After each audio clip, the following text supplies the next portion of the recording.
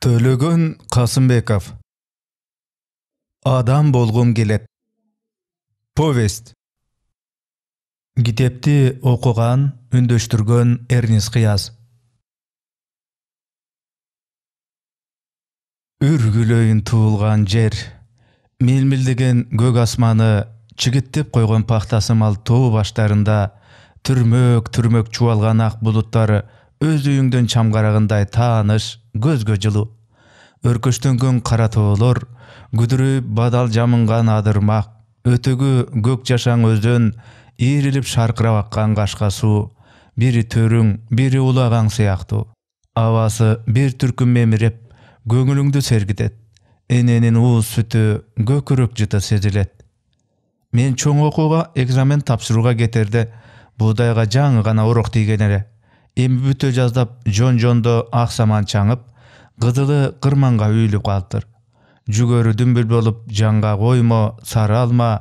Кара жүзүм кызыл алча шагынып берешен жерине ырыскыны ченебей төгүп турган кез экен эски чемоданымды көтөрүп кылкылдап турган көк жүгөрүнө түптөй басып бурчунда жалгыз түп түтү бар жалпак кызыл тамдын эшигине келе бергенимде бери чыгып келе жаткан атам бетме бет келе түштү мени көрүп оозунан сөзү түшүп аңкайып токтоп калды кел уулум деп күңк этти тула боюмду бир тегерете тиктеп ичкертен апамдын карбаластаган үнү чыкты э асылбы э кары алдым экөө ортого алып өөп жыттап сылап сыйпап эне аталык ысык мээримге бөлөдү апам көпөлөктөй дилдиреп башыма суу тегеретип чачып үйгө киргизди үй кандайдыр көзүмө башкача дубалы жапыз терезеси кичине ичи күңүрт салтыраган кара жапанды бастыра чүмкөп таштагансып өтө басмырт шыптын бурчтарына жөргөмүш уялаптыр төркү текченин түбүн ным тартып ар кай жерине ак сою чыгыптыр көк жыттанат э иш кандай деп сурады атам жанына отургузуп эмелеки шатман жылмаюу жүзүнөн жылан сыйпагандай жоголду да. Анын ордун кооптонуу кабырга майыштырган оор кануу басты.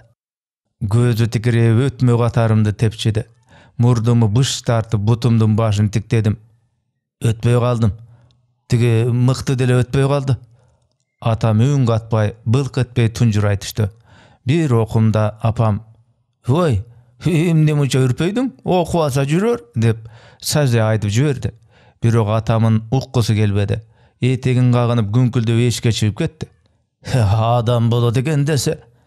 Апам улутунуп койду да пешенеме сылады. Төгеренейин азып кетипсиң бир жериң оорудубу ыя деди атаң берет адаты.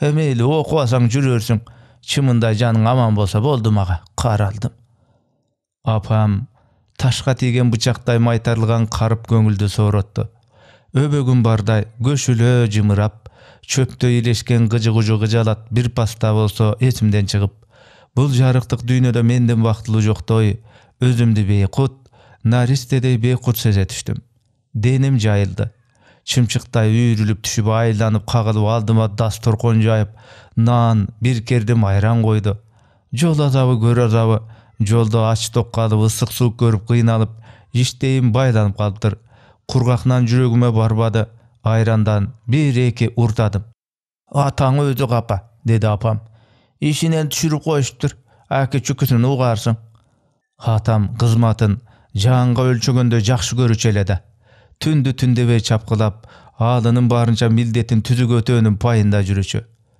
бүгүн аксакал ак суу участкесинде бол деди бүгүн аксакал тиги колхозго бар деди э балам чоңдун оозу орогорот чоңго каяш айттың дегенче кендириңдин кесилгени чаппасак болобу деп итең итең темирип жүргөнү жүргөн эле да мынтип чоңдоруна жагынып алганы менен элге суу тумшук кээ бирөө менин көзүмчө деле баягы уйгактай пинангинт келатат. Деги ашык төксөң да кутулбайсың мындан ат дедегиң кургатпайт.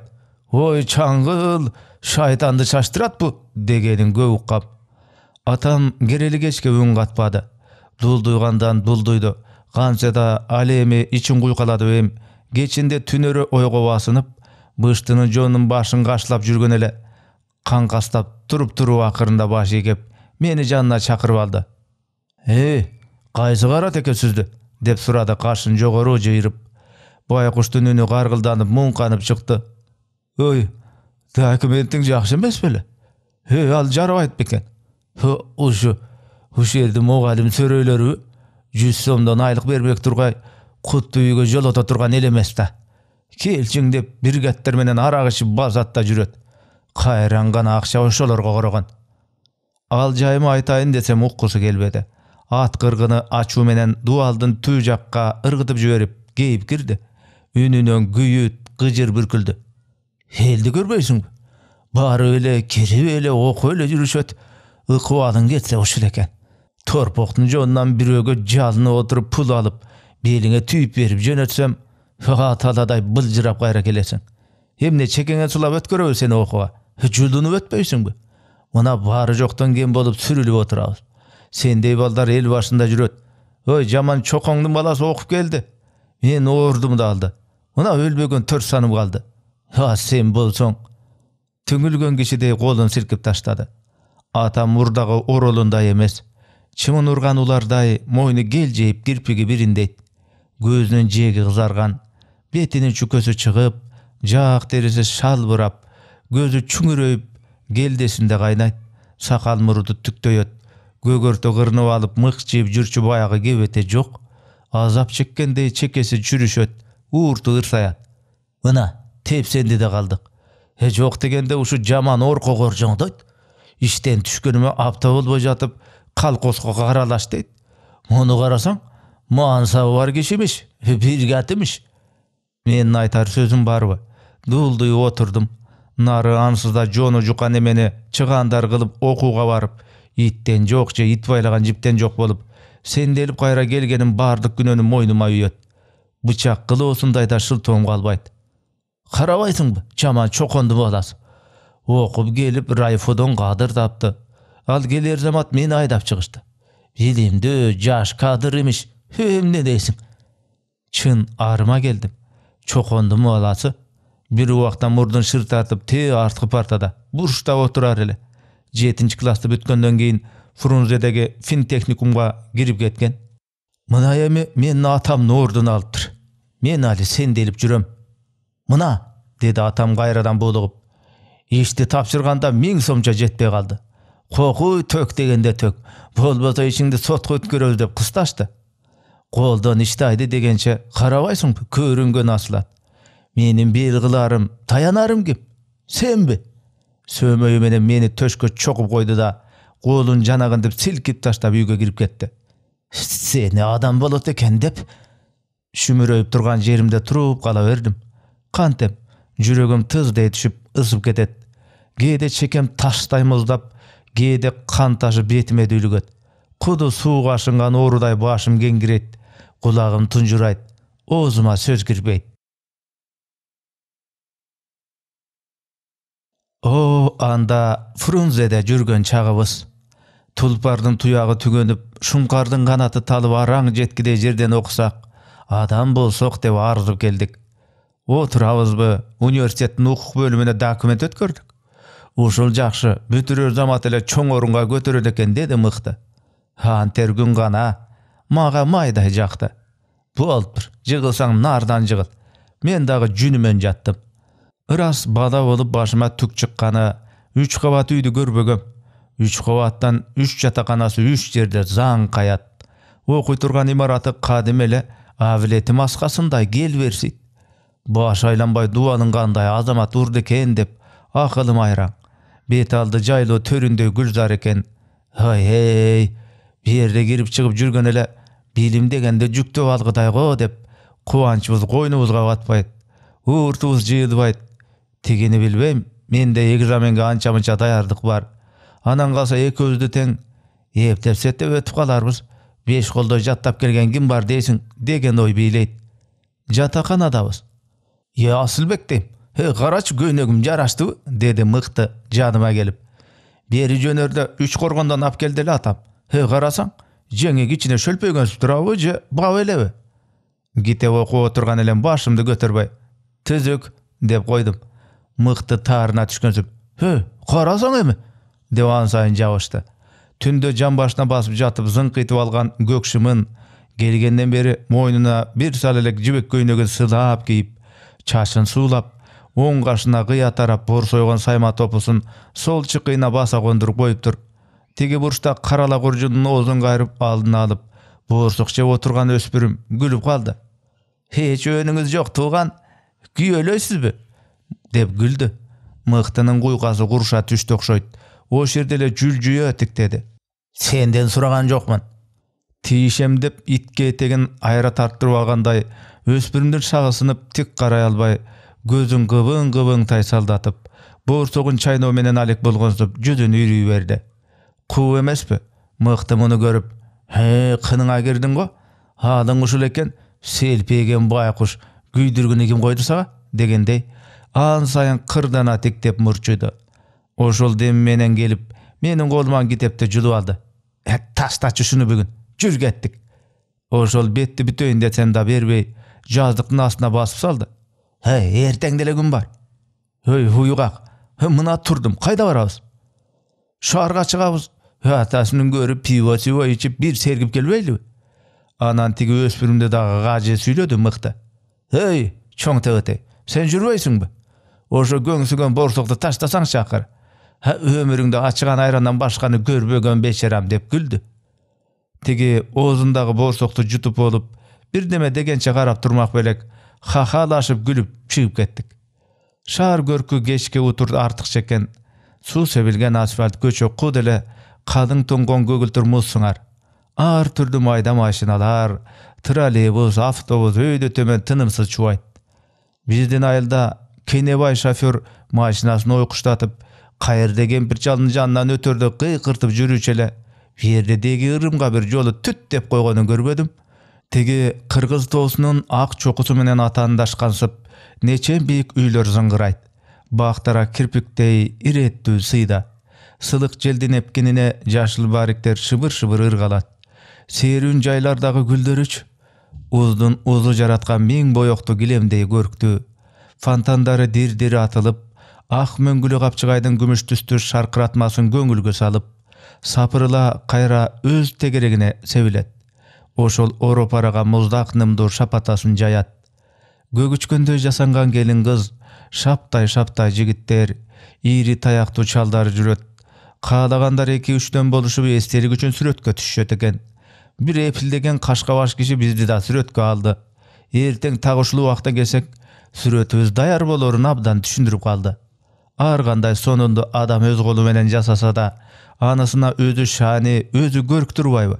Эгер мына ушул жакшынакай жасалганын ичинде уюктуу кумурскадай кайнаган калың калк болбосо анда беркуду күмбөзү көп бейиттей аңгырап жүрөк түшөрлүк сүрдү ың жыңсыз болмок карачы маңдай теринин убайын көрүп серүүндөп жүргөн эл эрте жазда тоо этегине жыбырап чыга келген бай чечеге окшоп баары таза баары сыпаа мыкты кыт кыт күлөт эй аңкайбасаңчы көп мага тыңсынып коет кээде аны муну көрсөткөн болот түшүндүргөн болот бир окумда э мына бу растыран деп түшүндүрдү мыкты жазуусун көрдүңбү э дос мунун шаан шөкөтүн көрбөгөн көзү ачып кетет.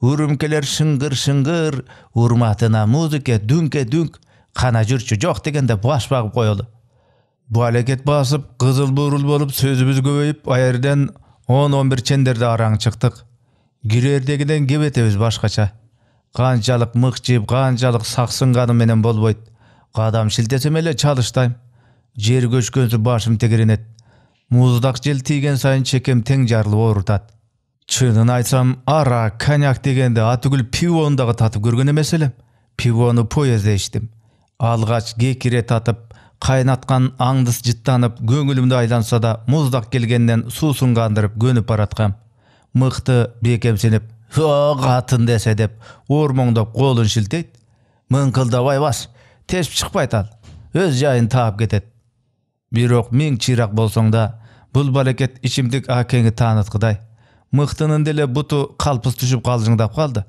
өлбөйсүң көнүп кетесиң окууга өтсөк бүтүп чыксак сот болуп алып какайып жүрсөк уктуңбу жыргал мына ошондо болот мына ошондо дос. Ошондо ичесиң анда эмне элдин баары көзүңдү карат бөйпөңдөйт ай эң мурда окууга кирип алалычы мыкты итергениме болбой токтой калып мени керкейи карады өтөбүз деп жиберди ал күпүлдөп атам жазып берген кат бар.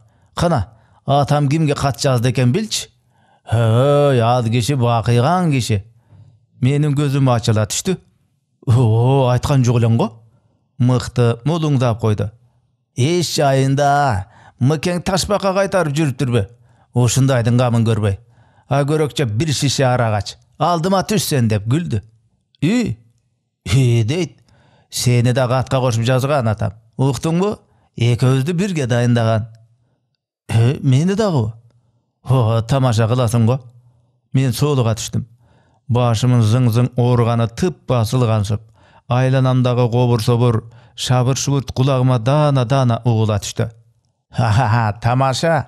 Ой жеңем белең сен тамаша кылгыдай деп дагы кыткылыктады мына бүткөн боюм ысып эч жүрөгүм эзилип эмне дээримди билбей далдырадым да калдым бу дардаңдаган мыкты адам аттуунун баарып турган ай көлү көрүнүп жаатында шагамдай жакын сезилип кетти чын да андай болоор күн гана.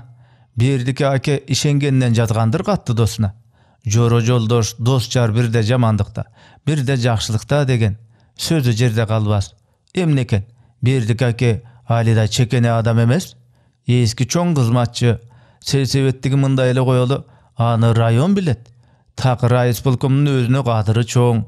Райисполкомун келип калса аныкына түшпөй өтпөйт жатаканага кеч бардык мыкты таркылдап жаткыла деп өз өз керебетинде китеп ситеп окуган болуп отургандарга кырына тийди уктайбыз азыр ал теңселе түшүп барып жарыкты өчүрүп салды. Караңгыда күшүлдөп бышылдап өзү үзө жулка чечинди да керебетине көмкөрөсүнөн сулап жыгылды ошо отурган үч төрт өспүрүмдүн ичинен бири да тил кайрышка жарабады баары эле күдүңдөшүп эптеп септеп жатканга камырып калышты мен сыйпаланып бәтіңкемнің боозун чече албай койдум айлам кеткенде туруп жарыкты кайра жандырдым байке кантет могу өзү деди кабак бүркөп баягы биз чоң тебетей дечү неме күнүгө мынтип колоктой берсе күн көрсөтпөйт го бул бизге атасынын төрү эмес бул жер итиркейим келди ә эмнеге кыңкылдайсың сен сабадыбы келди жатты дагы эмне болду китеп окуйсуңарбы тигине жарык окуй бергиле дагы эмне керек дедим мыктынын көзү илинип кеткен экен болбосо кыжы кужуну кулагы чалганда чатак ырбап кыйла сүр сүр болмок. Мен тиги бышыктын кийинки сөздөрүнө кулак салбай шешепти чүмкөндүм. Бирок уктай албадым. Бердики акенин каты жүрөгүмдө. Чын да эмне деп жазды экен? Мени дайындаганы ыраспы мыкты жөн эле дардактап койдубу кантсе бул кабардан жылуу эле буруп көңүлүм эргийт атамдын көзү тикирейип көзүмө кадалат. Балам оку жер көр эл тааны адам болуп кел. Мына биз оома бойдон калдык окууну сен ула атасы башканы төрүбүзгө ойнотпой төбөбүзгө чыгарбай жок дегенде өз жамаатыңа кара болоорсуң балам дагы айтам. Адам болуп кел. Деген насыяты өтүнүчү үмүтү кулагымда муюйм өтүп калсам бүтүп чыксам десем кыялым куштай учат. Оюм онтала ар кандай ишке бир сөзү эм кары жашка сыйлуу өкмөткө барктуу мыкты кызматчы болсоң таноолорум көзүмдүн кычыктары улам кыбырчый бергенден уйкум бузулуп кетти баягы куураган мыкты менден мурун ойгонуп алып мурдума чөп сойлотконо жаткан экен деп ойлодум да катуу чочуп кеткен болуп мурдун каңтара түртүп экинчи мындай оюнга жолобос кылайын деп оңтойлонуп көзүмдү акырын кылыйттым жок атүгүл бөлмөдө эч ким калбаптыр күн нуру терезеден кыйгаш тийип ичкери түшүп турат нары бери учуп конуп кың кың эткен бир топ кара чымындан өзгө кыймыл көрүнбөйт. Жаман кошчу тыталап чалайдап кеткен жердин чөбү окшоп мыктынын төбө чачы эле эрбейет. Чымындан корунганбы шейшебине сулду бекке мороонуп алыптыр араң баш көтөрдүм. Бүткөн боюм салмактанып чекем тим эле сынып калыптыр мурдумду тартып тартып өзүмдү чактап өйдө турдум мыктыны түрткүлөп ойготуп коюп жуунганы жөнөдүм. Башымды сууга мыкчып жакшы сергип алып кайра келсем ал дагы эле турбаптыр.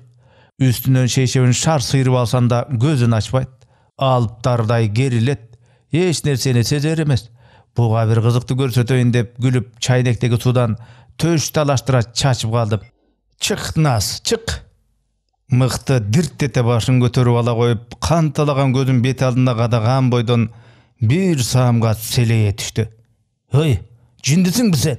Деп корсулдады мени көрүп эсин жыйнап киши уктап жатса суу чачып сескенип калбайбы киши дагы күлөт андан ары токтоно албай оозуна киргени менен сөгүп сөгүп алды сенин оюнуңду акымак сөкпө дедим тырчып сен эл катары консультацияга барабы десе ошол бойдон унчугушпай өз өзүбүзчө күдүңдөп кийинип алып өз өзүбүзчө жатаканадан чыктык жолубуз бирге болгондуктан ээрчип консультация өтчү аудиторияга бардык. Консультация орус тили боюнча экен. Башталып калыптыр. Сайма жакалуу ак жибек көйнөкчөн тырсыйган жигит суроолорго жооп берип бирдемелерди түшүндүрүп нары бери басып жүрүптүр.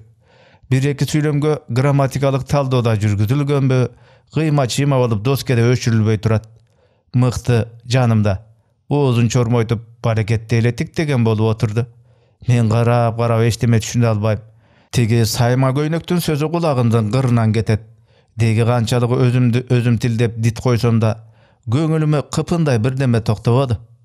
«Ә, жүрчү деди мыкты чекесин чүрүштүрүп. Ичим каарылып баратат. Өлүп кетебизби эмелеки ич күптүмө карабай. Ә жүр дедим түз эле. Кантейин анан аныкы каарылып баратса меники сыйрылып турат. Башым суу толгон кумурадай салмактанып жерге тартат. Баш кийимдерибизди колтугубузга кысып бөкчөң бөкчөң басып аудиториядан чыга жөнөдүк ошончонун ичинен кайда барасыңар? Бу жерде консультация жүрүп жатпайбы? Өзүңөргө пайда го акыры деп эч ким бизди токтотподу тосподу шаардагы чоң чоң магазиндерге күндө кирип чыгып жүрөбүз бирок көрүп көрүп көз талбайт көңүл суусуну канбайт бул күнү да ээрчишип алып сокур тыйындык соодабыз жок керели кечке кыдырдык акыры курсагыбыз кайра ачып тилелерибиз уюп тула бой талыкшыганда гана көк базардан үч сомго дарбыз алып аны бир бурчка жара тартып жеп кайттык. Мыкты алдыда. Ал кемселин чечип ийнине илип алган. Меники колтугумда өңүрү салбырап келет. Бир жолу мыкты эчкиче чубашпай шаардыктарча чыкып катар басып жүрөлүчү деди эле көнүкпөгөн адат оңойлук менен көңүлдө калбай турбайбы. Баягы эле көндүм кеп эте кээде из таптап кээде арабанын аябай чалыккан кош атындай бут басышып калып баратабыз. Ой асылбек мыкты токтоло калып башын ийкеңдетти ой куп пальто экен укмуш. Чөнтөгү тышында бел болсо да бар. Мага бап келбедиби? Кырк сегизинчи турбайбы? Эмнесин айтасың? Адамдын жанынан башка бүт бар экен да шаарыңда. Асылбек деп мыктынын көзү ан сайын балбылдайт.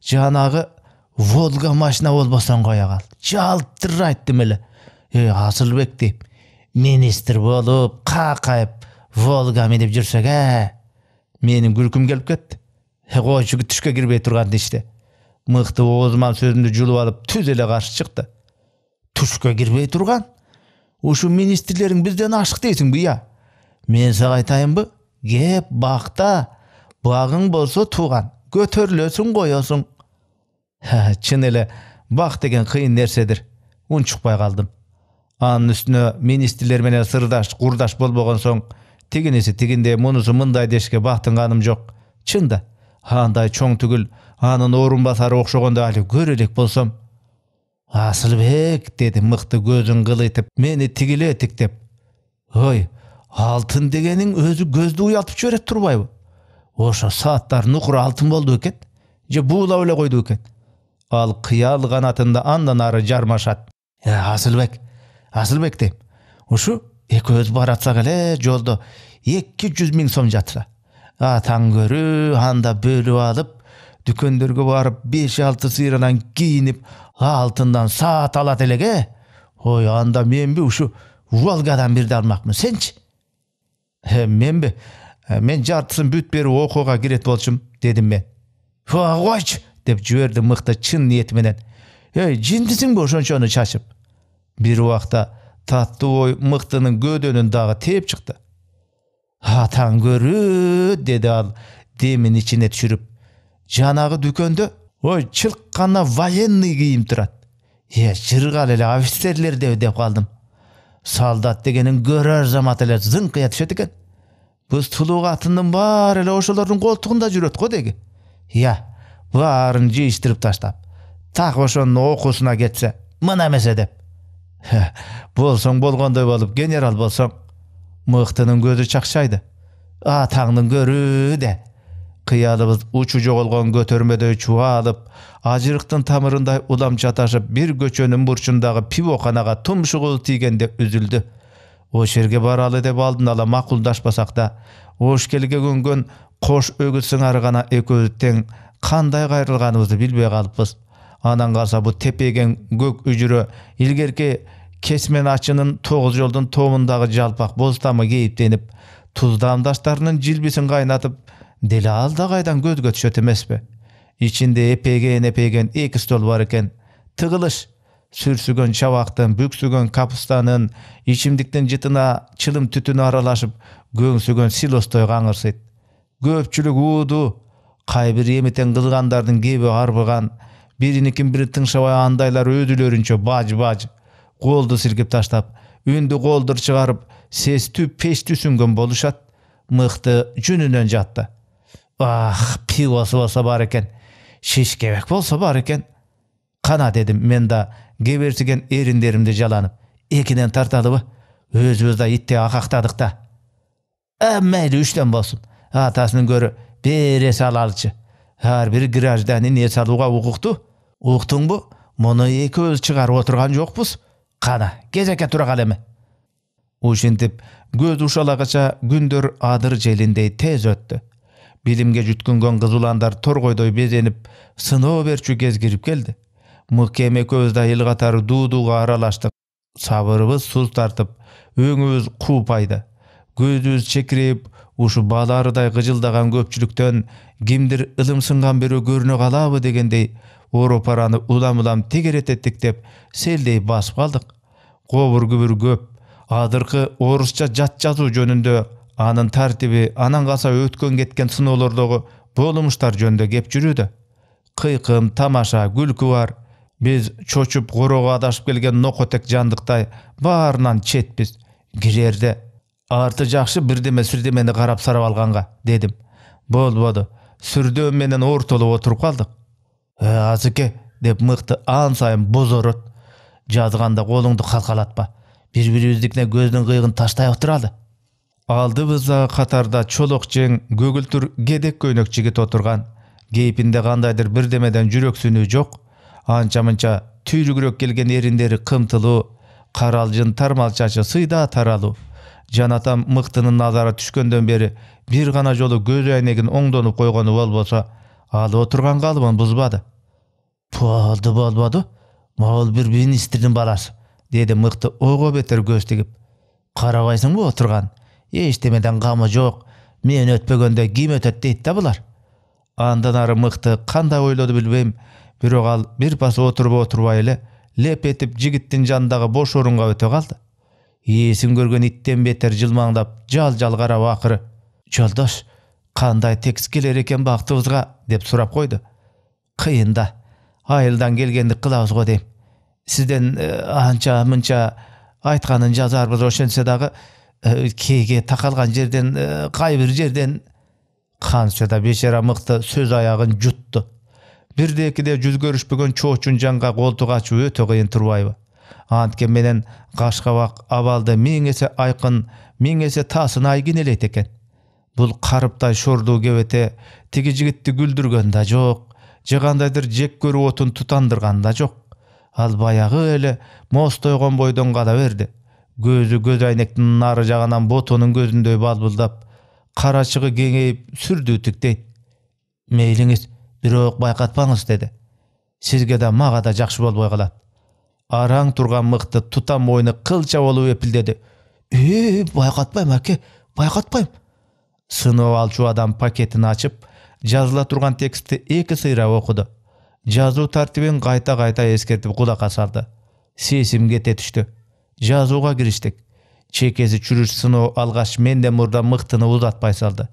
Ал эки кулагынын үстү жагында кежиге ченде анда санда гана сары бурул чачы калган кашкайган башын кыңырайтып эки мерте тиктеди үчүнчүсүндө тоодой медер кылып отурган тармал чач жигитинен оолактатып мурдагы ордуна менин катарыма өткөрүп жиберди кынжылса да болбоду мына эмесе деди мыкты күйүп күл болду багы жок го дагы жок жыйынтык эртеси жарыя болду жарыя тактанын түбүнө энтелеп жүгүрүп келдик орто жакшы баа алгандардын тизмесин бир сыйра карап алып несиз болот иштим чиркин жок дегенде орто деген үмүтүм бар эле да эсимди жыйып деги бир жеринде бар бекемин деп тактадагы топ топ тизмелерге жайма жай көз жүгүрсөм турганда да жаман баа алгандардын ортосунда турат киндиктештей мыкем экөөбүз дагы катар туруп калган экенбиз мыктынын чыйпыйы чыкты э жанагы арчыган пияз баштанган итиңи урбагандабы пай пай хорошо алмакмын сен өзүң көрдүң го баягы көз айнекти ой ошо ой ошо хорошо алыптыр бир пас буудаг алып жиндиден бетер көзү ойноктоп өзүнөн өзү муштуму түйүлдү ичиме күйүтүм батпай үшкүрүп жибердим. Калган сабактардан тапшырып көрсөкпү түзүк тапшырсак муну жаап кетерди. Артып күрсүп алыс кайылдан келсек байкуш мыкты тириле түштү. Ой эске алышпайбы? Колхоздо иштеди деген справкабыз болсо акыры буюкканга жылдыз от көрүнөт. Айлам курганда чала түштөгүдөй элес булас көзгө тартылган бир жылуу кыялга кабылып желдей оома булуттун көлөкөсүндөй туруксуз үмүткө байландым айтмакчы мыкты баягы каткана телмирип анын көзүн тектеп калдым ыя анча мынча жардамы тиер дейм да аныбы апаргам ал кабагын карыш салып мыңкылдады аны мугалимдери билбесе деп ыңгыранып калган айтымына караганда бир шише шампанды колдуктап катты бетине кармап аяш атасына барса аяш атасы ток этер жери эсенчиликти сурашып ыкыласты сүйлөшкөнү менен жок дегенде көңүл үчүн болсо да кичине кеберчитип койбоптур кайтып жанагынтип мугалимдери билбесе деп баланын апсаласын сууткан окшойт убагында далай коозумдун башын билжүгөн кадыр сиңди адам эле атам. Эми карасаң оң карагысы келбейт деп сөгүндү мыкты кийин уксам ошол катта мен жөнүндө жарты деле сөз жок экен сыноо баракчабызды алалы деп кадрлар бөлүмүнө бардык силер кийинки сыноолорго кирбейсиңер арыз жазып келип документиңерди алып кете берсеңер болот деп сыноо баракчаларыбызды бербей койду мына күрөштө жыгылып башынан аттаткандай ден дароо болуп кайда басарыбызды билбей калдайдык журтуна көмгөн алтыны калган кишиден бетер кайра кыңырылабыз кайра кылчактайбыз жаман деп бир гана ооз сөзгө араң жарап сенделип тургандарды көрсөк элдин баары эле өтпөй калыптыр го деп көңүл соротобуз жакшы баа алгандар бапырап жаныбыздан өтсө туз куйгандай ичибиз сыйрылат үмүт түшкүр сыйкырын октосун салып опур топур суюлган ченде тизме алдына кайра келип такады ана укук бөлүмү жоктон бар болбойт экен миң толгонсок деле жакшылар арасында жокпуз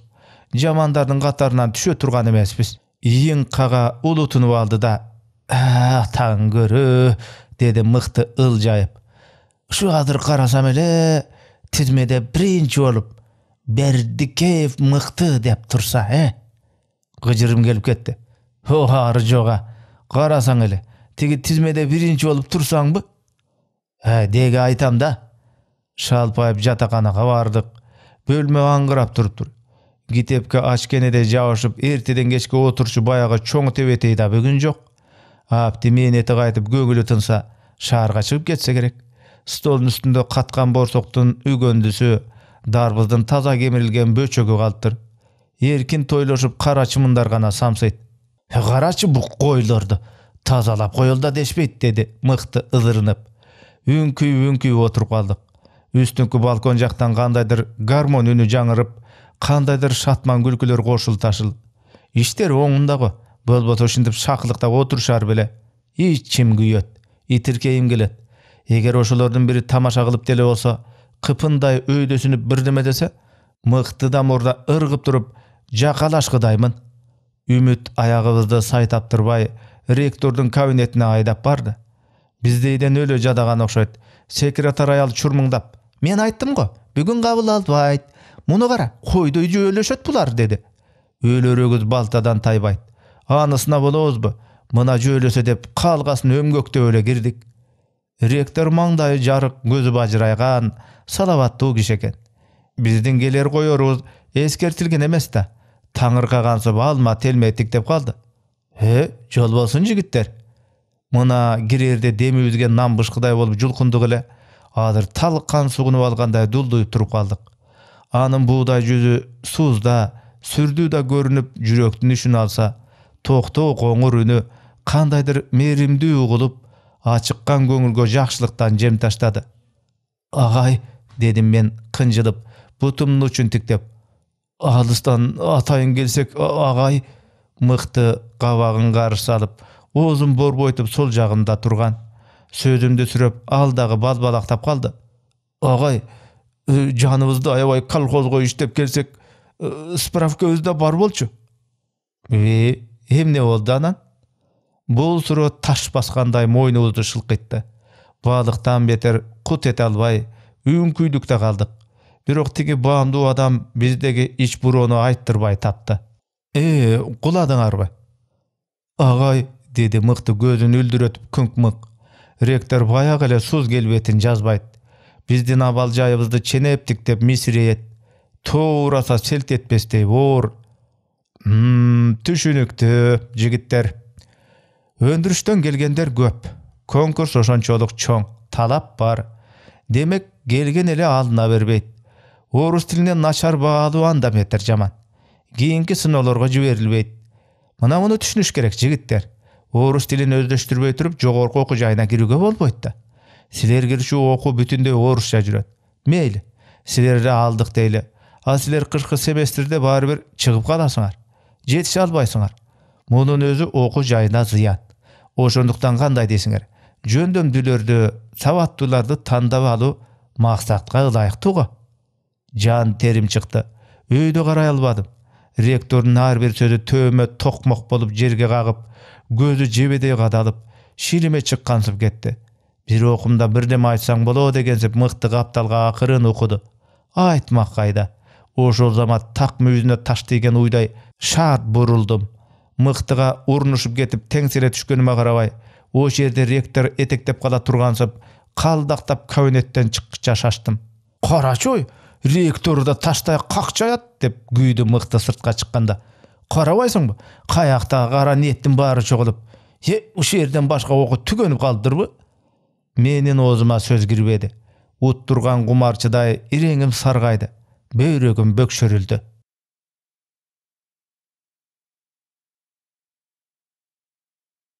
Мына этимдин ысыгы бетимдин кызылы ушул өпөйгөн нерсе менен өтмөй катар.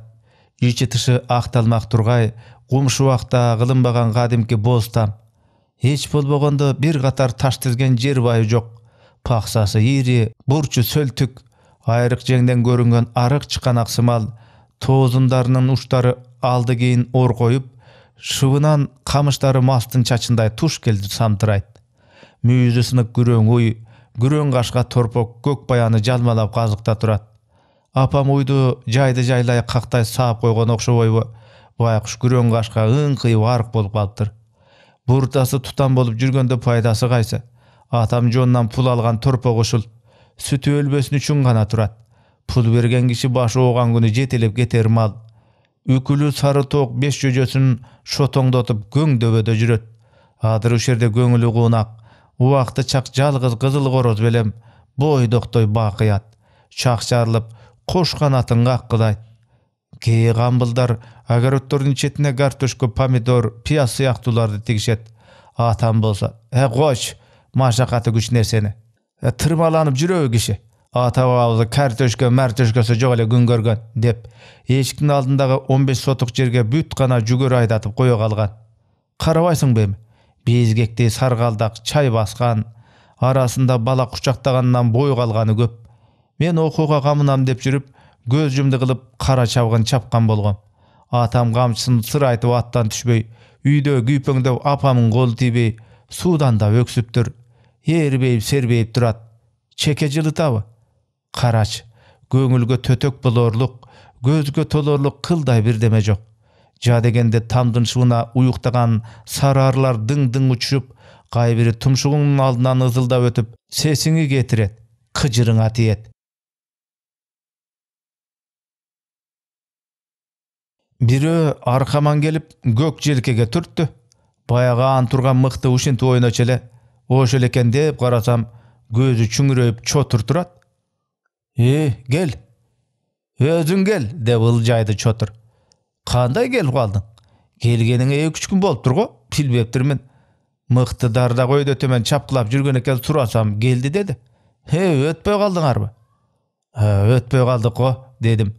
Болор болбос ырсаймыш болдум а окууга кириш кыл көпүрө болуп калыптыр да эмнесин айтайын жарамын карты сыйрылып жүрөгүм өйүп көңүлүм ооруду кеп багытын алаксыттым чотур айылда бир жан жок да келгенден бери ушу сени көрдүм э көкүрөк көтөргөндүн баары иште келгени кечкисин келет келбегени келбейт. Кошконага түнөп иш үстүндө калат меники баягы кесибим тракторум тыр тыр жүрүп атат катын өзүмө жардамчы керели кечке оодарма айдамай жүрмөй билбейм өткөн кеткенден кажылдашып эрмек кылгысы келдиби же күйүтүмү сезип жубаткысы келдиби иши кылып кыйыктансам болбой жүр бир пас сүйлөшүп отуралы деп ал мени үйүнө ээрчитип кетти. Ырас чотурдун менден эки жашча улуучулугу бар.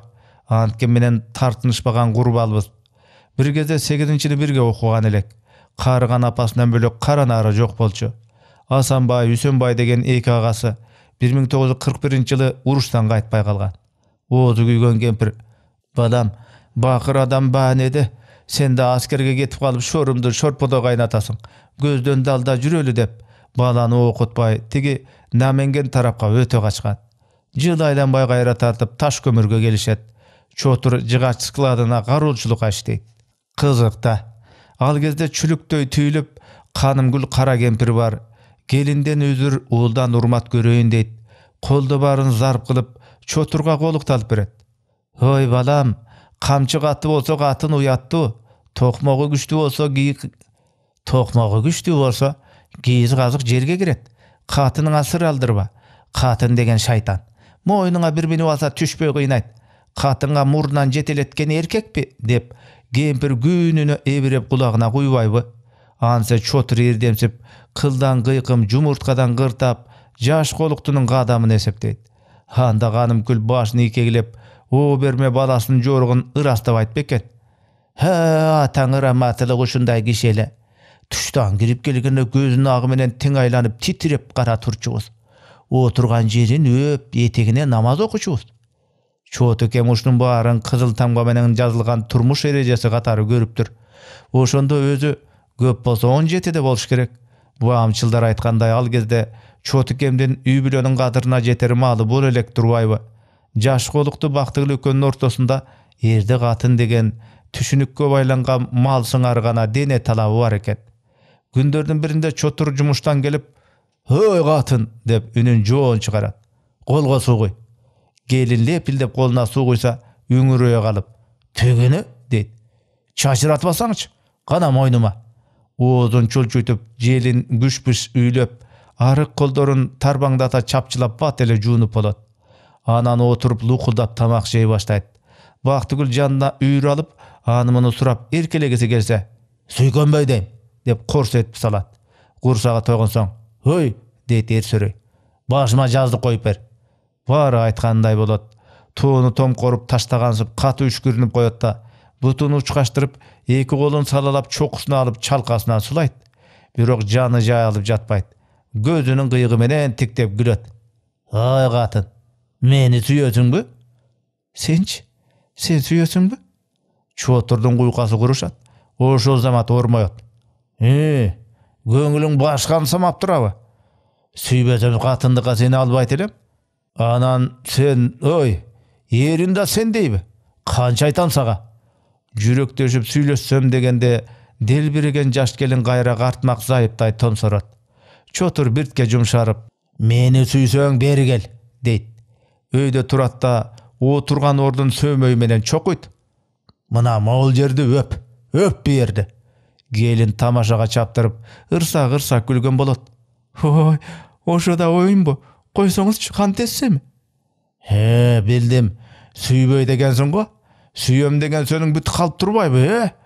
Чотур баса калчудай уңкуйуп олурая тиктейт өппөйсүңбү иә менин отурган жериме өппөйсүңбү келин кыйылат акырын эңкейип таарга эрден тийгизет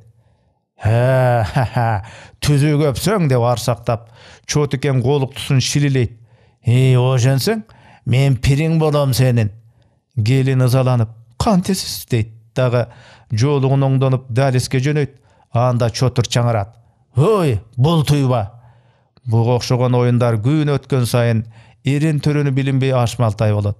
Чотур бир күнү жанагатып отуруп бутун кол жойтуп бактыгүлдүн оозуна такайт.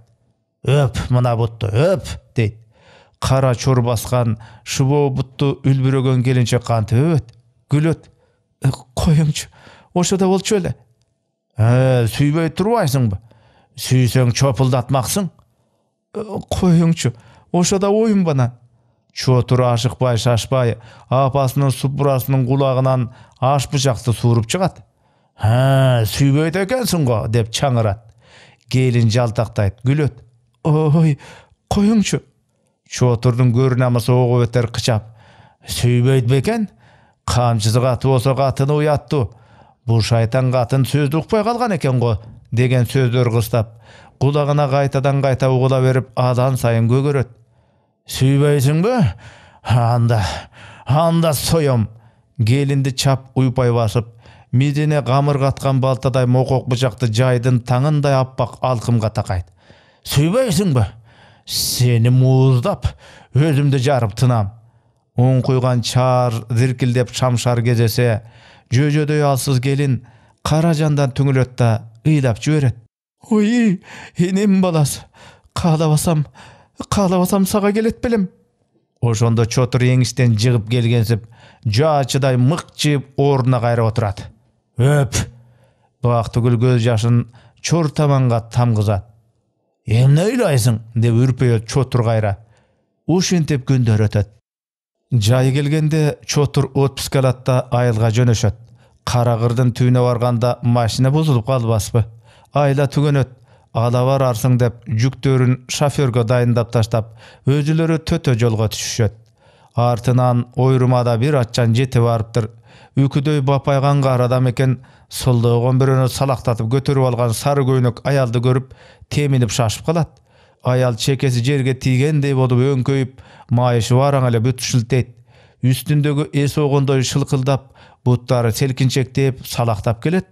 Кары жандай берип ой балам эмне болду деп өңүлө берсе үстүндөгү ырсактап аялдын жонунан түшө качыптыр караса кара назардын уулу баягы чотур келин эрерке ыйлап жиберет да жолдун жээгине отура калат терин арчынышка жарабай сары көйнөктүн бөлбүрөгөн узун жеңдери менен бетин басып өпкөлөйт налаты кары о жерде эле камчы үйрүп сөгүп бербейби садеси бузук ит колу быты сынганбы десем көтөртүп алган тура атаң кара назар ушундай ажык кыз болчу чотур өйдө тиктебейт тайсалдайт аксакал тамаша кылып эле от тамашаң менен жерге кир кары бетинен заарын төгүп кыжыр менен атын санга бир салып жүрүп кетет.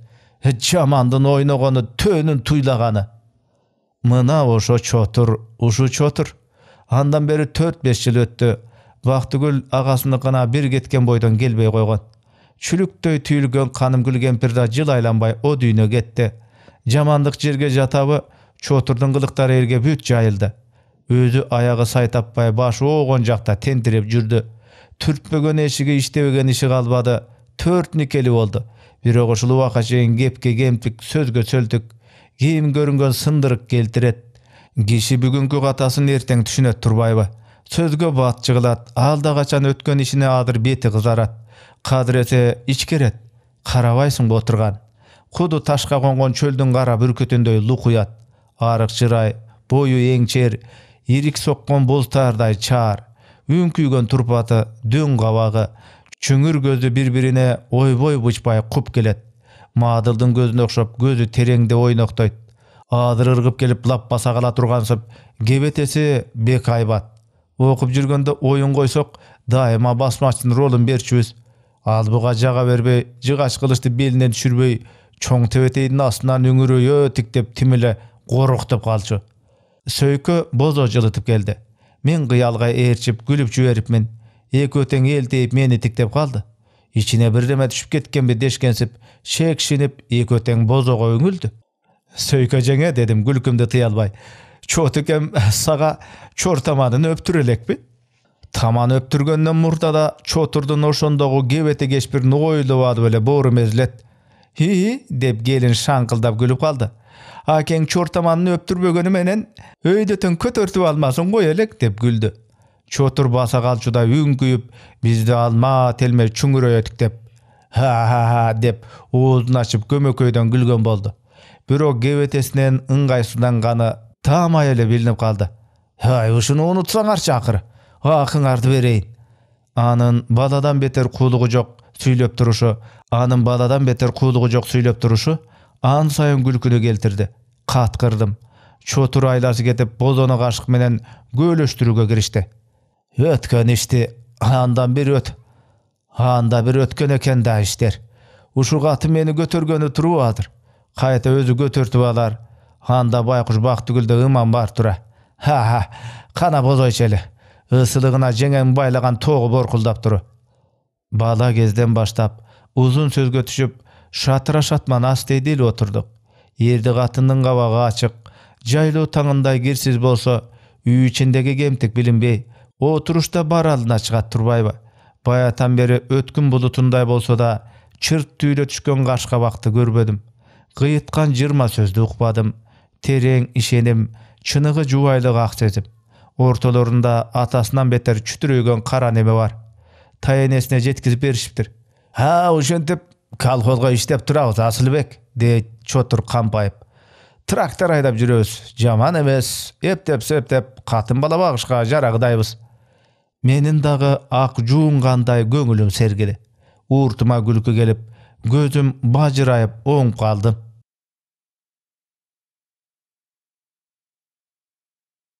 асылбек көзүмдү ачсам этек жагымда камчысын бүктөй кармап атам турган экен сыртка кийчү сары купайкесин кийип эни төрт эли текматы менен белин бекем курчаптыр төбөсү карыга тиер тийбес болуп жүзү күңүрт чалып жакшы көрүнбөдү нары кичинекей терезенин сынган көздөрүнө адеп камыр менен кез чаптай берип назар салган кишиге куду чылпак баскан көздөй ботала болуп калган күн жайылганда биздин үйгө араң жарык кирчү жарык кадырес экен башымы көтөрсөм мен районго кеттим сен машина менен артыман бар.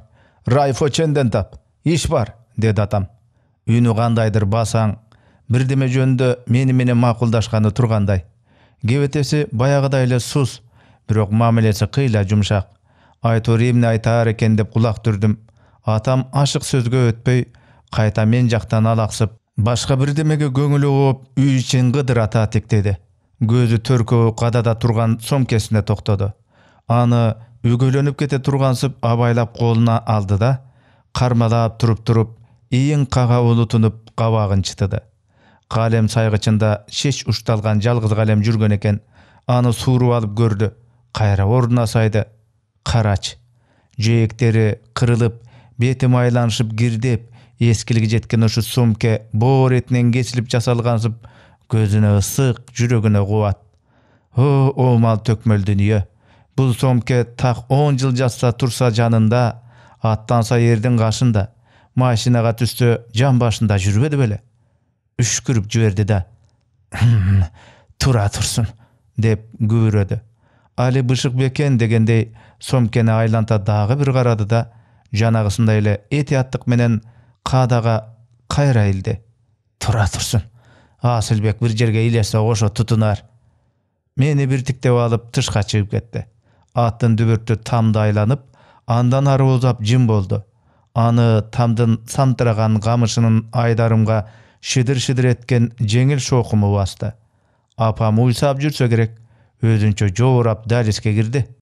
Бир балгам сүт араң байып калды. Торпогун кошуп эле жиберсе болот эми э асыл турдуңбу каралдым окуйм деп жүрүп биротоло алың кетип көк жакшы болуп калган окшойсуң жаткың келсе жата бер кагылайын азыр дүмбүл бышырып берем каймакка жанчып берем.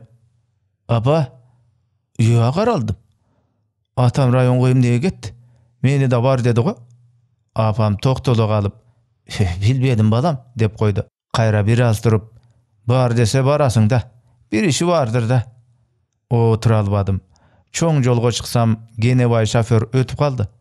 Кол көтөрүп токтотуп алып жанына отурдум да жөнөй бердим. Атам кыр мойноктун нары түбүндө бараткан экен. Көргөн киши чаңгыл уктап келатабы дей тургандай. Камчыланбайт теминбейт эки жагын каранбайт. Алда кайдан шириси көрүнөт. Кербышты жаныбар камчы салдырбас. Лепилдеген жүрөмөл жылкы эмеспи ошонун омогунда гана сүлкүлдөп ой терметип барат. Мына так ошол жерде оюндан от чыгып кете жаздады. Кенебай оңбогур дал атамы жандай берип машинасын бап бап дегизип жиберсе болобу жаалы камчы саптай боюнча жүргөн кербышты куду телкидей үркүп жолдун алдына жалп берди таш төшөгөн шассенин арыгынан шарт секирип өтө качты тизген колдон кетип ыйык жалга же куш башы эрдин кашына тырмак илинбей атам коң турулган бойдон барып күп этти күлкүң башыңды жаргыр кененбай кызыкка батып каткырат ушунчалык кыжырым кайнады жерде өзүмдү өзүм кармай албай. Тишимди кычырат түз эле рулга жабыштым машина жолдун бир тиги четине бу бир четине буйрду кенебайдын шаштысы кетип үрөйү учкансып үрпөйүп чыканагы менен мени төшкө түртүп колумду рулдан чыгарууга жанталбас. Ой ой ой! Токтот токтот дейм машина токтоду кабинадан атып чыктык. Атам жер таянып бери тиктеген бойдон отуруп калыптыр. Эй менин милдетим да тепсетип кетпес үчүн түтүлдөтүшүм керекпи жокпу? Кененбай алактап акчылана баштады. Аты үркүнчөк болсо мен эмне тыңшаган да жокмун. Алымын баарынча атама жүгүрдүм. Ал козголбойт ууртун бир жагына ыржайтып жарадар жыткычтан бетер көзүнөн оту чачырап машина жакты тиктейт колтугунан сүйөй берсем жерге бир түкүрүп дагы эле машина жактан көз албай кыңкыстады баягы кенебай шүмшүкпү кан кускур кан кусуп кеткир кененбай жүрөксүп машинасынын жанында селдейип калган атамдын ордунан эсен соо турганын көрүп тишин кашкайта күлдү да колтуңдап кабинасына кайра отуруп жүрүп кетти гербышты тизгинин баскан экен ооздугун шылдыр шылдыр чайнап коюп бир орундан жылган жок атам тумагын алаканына чаап алып баса кийип анан баардык алемин макулуктан чыгарды мына мына! деп камчы менен башка эки чапты сен да торсук байлатпай калгансыңбы я союлгур десе талпаң ташка жайылгыр десе карабайсыңбы ичегимизди кете таштады. Коймолчагым быркыранып кете жаздады ошол жерде кененбайды аябай теги жайын оодарып сөктү менин да муунум калчылдады жанымда болсо өлбөгөн жерде калышат болчумун карабайсыңбы ушу бок мурундагы тепсетип өткүсү бар бизди деп кейди эң акырында атам канчалык узаган сайын машиненин бараны кичирейип талма коңуздай бүдүрөйдү боз тумшуктун алдына жеткенде далдага кирип караан үздү түшкө жакын райфондун эшигинде болдук. Эки суунун аралына жыбырап көчөлөшүп орношкон жыш кыштак бир чети төмөнкү сугумга чейин созулат бир чети жогорку адырда жайылат күндөн күнгө там көбөйүп жер тар келип бараткан сыяктуу. Тиги ортодо үркөрдөй топтолгон ак тамдар мамлекеттик мекемелер көп өрдөктүн арасында жүргөн топ каздай даңкайып даңкайып аралга көрк. Көчө бойлото тигилген мырза теректер бир кылка алды артындагы бедеси чабыктан кийин кыйла чайлап калыптыр күрпөңдөй тармал.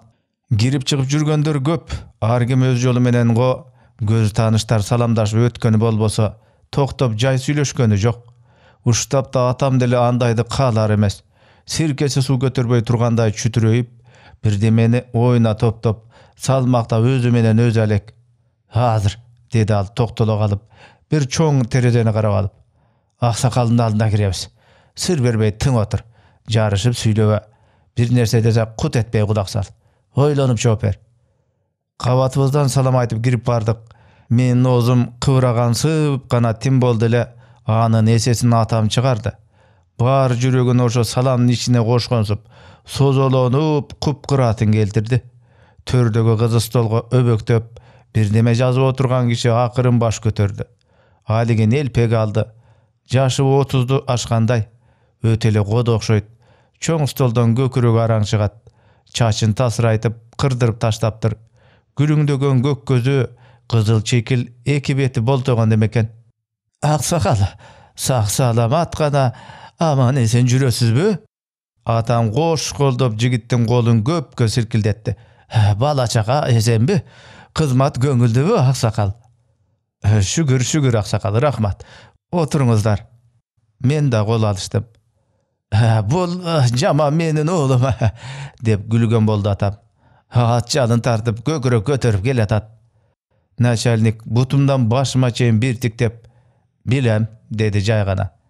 Эй аксакал келип калыпсыз келдим аксакал деп жалпактады атам анан мукактана түшүп кирпиги суюк кызыл көзүн алсыз ымдалап сөз узатты менин келгеним аксакал тиги ушул азыр күтүлбөгөн бирдеме ыргып чыга калчудай башын бир жагына кыңырайтып атамын оозун тиктеп ынта коюп калды менин келгеним аксакал өзүңүздө биртке иш бар эле атам сөздү алыстан кайрыды сиз жашта болсоңуз башсыз алдыңыздан өтүп айтайын дегеним мени болсо бошоттуңар карыды арыды дедиңер үнү дирилдеп муңга чыланып аянычтуу чыкты ә, билими жок дедиңер макул таарынычым жок алдыңызга келип айтайын дегеним аксакал асылбекти окууга жиберсем ә, сыркоолоп кайра келип калды кантсе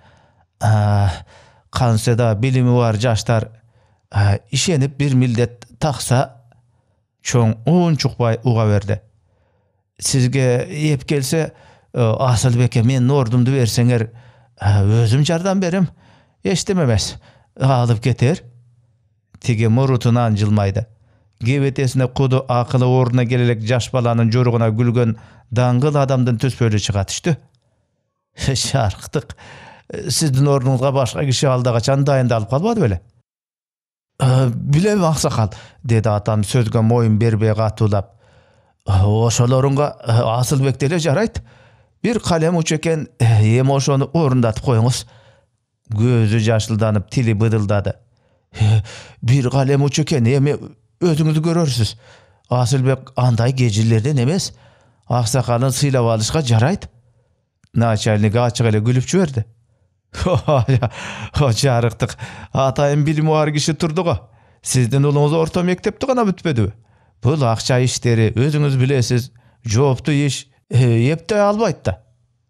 Эптейт эптейт аксакал эптейт кокус жазып тайып эсептен кетип мойнуна бир неме түшсө жалгыз атымы сатып болсо да төлөп коем мен ошого кантип жарабайын да аксакал атам арыдай жабышты бөйүп өңдөдү сөз алдын тосуп бирде күчөнүп бирде бушайман тарткандай бошоңдоп анткен менен көздөгөндөн жазбай тигини ийиктиришке ынандырышка тырышып сүйлөдү ыйык санап көптөн бери көкүрөгүнө басып келген жылуу үмүтүн тоодой ишенич менен ортого салды. Уулу экөбү кызматына ар качан даяр турарын бооз торгойдой сайрады. Көзүн жашылдантып жалдырап тиктеди мен тердеп кеттим начальник атамын оюндагыдай экчелбеди биринчи жолку кебетесинде биринчи жолку сөзүндө эле кала берди ал тургай атама бала катары карашы күч алып уурту жалжайды чарыктык кары күчкө толгон жигитке жумуш ар жерден табылат колхозго киргизип коюңуз ушундан жакшысы жок атам башка чапкандай чыга жөнөдү колтугуна кысып турган сары тумагы жерге түшүп кетти ага карабады жарышып кошо жөнөдүм бар болгону сары тумакты иле чыктым тышка чыккан соң абактан бошонгондой жеңилдене түштүм келе! деп атам корс этип тумакты колуман жулуп алды бу терсейген кысталактын ушундай ит экенин билдим эле адам экен деп келсе терсейет ушу мансап түп казанак болгонун көрөрбүз кызы талака атам ал бойдон тынбады. Өйдө төмөн чапкылап жүрүп бир күнү кудуңдап сүйүнүп келди биздин силсебеттин секретары бошойт экен райисполком тарапка көтөрүлгөн жатса керек. Жолдош бердики менен эле сүйлөшө койсокпу кандай секретарь коюп аларын председатель өзү билет? Э ата иши кыйын да деп мен чынымды айттым. Анткен менен иште деп кыстата баш тартпай турганмын көңүлүм ооп турду. Атама сөзім чекеге чапқандай тиді. Е деді түз эле чекірейіп жарым жансың ба? Оқуң жетішпейбі а тиги жаман элмураттын баласы көкүл кантип иштеп жүрдү чыпчаң төрт жыл турду го мына эми райисполкомдун карамагына өтөт сал тура түшүп райисполкомго председатель болот ал тигини былдырап отурганын колдон келбес иш жок унчук албай калдым деги го сельсоветке секретарь болсом жаман болбос эле жергиликтүү өкмөт аерден партияга өтсө атам айткандай чоңдорго жаман көрүнбөй иштесе көтөрүлүп кетсе болот. Атам жарыктык кашын серпиле электе ичиңде аңтара билген өтө сергек куу киши.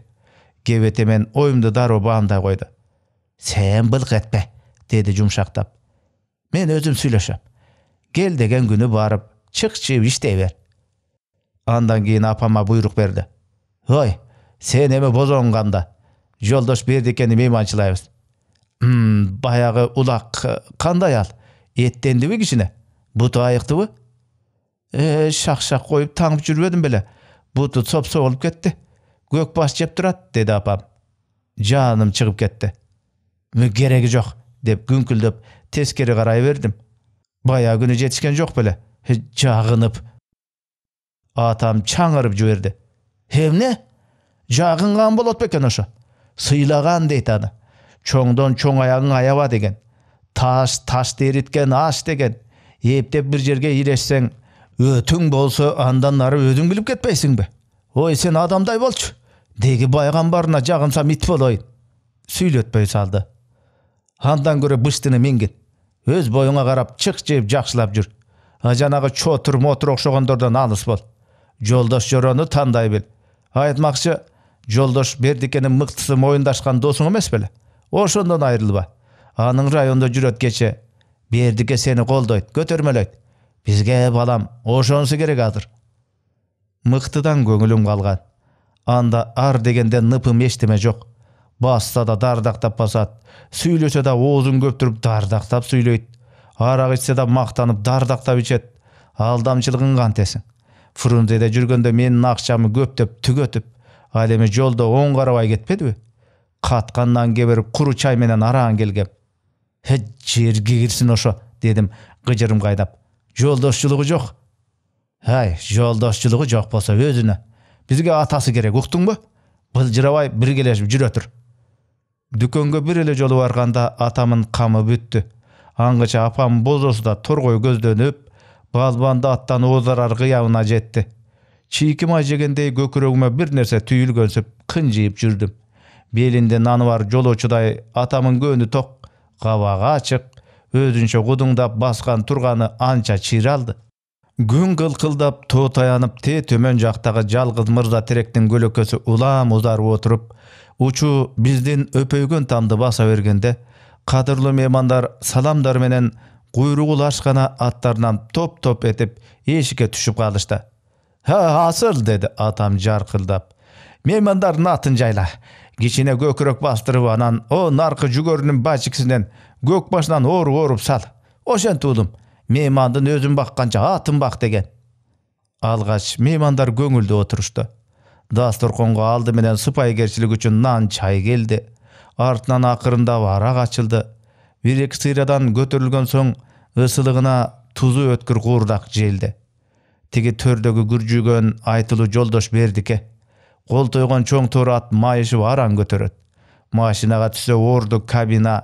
Шофердун шору оозунан арак буркурап көзү кызарып жолмо жол үргүлөп бурчка кысып салат эмне жеп семиргенин ким билсин күндөн күнгө эки бетте кара көк тартып тултуюп чүйлүсү чыгып күпчөктөй болуп эле баратат анын сол жагындагы эпейген өзүнүн эсепчиси муржу чуштуйган эги шиштийген бетинин чүкөсү оор койгон жагы жука киши оозундагысын чайнабай токтоло калып көзүнүн үстү менен тирмейип таңырко такыр жок. Кайта отурушуңду сүйлөшүңдү чамалап тиктейт кейпи куду түлөгөн кексе түлкүнү көзүң элестетет. Аты бүргө. Аңгыча уурулук ишти аңдып жүргөндөй соп этип салам айтып капелеттен орко кирип келди. Бабырап кол алышып калышты. Э кел орко! Атам арактан баса куйду ниетиң калыс экен ак дасторкондун үстүнө келдиң кана меймандар менен көтөрүп кой орко үшүгөнсүп колун укалап койду да атам сунган стаканды алды. «Ә, коңшу эмеспизби чаке? Ылдыйтан келатып эле түшө калдым аксакал да ушул жерде экен атамдын шишелери биринин артынан бири бошоп тоголоно баштады. Жолдош бердике мурдун чый чый эткизип жантая кетти ыргып туруп чыканагына жаздык койдум көөнүнө жага түштүм окшойт ал көз кырын бир таштады да «Ә, чаке балдарды атайын фрунзеге жиберсек ушинтип келип калышты э деди ынтыгып «Ә, шарты жаман экен деп баса бериптир мыкты эндиги жылы военно академияга барам дейт «Ә, мейли эми деди атам сөздү ыйлып сиз менен биз бар беке балдар талада калмак беле ә, иш табылар ой чаке орко сөзгө аралашты иш чачтан көп кампаларга эгинди ташый албай атабыз. Адам аз машинага жүкчү болсун эмне чекеси да эмне чекеси да тердебейт машинанын үстүндө салкындап жүрө берет атам сузданып бригадирди алдыртан тиктеп э иним жүкчү табылат деп ыңгыранды кана көтөрүп жибергиле азиз меймандар асылбеке иш табылар деп жаак терисин бырыштырып жалжая күлүп тиги экөөнү жал жал карады бир сыынын аксакалы бекем өзүнө катчы кылып алсачы кана ичсеңер азиз меймандар ичсеңер анын бул кебетеси тиякта отурган мени жерге киргизди көрбөйүн да күйбөйүн деп тышка жылып жөнөсөм асыл деди атам жумшак үн менен карасам көзүнөн чаары чыгып турган экен мойнум шылк этип ордума кайра отуруп калдым бир пастан соң тамагын кыра кайрадан сөз тартты атам аксакал секретарыңыз тың жигит калп айткан менен болобу биздин суудагы өсчү балдардын бири бердике мойнун күржүйтө бурап капшычакты тиктей берип төзөк деди оозу бош айтты. Ал менден кетмей болду чаке тыңдан ушу бүргөмү көрдүм ишти камырдан кыз сурагандай бүтүрөт эсеп кызаптын акча иштеринин тишин чагат эми булар бүргөлөр дасыган кызматчылар го бүргөсү бул мактоону этибар албаган кишидей кейкейип мурдун быш тартып токтоо сунат салабаттуу сунат канчалык аяр түлкү болсо да бара бара чечекейи чечтенип тили буудай кууруй баштады эки сөзүнүн бири секретар көкүл болду жөнү жок терсеген неме өзү иштешип калдык го бышык сынган болуп эле менин эсеп кысабымды тескеген болуп эле деп эбиреди башкасынан башкасы бир күнү уялбай аксакалдын өзү менен айтышпадыбы мына тилинин азабын тартат эми көтөрүлмөк кайдагы аксакалды бир баштан бозо жүгүрттүм бара бара дуу дуу күчөдү жолдош бердике арактын артынан бозодон кере кере жутат да ийининен дем ала мурдун чый чый дегизип жаны жай алып нымшып отурат бүргө баягы сөзүнүн аягы көкүл орко кыйла кызып калды жанагыдан бартылдап кеп сөзгө батымдуу тартты. Өзү жука ичкиликти көтөрүмү жок согуштан алты саны келгени менен контузиясы бар дешет чаке кейбе деди ал астейдил сизге иш беребиз раис өзү айтты. Кырманчыларга суу ташып берсин дейт чын бекер жүргөнчө бекер иште дейт тура килеңдеген эки ат кошулган араба даяр. Атам күлгөн болду оппо кече деле айтпайсыңбы аны лаппай таксыр азыр тамак жеп алалы эртең тозокко барды кете беребиз лаппай таппайыңы кой чаңгыл орко ормое түштү шылдың эмес бу жердеги киши мен иштин жайын айттым. Ой ой бирге түкө катуу кетпе. Сиз билген иштин жөнүн биз да билебиз биз дагы өкмөт менен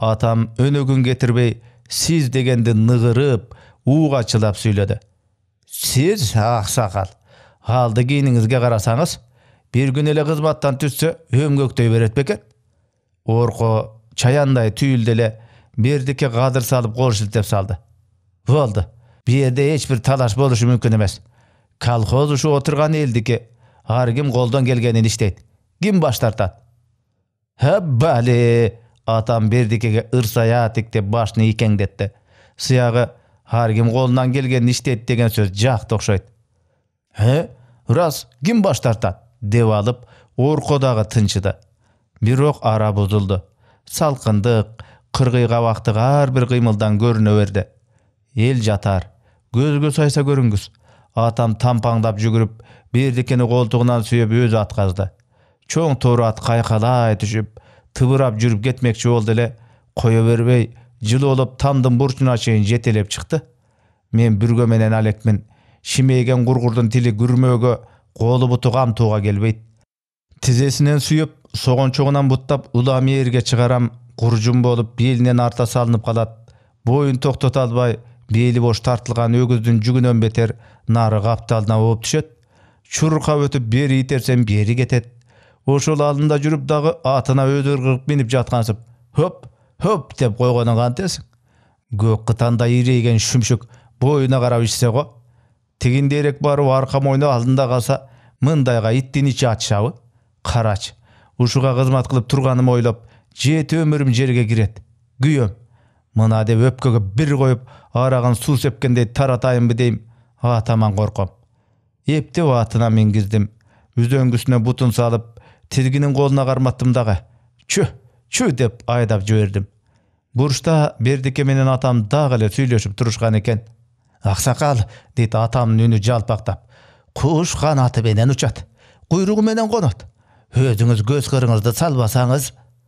Бердике ыңгырана берип сүйлөйүн деп камурганда атам алдын туруп сөздү оозунан илди бул биздики адал кызматы сиздики сиздей адамдын кол астында иштеп адам болуп кетер бекен дейбиз ырасы ырас жаштык кылар жаңылык кылар антке менен өзүңүз баш көз болуп турганда кайда барат телчигип кетер көнүгүп кетер ооба чаке секретарым кетерин кетет өзүң четин уктуң го сал тынчы жок бала уктук уктук аксакал уктук асылбек андайлардан эмес аксакалдын кадыр баркына жетип сыйлап алышка жарайт Ә, макул чаке. Мынча сазе кылып калдың. Бирок чү. Азыр эчтеме дей албайм. Тиги бедери бир жаңсыз болсун. Көрөрбүз. Ишти алып кетер. Уулуңдун тыгы бышык эле окшойт. Жүнү тирүү турбайбы? Атамын аяр күлкүсү чыкты. Эптеп бир жаман жүрөт да аксакал өзүңүздүн колуңузга түшкөндө ошондо бирдеме чыкпаса деп дагы калып күлдү. Хайыр чаке. Кош аксакал кошуңуз аксакалга акысы кеткенсип көк күчүк чыйылдап асылып кыйла жерге узатып салды. Атам үйгө чакчарылып кирди мына жакшы адам деген ушу сөз жүйөсүн түшүнөт анан ызырына күрсүнүп орконун тамы жака баш шилтеп таштады. Тагы мынау эшектен күйбөдүмбү күйгүмдө көрүнгөн жалаңкычтай болуп кайдан кирип келгенин билбейм улам эле иштеп чыга калат шашпа орком мен иштесем сенин бригадтиңе алып иштейм суу ташы дейт оң койгон эшек баарыдан баары меймандарымыз сумсайтканын айтпайсыңбы менин алакам жакшы жер. Жалгыз айыл советтин кызыл үйү күн аралатып бир барбасам ичкеним аш болбойт. Ошол айланада бош жүргөндөр жолукса ар кайсынын башына айтышып убакыттын кандай өткөнүн билбей кыйлага жүрөм. Бирок алар китебимди алган соң жырыктыйынча илинчегим калбайт. Быштыны моюнга бир чаап жолума түшүшкө ар дайым аргасызмын. Өгүнкүдөн атамын түсү түзүк. Асылдын аты деп оозун толтура айтып быштыны сылап сыйпап жетелеп суугарып күдүңдөп тынбайт. Өзүмө асыл деп эркелетип ар дайым күлүмсүрөп карайт бир күнү чолок куйрук боз чобурду солпулдатып орко жетип келди ассалам алейкум чаке деди лапылдап чаке абал ушундай эртеңден баштап курулушка барасың тоок сарай салып жатабыз жок дегенде колек алышып бересиң алыстан көрүп эле таз карындай чурушуп турду эле атамдын көзү чакчая түштү эмне дейсиң мен ушу сенин тооңа там салып беремби ой чаңгыл барсаң барарың айт. Барбасаң аның айт. Тоокко там салсаң сырың күбөлөт беле сенин күйүп кетти окшойт атам. Орко өмгөктөбө деп чаңырып жиберди атам. Муну карасаң сырың күбөлөт беле дейт ой мен сенин кулагы кесик кулуңмунбу я? Кой сени менен такымдашып отурбайм эч ким сени кул деген жок жообун раистин өзүнө бересиң орко солдойгон керзөбөтүгү менен күрсө күрсө теминип жөнөп калды колхоздо отурасың чаңгыл огород алгансың макул кемпириң кеселман экен аны кыстабадык алы жеткен жумушка сен кол кабыш кылгының да акыры атам түксүйүп бригадир тиги төмөнкү жалгыз теректен өткүчө мисирие тиктеди иреңи кубарып таноолору кыпчылып көгөртө кырылган жаак териси диртилдеди муну тоого тамсал дейт такта сүйлөшөт экенмин бул оң койгон ит менен кичине соолуга түшүп карабайсыңбы деп кайрады мени ушунуку жаман өттү жөн эле уйпап баскысы бар тем кой кызматың аман эсен өткөрүп алчы көрөм ошондо оркоңун чалмаэтек катыны экөөбүздү бозосуна чакырат көрөм ошондо муну азыр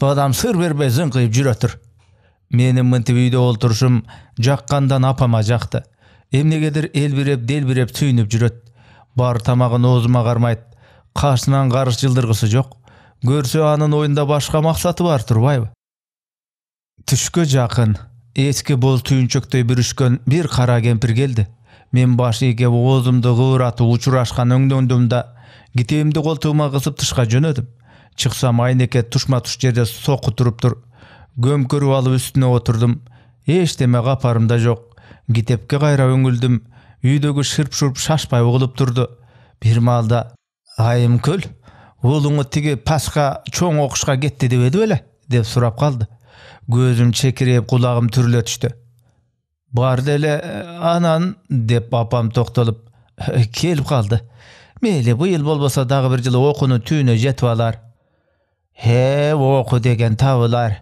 жаманыңын жаны эсен жүрсүн деп кемпир шорп эткизип чай ууртап алды. Назарбаев уулу үйлөйт имиш уктуңарбы бизди тойго айткан экен актык иш эмеспи бир козу жетелеп барып кош дедим өмүрдө э келинди кайдан алат имиш айтымда башка айылдан го кыз күйөө окушта жүрүп табышыптыр дешет апам эмнегедир улутунуп жиберди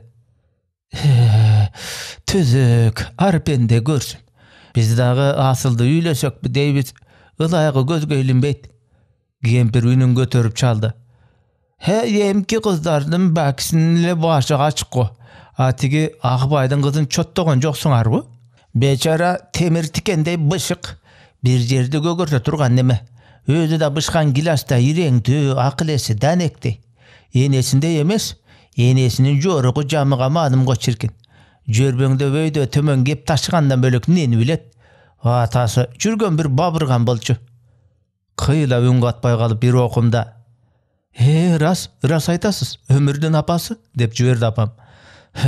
Такыр ойго келбеген. Чалга маслет салып көрөйүнчү ошентейинчи чалга айтайынчы э ошент алыска чарпылганда эмне ошону эле келин кылып алгыла кол бала ыгыңардан чыкпайт жубай менен табышып кетсе болгону мына бирде экиде бул өңдүү кеп кеңешти кулагым чалбаган ой санам аңгырт качап кулагым делдейип оозум ачылды.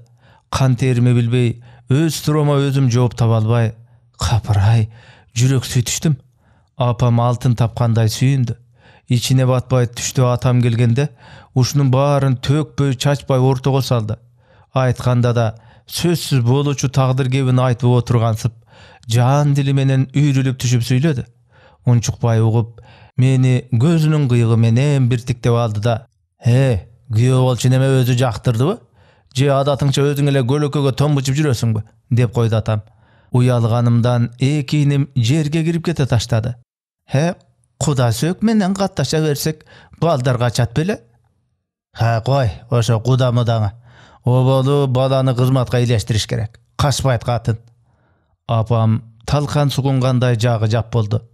Чында отуруп отуруп эле катын ал десе ошо да кеппи тышка чыксам камыш чатырлуу тепеген ак тамынын эшигинен короюп чотур көрүндү чылымчылар бир күн чылымы жок болсо каңшаары какшап чекеси уюп эчтемеге көңүлү келбей кыжалат болот турбайбы анын сыңары мен дагы чотурдун үйүндө эң керектүү бирдемем калгансып бирдемем кемип тургансып дайыма эле ошол жака көңүлүм ой берет бүгүн иштен эрте келген турага айбарым деп кымылдап аныкына жетип бардым о сейке таз тараңгыча той таркайт качан чыгасың эми ашаткыга салсаң дагы сенин бетиң агарбайт ой деп карсылдап күлүп бол эрте деп чотур айнегинен шыкалап катынын шаштырат чолок сөгөттө бүгүн комсомолдук жыйналыш болот экен ошого дарбып жатышыптыр табитим тарткан жок чотур сөйкөс экөө ээрчишип жүрүп кетти муну дедим өзүмчө артынан улай тиктеп өзү чала сабат урган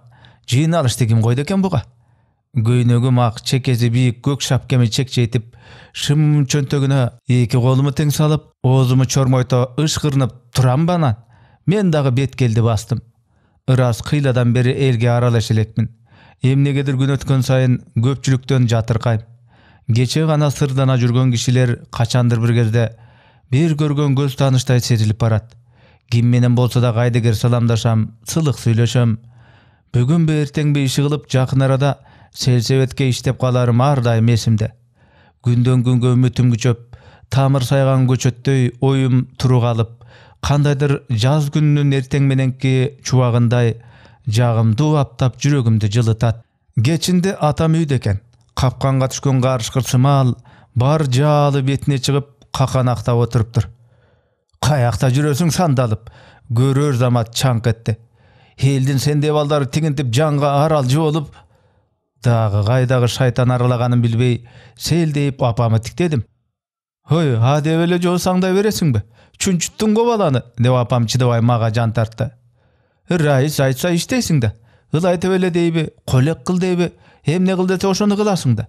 Койчу эми кудай жалгагыр көп асан кайгыланбачы атам колун силкти ошол бойдон тынчып калат беле жыйналышка барбай койгонум оозуман чыгып кеткенде эле кайра зиркилдеп сала берди о бычыны жок ана апаңдын өңүрүнө кирип кет. О чала бышкан атала десе. Элдин сендей балдары андай топко шакылдап сүйлөп как жарып жүрөт мына жаман деп сени айтат жаман үч кишинин башын бириккен топко бара албайт жаман корунат куду бабыргандай ийнин кысып кужуюп коңгулга бекинет ой тиги мыктыны карачы ой бу колхоз түгүл райондук жерде даң салып активдерге аралашып жүрбөйбү а сен болсоң деп кыжырданып колун дагы шилтеп таштады. Тапқаның чотур чаар жегенің дүмбүл ойногонуң карта. Улам өр тартып тектирленип күдүрөйгөн сары адырмак жатат жаздагы ат көмкөн жоодарынан ажырагынан бир талы калбай оорулуп айдарымга көлдөй чайпалган сары алтыны алда качан жыйылыптыр? Ар кайсы бурчунда өз бетинче өскөн жапан алмалар шагынийип муздай жалтырап долонолор сары баш куурайдан бетер алда кайдан көңүлдү тартат? Башына жүзүм чырмалган өрүктөр алча бөрү карага чие аралаш дүпүйөт. Карап турсаң жердиги сары түрү түркүн килем сыңары көзгө тартылып уңкул чуңкулу кечте окшоп кетет те алысыраакта чый чый деп бир топ уйгакчы жүргөнсүйт ар кайсы боз такырдан сопу торгойлордун бижир бижир үндөрү кулакка кирет. Атиги жалгыз сары айгыр сарала күлгүн атлестей кулпуруп кош канатын тыр пыр серпип кулунчактан кулунчакка өтөт. Чит чиририт деп кетет. Таш жол менен төтө жолдун кычыгындагы чоң алмурутка жакындай бергенимде наркы дөңдүн артынан бир күйкө кайгып чыга түштү каз каз туруп анан куду ойну түдүк дарчыдай делбеленип асманга атылды. Куш урулчу кушпу дедибейм алмуруттун кылда учунда отурган жалгыз агызган чочуп канатын жая берди да ат тукумуң кургур күйкө жаман сен белең дегенсип шык шык деп коюп баятан бери көз салып отурган жагына кайра үңүлдү башын кыңырайтып кандайдыр бир уурулук ишти аңдып отургансып мойнун созуп тиктеп тиктеп коет алтын күрөк желпилдейт жүзүңдү аймалайт. Жанга аракат берип жака жеңден киргеничи аптап дүйнөнү кучагына алып маңдай жаркыткан чак теребел магдырап мээрге белчесинен батып жаткансып туюлат үстүңкү ойдо тракторун тырылдатып чотур жүрүптүр хей деди ал. Тракторун токтотуп кол булгады кайда шашам? Гербуштун алчактатып жетип бардым. Бети башы чаң көзү тереңде жылтырайт. Тиши кашкаят бутатым жерден эле кара майы мурун жарат. Салам айтсам баш ийкеп алик алды. Кандайдыр мага кызыга тиктеп «Хе, кайда деп сурады көзү күлүңдөп үстү башыман бир сыйра жүгүрүп өттү чолок сөгөттө эл көп иш кызуу э иштейин деп жөнөгөнсүң го сыр беремби нарыда иштеп ооз көптүргөнү куйкама тийди ә жөн эле нары бери бастырып келем деп суз жооп айттым да үзөңгүгө чирене аттын ыйык жалын сылап мыкчыйдым ә кези келсе иш качабы хм мени эмнеге чакырдың? Жөн эле деди чотур дагы чекесин тырыштырып. Чылым күйгүзүп кере кере соруп алды. Бирдеме айтчудай оозун жасап келип кайра кандайдыр кайдыгер мүнөзгө өттү жөн эле! Аңгыча сөйкө прицепке чыкты. Зыгыры кам орулгансып кабагын чытып билегин түрүндү. Кел айдабайсыңбы күн кечкирип кетти бекерчи кишиге теңелбе алар кандай жүрсө өз эрки кел айда. Кандай аңкылдаган катын ушуну менен үч айтты.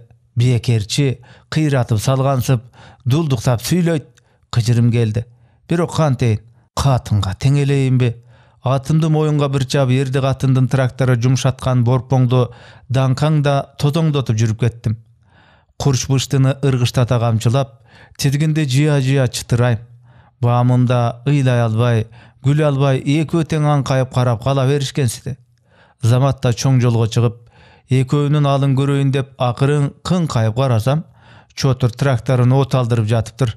Сөйкөсү ак жолугун сагызгандай кылактатып нары карап отурат. Мени менен иштери жок. Чалмачыдан жыгылып чаңга оонап тургандай сына түштүм быйыл жаз жаанчыл болбодубу чолок сөгөттүн кайра кызы куду сайдын камышындай мал аралап кетсе табылгыс болуп кере карыштан баш алып катып бүткөн эле. Э жыйнай албай орконун иреңи саргаят экен дегем кетерде бир көрүп эми карачы кубарган гана пая калыптыр ойлорду жондорду албетте комбайн мойсосу керек. Жантаймада эки ат кошкон чапкыч жүрөт. Кайсы бир уңкул чуңкулдарда кол ороктагы бар экен бүгүн аяктуу буудай калгыдай эмес жандын баары туш туштан качырып коен каштылап бөлө бөлө эмерип киришиптир жон жондо ак кырман адамдар кумурскасыма кыйма чыйма эрбелеңдейт моло тилкелер тынымсыз тырылдайт кандайдыр ишкердүү жаң жуң үндөр үзүл созул кулакка кирет кызыл жүкчү машинелер куйругулаш куушуп улам алдындагысы артына боз чаңдан көшөгө тартып салып сары кайкыны ашып кетип жатты. Мүйүштөн чыга берсем шактары тарбайган бай түп алманын түбүндө бир үй тигилип туруптур кошкан экен. Ороп арасында кандайдыр бир токулга сынган чийне май бөңкө парасы кыйшаган чапкы дагы дагы бирдемелер жаткансыйт эшигинде ое казылган кемегеге түтүн булатып нары бери күйпөңдөшүп эки катын жүрөт. Көзүм нары обочорокто күрөөнү түбүндөгү тепеген ак чатырга кадалды. Жүрөгүм алда бирдемени сезгенсип козголо түштү антсе да так ошого түз бастырдым. Ким болду экен дедим өзүмчө райондун убакилимин деп сунган бутун тартпай чиренип жаткандыр ким болсо да. Кошконадагы катындар таңыркагансышып тиктеп калышты эле мен оозумду кыбыраткан боло баш ийкеп саламдашкан өңдөнүп кыя өтө бердим дүбүрттөн уламбы эшигине жете электе чатырдан сельсоветтин кызыл үйчүсү шайыр чыга калды э саламатсызбы э саламатчылык келиң жигит келин леп этип атты жылоодон алды түшүң түштөнүң карачы бул ушундай шакылдаган түгөңкүр китепканасына барсаң китеп тандап берип тигини оку муну оку деп калганычы келгендин баарына ушундай мамиле кылабы же мага эле ушинтеби анысын билбейм дегиси менден эч тартынбайт бирөөнүн көзүнчө кепке сындырышка аракет кылып түштө жокту жамап кандайдыр бир билгени бардай шыңкылдап күлө берет. Күйөөсү армияда. Бирок кемсингенин ийин кысканын көрбөйм. Тырмышып жүрүп былтыр маданий агартуу кызматчыларынын курсуна барып келген. Ошондон бери кызыл үйчү. Аттан түштүм. Бутунун учу менен чуркап атымды алып байлады. Чиркин мына ушинткени да көңүлүмдү көтөрдү. Чатырга кире берерде э кайдан деп сурадым күлүп. Э эмне кызыл үйдү таштадыңбы көчүп жүрөбүз деп күлдү ал көзүңө май басып калганбы жигит? Көпкөн экенсиң да. Ал мүнөз көрсөтө ойсоктоп күлүп төрдөгү ордуна өттү. Мынакей газета журнал китеп өгүнү бир келип китеп алып кетпедиң беле? Ошонун эртеси бияка чыгып келгенбиз. Бүгүн куржунубузду артынып кайра кетебиз иш бүттү. Эртеңден баштап кырманчылардан башка иштөөчүлөр жакага түшөт шайырдай шайыр жан менен жүзмө жүз сүйлөшүп отуруунун өзү да бир ырахат экен. Ар кайсы китебин кармалап ардемени сурап көпкө отуруп калдым. Шайыр тегерек бет мурду этектүү неме андай болгон менен сүйлөсө аппак тиштери жарк этип наристеникиндей татына кайбуурттары кылгырган кара көзү кандайдыр көзгө жумсал көңүлгө жумшак. Төш жактан кимдир бирөө созолонуп ырдап калды. Кызылды минсем оттобойт кыраанга буту токтобойт. Кыргыздан сулуу көп көрдүм кылыгы сизге окшобойт. Бизге алыр шашпай угулду. Карааны минсем оттобойт. Кадууга буту токтобойт. Казактан сулуу көп көрдүм кадыры сизге окшобойт. Деги эле боздоп барып этегин муңкана таштап жатты. Эки үч үн чуу туруп сүрөп салат кадыры сизге окшобойт ыр тына түшкөндө ошону мукам менен шайыр өзүнчө кыңылдап анан мени кылыя тиктеди э жигит биздин балдар кандай ырдайт экен жоктон көрө жогору дедим мен күлүп жоктон көрө мейли эң сонун ушинтип астейдил ырдап берчи эр болсоң сынчыны сыңар өтүгүм айрык бу кара жаакка кантип тең элем ичине катып жаткан амал айласы көп. Анча мынчаны тоото койбогон кишиче мыкчыйып тим болдум. Шайыр аныма серп салган жок. Ойлуу тарта үндү улап кыңылдап койду. Жигиттер силерге эрен жок. Көңүлүңөргө туура келгенди шакшак айтып аласыңар. Ал суйкая тартып колоң чачын артына силкип таштады. Э силер деле ачык айта бербейсиңерби дедим мен. Биз ошондой жаралганбыз садагам. Мен кулагымды түрө баштадым.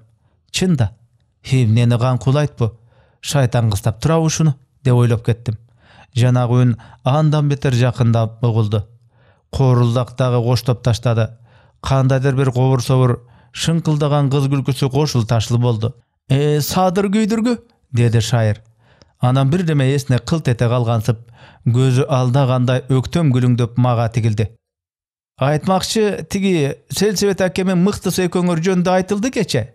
Деп күлдү ырас да силердей шилиси күржүгөн бойдоктор түгүл какымда назик кыздар өндүрүштө жүрүшөт э эмне болду дедим жай гана такыр кенебеген кебетеленип анткени менен сестене түштүм эмне болмок эле жыйналыш болду силерди күч күйөөдөй колоктошпой иштешсин дешти а ким ким болмок эле комсомолдордун баары ошентип чыгышты жиним келди чын да ар ким өз жолу менен ушулар орокто экен деп орокко түшөбү киши мына кызык мурчуйдум колуму шилтеп салдым ха көрүшөбүз бирок оюм шамал кууган жөө тумандай туш тушка дыркырады азилге камдаган сөздөрүм оозуман ыргыды кайпактап бир пас турдум да болуптур район жакта иш бар эле дедим сылык коштоштум колхоздун активдери менен аралашып райондун убакилдерине көрүнүп сүйлөшүп бир көңүл көтөрмөкчү болгон максатыма да кайыл болдум.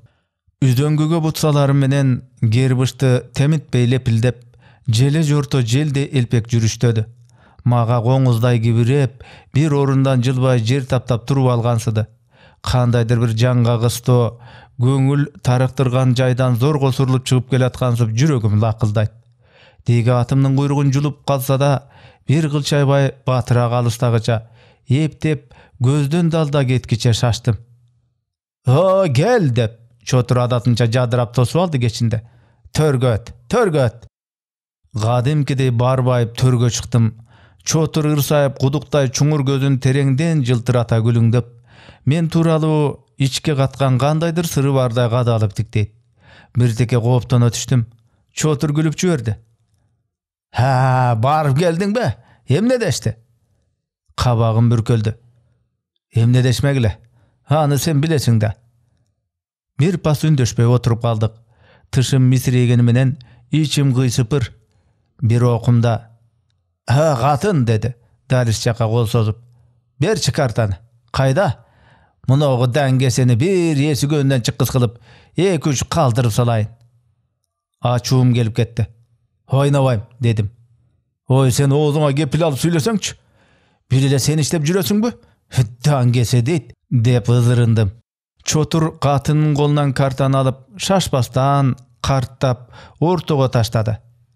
келеме бир ойнойлу даңгесе десе арданасыңбы иштебей басып жүргөндү даңгесе дейт да же жалганбы менин көзүмө жердеги карта көрүнбөй калды башыма кан тартышып бетим ысып чыкты э кемпирлердин таарындай одурайган киши сыяктанып коет эмне сенин төбөңдү басып жүрөмбү иштей бербейсиңби мен үчүн иштеп жатасыңбы кудай урган тиртең деп э деди чотур жай макул мен таар эле болоюн а сен чык жейип киндин чекесин жылыттың атаң экөөң окшош бейдарман кемпирдин мойнуна учкашып отурасыңар бар болгону сенин ишиң жок анда чотур жара тартчудай үңүрөйдү менин ишим бар жыйналыш сендей кер аяктардын эки аягын бир кончуна тыгыш керек деген уктуңбу бир жактан сөйкө чыкты жаңкылдап көрдүк жылмакай кишини билдик билимдүү кишини жакшы кишини о көк төбөттөй колтоюп нары бери басканына көпкөн тура чекесинен тер чыкпаса эмне курту семирет да пыш көрөбүз райком болуп кеткенин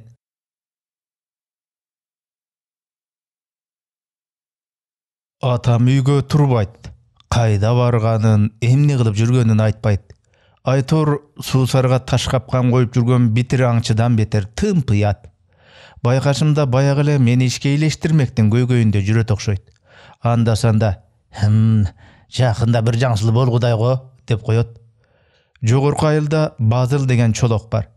Чотурдан катыштым үзүлгөн соң зериккенде ошого барып эрмектешчү болгом базыл керели кечке эшигинин алдындагы чоң тыттын көлөкөсүнө атайы жасалган такта секиде отурат уйкусу келсе ошол жерге кыңкайып уктайт уйкусу канса кайта баш көтөрөт эки колу менен жер таянып эмгектеп мойнун созуп созуп оро параны арыта тиктеп зоңкулдап чарбасына баш көз. Түштө бардым кел деп базыл аке нары жылып адатынча жанынан орун көрсөттү асылбек укем кел анан комузун алып бу сары барпы. Ныязалы абамын күүсү ыраматылык тээ шынада отуруп алып кайран киши комузун куд эле сары барпы чымчыктай мынтип бижир бижир сайратчу экен деп толгоп кирди ар дайым киркиреген пас үнү менен күүнүн ырын керектүү учурунда ыргакка коштоп бирде көмөкөйдөн тайлактай боздоп күңгүрөп бирде таңдайдан чын эле армандуу чымчыктай чулдураган болуп жан үрөп чертет үнү анча келбейт бирок күнүн мукамы кадыресе көңүлдү жетелеп кыялды эргитет. Базыке муну кече керели кечке черттиңиз го? Башка күүңүз жокпу деп сурадым акыры кичине терге түшүп комузун акырын баш жагына жөлөп «Ә, чарчадым ох! деп жата кетти. Көп узабай анысын унутуп жиберип кашын жогору жыйырып кайра турду. Эзил кайран кишилер өтүп кеткен экен да. Ныязалы абам арсар күү деп мынтип чертчү экен. Деп анан чертип акыры чарчайт асыл тура калчы үйгө кирчи о тиги наркы бурчта кичинекей арча челек бар ошону алып келчи жеңең бозо сүзүп куюп кеткен ошого айтмакчы кече көрбөдүң беле ошол жерде турат челекти көтөрүп муздак бозодон экөөбүз экиден кере кере жутсак суусуну ызганып капчыгыбыз чыга түшпөйбү базыкемдин ан сайын бабырап сөзү көбөйдү акыр аягында мынтип байлоодогу иттей соксоюп отурам эми дейт баягы эле суркун жазбай. Чөгүү өкүнүү билинбейт күйүп күйүп бүткөн шекилде. Кейпинде кылдайда кандайдыр бир өзгөрүү кирбейт. Аскерге кырк үчүнчү жылы кеттим ошондо сенден жаш болчумун эне сүтү таңдайыман кете элек кез эле да анан ушинтип эки бутту берип кайтпадыкпы? Эки буту тең тизеден жогоруроктон жок. Мултуйтуп кайыштан кеп кийгизип коюптур эмгектегенде урунган таштан шөңөрдөн кадыр эсе калка жанына аралжы го бутуна кошо батыш жака бетинин кызылын этинин ысыгын да калтырып келген окшобойбу. Жашы отуз бештердин алды артында гана турганына карабастан көзү оңурайып жагы калжайып өзү курагынан алдаганча кары. Баш аягы аптадан бери гана сырдана болуп жүрсөм да бул адамдын бир жолу кабакчытып жарым жаммын дегенин укпадым ар дайым шашылбай сүрүлбөй кол башындай бүйрүнмө калтасын алдына коюп чылымды калем саптай кылып ороп анан топчудай ишин тоодой деп оозуна батышынча бапылдай берет колунун сулдуулугун эптекейлигин терип телчип мактанат атасының көрі деп районға барып артельге кіріп өтікчілік қылсамбы деді беле дейді ергіп. Садыр болбойт қой әке дейді қолыңан келсе ушул жерде эле бала чаканын чокоюн ултарып берип чарбаңы карап отура бер дейт эмесе жакшы жакшы кеп жыгач алып келип бер дедим жакында мына жакында кеп жыгач колума тиет карап тур чокой бекен кыздарга сый өтүк дегем көрөрсүң уке саймалап отуруп куп келиштирем да үмүтсүз шайтан деген калетсиз белем качан келсем ушул өтүкчүлүктү оозунан түшүрбөйт өз кыялына өзү жетеленип куландан содой обдула сүйлөйт ишеничи көөдөнүнө батпай эки көзү арчанын чогундай күйүп чыгат чылымын үст үстүгө соруп астейдил ыклас менен үкем кайышыңды камдай бер? Базар өтүктөн күз ара кылып бер жакшылап тигип берем өзүңө так беш жыл кийбесең мага кел деп салганычы күлсө кир баскан жезде сары тиштерин арсайтып оозун болушунча керип каткырат чоң тыттын жалбырактары алдан эне шыбырашкан өңдүү шыпшынышкан өңдүү үзүл кесил шыгыр шыгыр шуудур кагууда түркүн чымчыктары учуп конуп түрдүчө үн салат.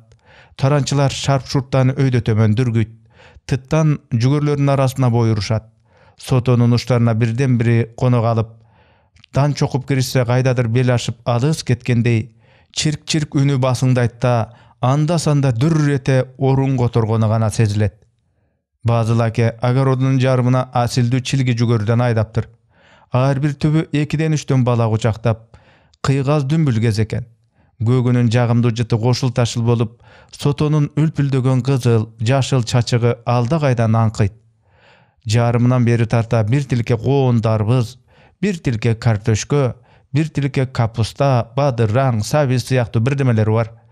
Так күрөндүнүн түбүнө помидор тигип салыптыр балдактарын ие майрамда жасанган кыз келиндердей кызыл тазыл болуп көздү кызыктырат дыйкан кишилер айткандай жүгөрүнүн түйшүгү дагы көп түшүмү да көп. Эки жолу айдайсың мал алайсың.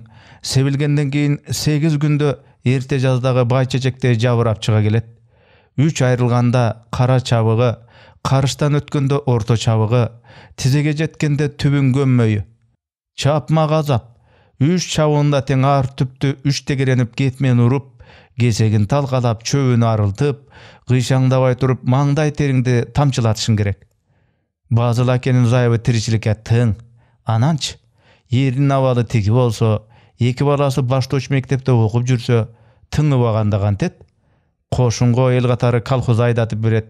Эмне эки ат кошкон соку менен беш алты имерсе жыйырма сотук жер бурчамга келеби чабыгына келгенде камбыл жеңе ийиктей чимирилип аш тамагын жайнатып бозосун күүлдөтө сүзүп таштап жыл сайын ашар салат. Андай күндө базыл аке да такта секиде соксоюп отура бере албай эмгектеп жүгөрүнүн четине барып көөдөнүн көтөрө эки жагын тиктеп о адегиле айланайын эл деп бакылдайт э адегиле адегиле эл аман эл ичинде биз аман! Иш ого бетер кызыйт ашарга көбүнчө жаштар келет го нары бери апыр тапыр бүтө калат ошо замат билеги жумурунун бири элдин баарын кыраң катка түшүрүп базыл акени шап белинен кучактап кайра такта секисине алып барып отургузат э базыке комузду ал дешип жабыла кыйкырышып тегеректеп калышса базыкең эркек каздай бак бак сүйлөп жан дили менен комузун тарса турса ойнотуп кирет аларды кушубак кылып узатат бакчасына ашарчы чакырышпайт зайыбынан да ушул базылдын өзүнөн жер түткөн кара доңуздай мөңкөңдөп жөөктө жүргөнүн көп көрөм. Эми карасаң дарбыздары сайдын таштарындай дүмүрөйөт коондору сапсары болуп жондору күнгө жалтырайт. А ныязалабам толгон ай деп мынтип деп базыл комузунда карсылдатып отурган. Мурду тердеп лыкылдап мыкты жетип келди. Аны салам айтат деп базыл чалкалай берип алик алууга камырды мыкты түз эле келип кол алышты э отурасыңарбы э кел мыкты укем отурабыз отурабыз мыкты анча мынча кызууча окуунун айынан иреңи кубакайланып эти жукарып келди эле эми кайра кашкары токоштой мантайып калыптыр шилиси күржүйүп ийиндери дыгдыйып булчуңдары буруят көптөн бери чала уйку болуп жүргөнсүп көзүнүн кычыктары кызгынтыл тартып жөнү жок манчыр кашы ашынган оозуна келгенин кайтарбоочудай алдында тургандан тартынбоочудай биротоло далактап сала бериптир э кандай иштер түзүкпү деп ал же тамашасы белгисиз же кырдуусунганы белгисиз шилимен аткый кармап силкилдетип силкилдетип койду ха жүрөсүң түзүк дедим кырчышым сүйбөй итиркейим келип колун шилимен алып таштадым мага ха! деп дагдайып коюп тим эле бешигин терметкенсип тиги базылды тамашалай кетти э базыл кандай анан комузуң дыңгыратып отурасың э бозо барбы суусадык го экөөбү баштатадан ашмалтайбы базыл териккен жок кайта чын пейилинде оппо үкөм жетпей калбадыңбы какшытып койбодукпу челекти деп кадыресе кейиди көптөн бери үкем бу чөлкөмдө көрүнбөй да кеттиң кайда жүрдүң деги мыкты оң колу менен бөйрөгүн таяна берип сол колун алыска жаңсап таштады ә тиги райондо болдум кызмат ал дешкенин сотто бир орун ромдо бир орун бар турбайбы экөө тең анкета алып кел деп калышты го көрөбүз да э кандай түзүк жерлер бекен о анда үкөм иш оңунда экен жакшы жакшы тапанча байланат турбайсыңбы деди да алдагайдан көзү бирдемеге чалып калган чүйлүдөй бирдикке жүткүнө берип комузу менен мыктынын чөнтөгүн нукуп койду чөнтөктөрүң эле бултует үкөм ха болуптур эми деп мыкты ыкшоолонуп чөнтөгүн сыртынан сылап сылап туруп жарымталыкты култуйтуп сууруп чыкты ха мейли эми көрүп калдыңар капыстан кенчке жолуккансып базыл ууртун жыя албай эки көзү жайнап ката түштү мыкты шишени түпкө былч уруп салып ага бетер барктанып бизди бийлей сүйлөдү кана баатырлар ыстакан мыстакан таппайсыңарбы ичкилиги бизден идиши сизден болсун жок дегенде базыл тура чуркачудай ообдулуп тикелене калып кайсактады оппо үйдө эч ким жок катын жумушта деп шашты асыл ыстакан текченин бир жеринде тургандыр ошо бир жеринде тургандыр алып келе койбойсуңбу үкем пияз мияз карай кел ыстакандар даяр болду мыкты аракты үч бөлүп куйду өзүмө керегинен көп болуп кеткенден ыңгыранып башымды чайкадым мыкты дербейип маатап биртиктеди да мә э катын деп стаканды колума карматып салды.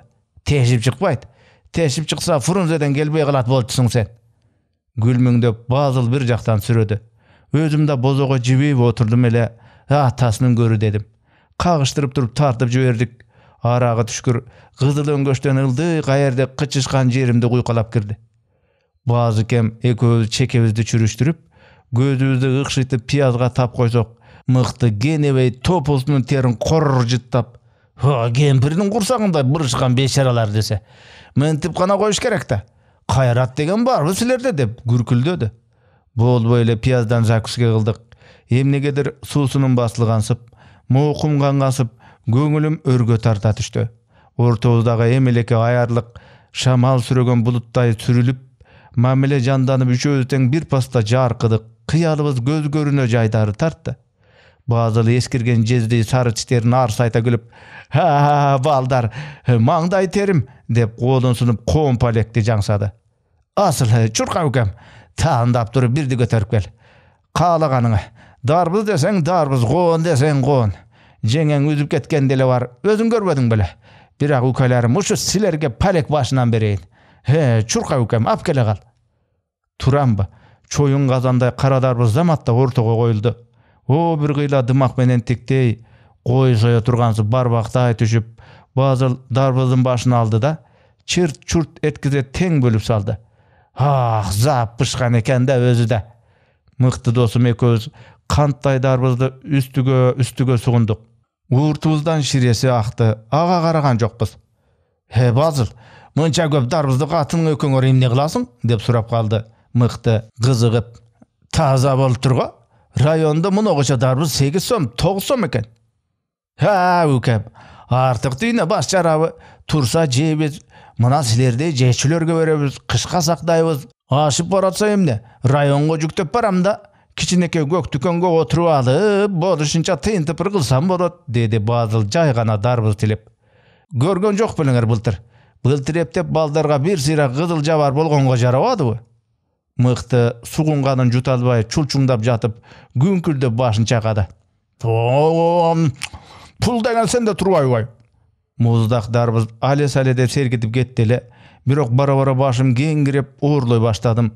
Базыл аке чым этпейт мыктынын көзү ого өтер кылгырып каны ичине тартып оозуна келген оттоп кирди кызый кызый мактанып кетип мына! деп экинчи чөнтөгүнөн дагы бир шише сууруп чыкты атасынын көрү ичкенге жараша ичели бирдеме ала кел деп атам пул берди эле атасынын көрү ичели э үкем деди базыл чекиренип сен бизди оңколотосуң го бүгүн шише бат эле бошоду башкаларга анткенин билбейм менин кулагым тунжурап калды эки бетим от болуп күйдү э катын десе деп мыкты мени капталга түрттү эмне курушасың мас болдуңбу ушуга «Э, жок мас эмесмин дедим түзөлүп ай ушу арагың жаман да түз эле башка чыгат экен мыкты мени чекеген укуду эй келезо арак жаман эмес ой арак жаман эмес сенин мыногу башың жаман.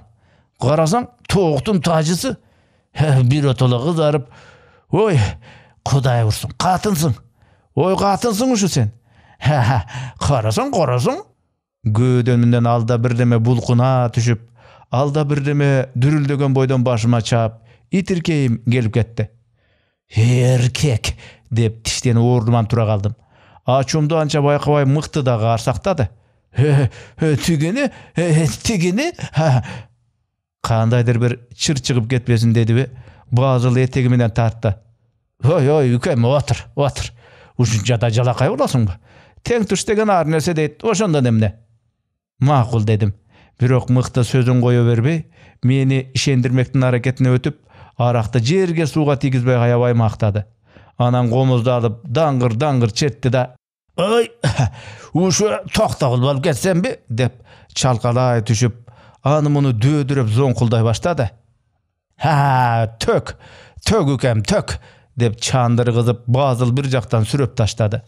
Чын эле ыр дегенди дабыратып жатам дедиби боюнда тиги ан сайын теңселди бир маалда комуздун бир кылы тырс үзүлүп кетти аны менен иши болбой мыкты доорулдай берди эле базыл сустая түшүп ай деп комузду колунан алып койду этият кылбайсыңбы үкем ай ушундан башка кылым жок эле оппо жо алгырай мыкты капарын албады комузга да жабышпады мурдун быш быш эткизе демиккенин басып алып тамагын кыра жөтөлүп ай базыке деди тамшанып э карачы сен тамак какшып кетти го дагы бирткеден бирдеме ичпейбизби кана бозо барбы я эртең болот бозо эртең кел үкем! деди базыл чын ниети менен эртең кел үкем!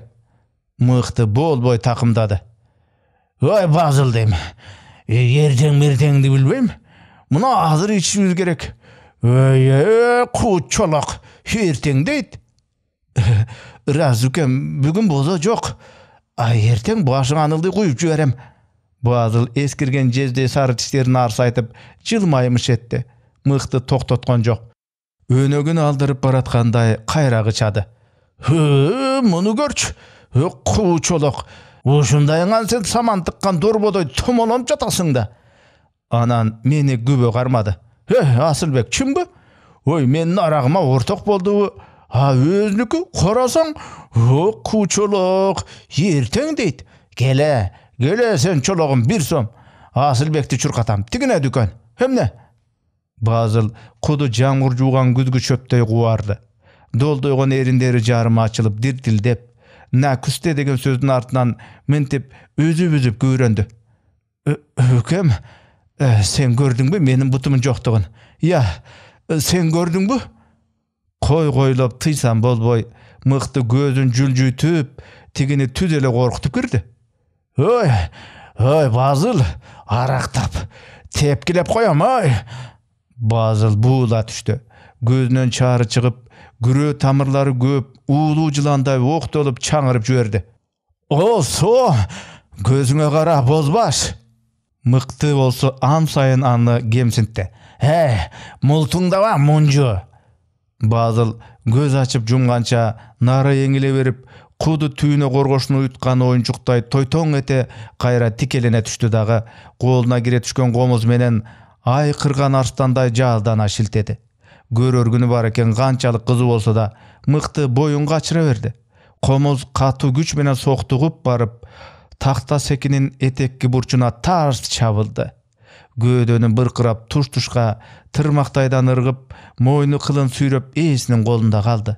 Капыстан таалуу жерге ок жегендей базылдын үнү тып басылды.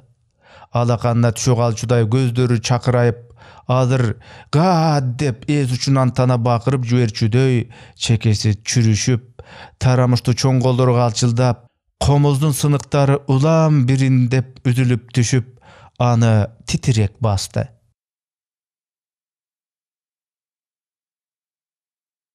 Атам мыкты менен москоол учурашып төргө өткөзүп үй жагындагы аман түгөлүн териптеп жубастей эле сурады. Узун оорудан айыгып турган кишиче көзүн бажырайып чекеси нымшып айтканы сая кетпеген чоң бийлиги бардай дымактуу самактуу кыязымда самаган кызмат колго тийген өңдүү туюлду жүрөгүм ысып кетти сөздөн сөз чыкты кариет секретарлык азырынча баягы эле туңгуюк боюнча турса дагы атам өзү эрдик кылыптыр таман акысы кайтып лесхозго ишке орношуп алыптыр бирок чал кубанычын али ичине катат бул мансапты деги тушаарына албагансып камырабай шыптиктеп жайма жай ошо келдешти өздөрү барсам ушуга иштеңиз дейт болуптур дедим айлыгы өзүнө жараша да эмне кызмат экен деди мыкты кулак түрүп сыягы ошоякты ал дагы иликтеп жүрсө керек. Атам мыкчыйып чыканактап жатышын жазбайт ошо жаңгак теримди карайсың дешет го о сонун кызмат ал. Андан пайда көп. Мыктынын көзү чекчейди эмне бир тонна жаңгакты сразу калемдин учу менен чай кожуга шилтеп койсоңуз барбы тим эле килосу бир сомдон болгондо дагы канча бир миң сом шалак дейт чет о аны эптекейлер кылбаса атам андай куулук шумдук үч уктаса түшүнө кирбеген момундай болпоюп акырын эстеп койду а жакында терим кызыйт иш оор болот го дасторкон келди мыкты экөөбүз район жакта үч төрт күн жүрдүк бейм биртке сергей түшкөнсүпмүн а жерде баскан турган көп эмеспи бирөө менен бирөөнүн иши жок. Кайдан десе а ушул жерден жумуштап дешке оңой турбайбы. Андан аркысын ким такып отурат? Ha балдар калган көңүл чыккан жан дейт. Көңүл калтырышпай бири бириңе жөлөк таяк болуп жүргүлө деп атам бизди жактырат. Бердике экөөбүз каарыдык эми биз өйдө болбойбуз жол силердики ананчы деп мыкты иинин жогору көтөрүп эки санын аткы таяна берип баш ийкейт асылбек экөөбүз фрунзеде бассак турсак бирге болдук ичсек бирге ичтик антпесеңер болобу талаа түздө мыкты андан аркы кебин улады. Атам асылбекти секретарь кылып алам деп жүрөт жакшы орун атам жандана түштү түзүк эле. Баарынан баары мынау бердикеде ишмердин колунан каныгат эле да баланын кийинкисине жакшы болмок. Ошондо мыкты акырын улутунуп артынан күлүп койду. Атам өзү председатель да. Болбосо өзүм секретарь болуп коет элем. Атам алдыртан кыя тиктеп мыйыгынан күлдү. Жакшы болмокчу экен. Эрк болсо эки кулакты кыймылдатып калганга эмне жетсин эле. Аңгыча тышка атчан бирөө келди е чаке! деди орконун үнү ой чакем барбы е айымгүл жеңе! Ошол замат атамын кабагы түйүлдү тигинин үнү чакылдап өктөм чыкканы безине тийди окшобойбу өчөшкөн кебетеленип жүзүн үйрө ан сайын басырына отуруп алды. Орконун үнү дагы чыкты атам ичинен сөгүнүп күңкүлдөп ордунан турду мен эрчий бастым да босогого барып токтодуп э кел деди атам чакчырылып орконун түзү ийги кол тойгон сопол бозду кекейти тартып бир үзөңгүсүн керетип зоңк этти ассалому алейкум чаке бул бригадир дайым бирдеме сурап алаарда ушинтип жумшактап тишинин агын көрсөтүп келчү атам ан сайын сагызгандай аяр алейкум ассалам э түшпөйсүңбү э түшкөндө эмне чаке айтарым бир ооз сөз чаке билсең мен саған нан болсын дейм э айта бер деди атам кызыгып бригадир эки үзөңгүсүн кошо тээп аттан көтөрүлө берип биздин жүгөрүнү бүктөп кармаган камчысы менен бир жаңсады чаке бул жүгөрүң быйыл дагы чеке жылытпай турган го сөздүн кыскасы чаке муну көкмөгү менен азыр силос кылдырып жиберебиз атамдын көзү чакчая түштү үнү катуу чыкты ой ә токто чаке токто карачы жүгөрүң үч центнер дагы дам бербейт силос бап болуптур мейли чаке ортолуктан беш центнер буудай ал макулбу ушуга тырбаңдап жүрөсүңбү беш күндүк менетиңерге арзыбайт атам токтолбостон баш чайкады кой орко үкө беш сынтыр буудайыңды өзүң ал. Жалгыз уй бар кышында кантип багам ушунун боругун жебесе атамдын жаак териси тырышып кыжыры келгенсип чүтүрөйдү сен орко оюн кылба кишини орко ылжайды мен сага кем айттымбы бусурман куру намысты койсоңчу жан де буга ал мага башын ийкегелеп күбөгө чакырды э чынбы уке мен унчукканым жок бери кара ой бусурман паясы үчүн элүү алтымыш боо чөп бердирем тигине чаркаптар асман тиреп колтуңда турат көңүлү болбогон соң атам сөздү кыскартты. Кой деди да кайта тартты. Орконун көңүлү ооруй түштү элем өз алдынча оройлоно атын моюнга бир чапты. Мен буга нан болсун десе? Ой үке эсиң бар өзүң байкачы ушу жүгөрүбү акыры көгүнөн башка көк башынан башка эмнеси бар? Мен туура айттымбы жокпу? Беш центнер ак буудай бердирейин дедим. Ошол оңой эгинби көрүп турабыз. Ой ушундан эки центнер асил алсаңар. Атаң экөөңө мына мурдумду кесип берейин даристе апам экөөбүз бар деп жиберели десек атам кереги жок дыйканчылыгымды аяктайын да сатып. Э кой кереги жок ошентип кеп болгуча кой ач кулактан тынч кулак көк башын атка кертип берем. Боругун тамдын башына жыйып коем деп жүзүн терс үйрүдү чын бригадир туура айтты. Атам жөнү жок көр намыска жетеленбей жан деп гана көнсө болмок колхозго да бизге да тең пайда чыгарын беш колундай билип турбайбы тиги? Андай зыян түшчү жерге орко баспай калсын. Айлана бая күнкүдөн башкача. Эрте бышкан огороддор кесилип эшик эшикке жыйналыптыр. Ортолуктун силоско деп атайын кечирек айдап коюу чапкан бачыки жүгөрлөрүн машина четинен бырчалап туурап кириптир. Бул бригаданын иштөөлөрү бүт жакага түшкөндөй. Бака шака айыл ичи шаң.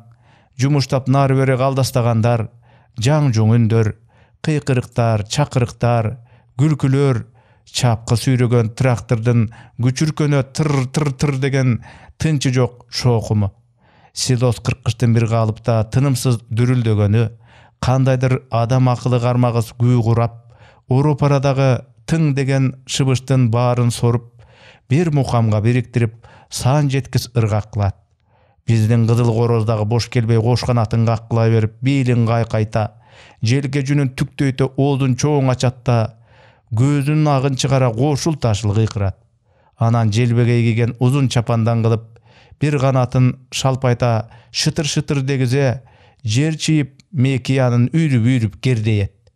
Көйнөктөрүбүздү жайган кирдей агарта даңкайып даңкайып эки жакты тиктеп жанында мыкты экөөбүз турабыз таңыркайбы же жем чачканы жатабы ушулар дейби короз кыргагын силкилдетип кызыл акактай бадырайган тегерек көздөрүн аң тарылта ирмегилеп биз жака серп салып коет жем түгүлө ичибиз ачышкан күнү башын үзүп өзүн куурдак кыларыбызды билбейби силос тээ күрөөнүн түбүндө экен деңгенеге төс ойгондой үстү бапыр тапыр. Кызыл тазыл болуп эле катын калач кыз кыркын көзгө көп чагылат мыкты билгени бардай ошол жака баш шилтеп мага көзүн кысты карачы ой кыйрысын ургандай го чалып келбейликпи я бая күнү жыйналышка салынганыбызды уккандан бери ого бетер жүрөгүм үшүп топко бармак түгүл иштеги кишинин бетин тике тиктей албайм. Мыкты муну билбейт кыстайт кыйыктансам катынсың деп күпүлдөшү шексиз ошол жерде баарына кайыл болдум а болуптур дедим жакындаша бергенибизде иштеп жаткандар жаш карысы дебей экөөбүздү жабыла тиктеп калышты быжыраган каралай көздөр туш тушуңдан кадалса кысынбаска сүрдөнбөскө чараң жок экен анын үстүнө көпчүлүктөн чет жүргөн киши өгөйлөйбү дейм багыма мыкты эр үнүн көтөрө таштап саламды бак бак айтты. Иш башында жүргөн орко элдин баарынан озунуп э келгиле келгиле деп ормойду ошол замат биздин алыбызды ченегенсип көздөрү кытмыр күлмөңдөй түштү ушул жерден бирдемени биз кармап кете тургансып кыймылыбызды алдыртан тескеп кылыйды. Көк камышты жел ыргагандай кыз келиндердин арасын жапыс күбүр шыбыр аралап жакшы чыкмалар кыйын чыкмалар деген сөз алда кайдан кулагыма шак деди.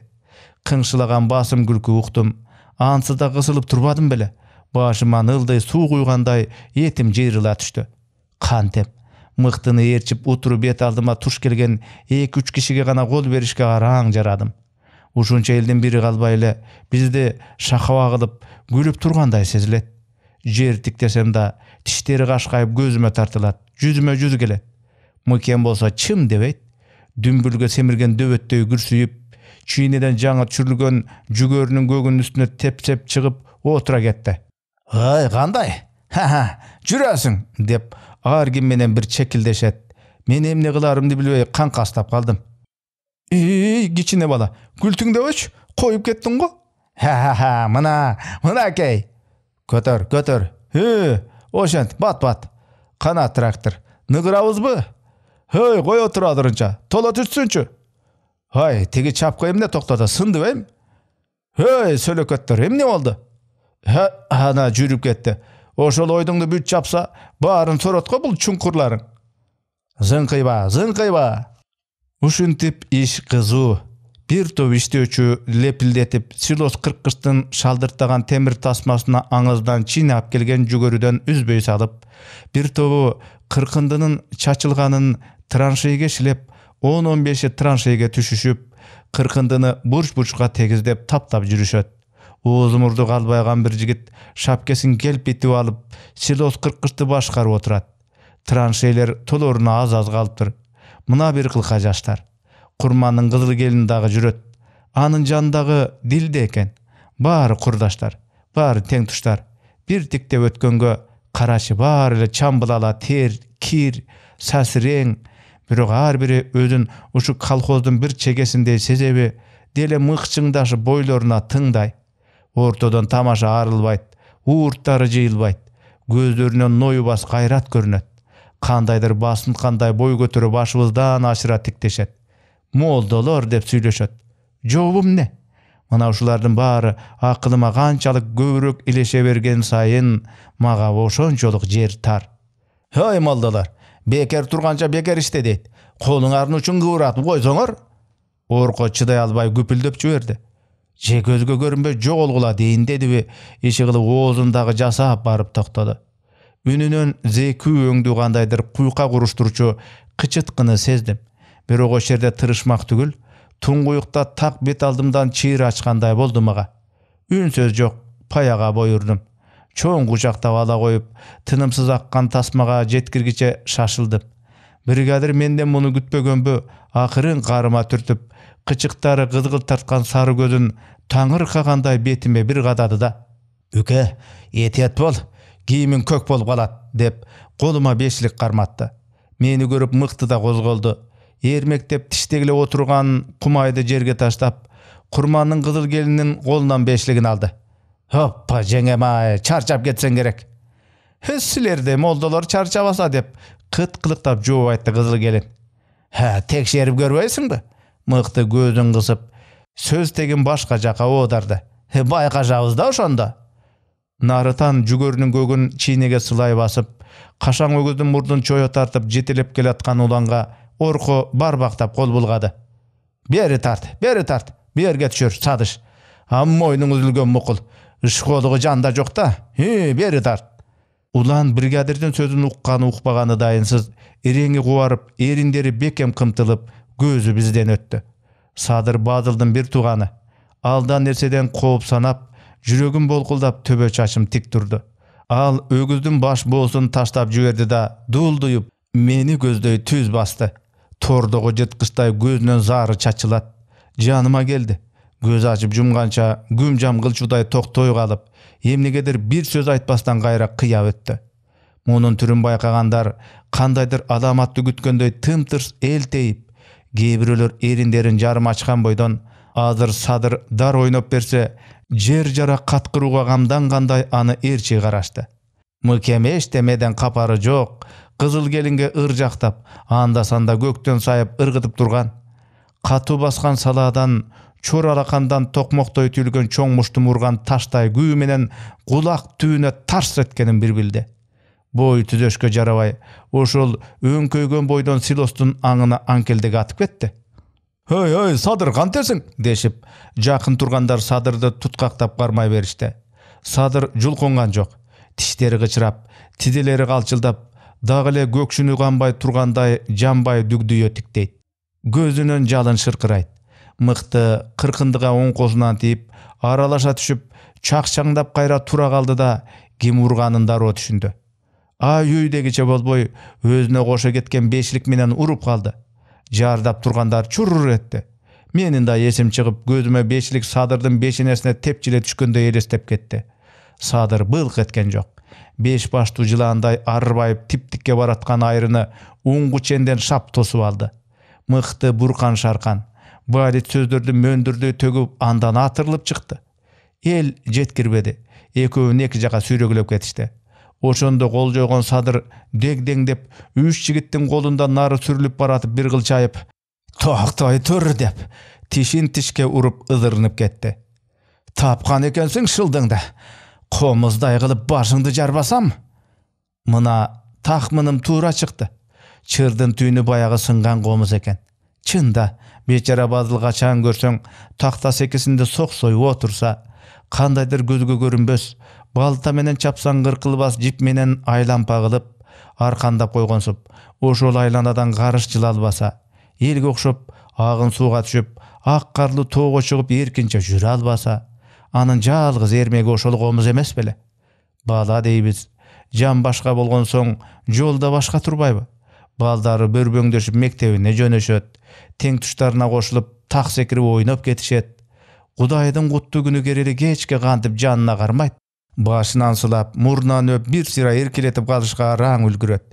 Эр өлүгү тоодой үйүлгөн кан түтөгөн жайга денесинин жарымын таштап келген адамдын көөдөнүндөгү күйүтүн ызасын арын кегин көөдөктөр түшүнмөкчүбү.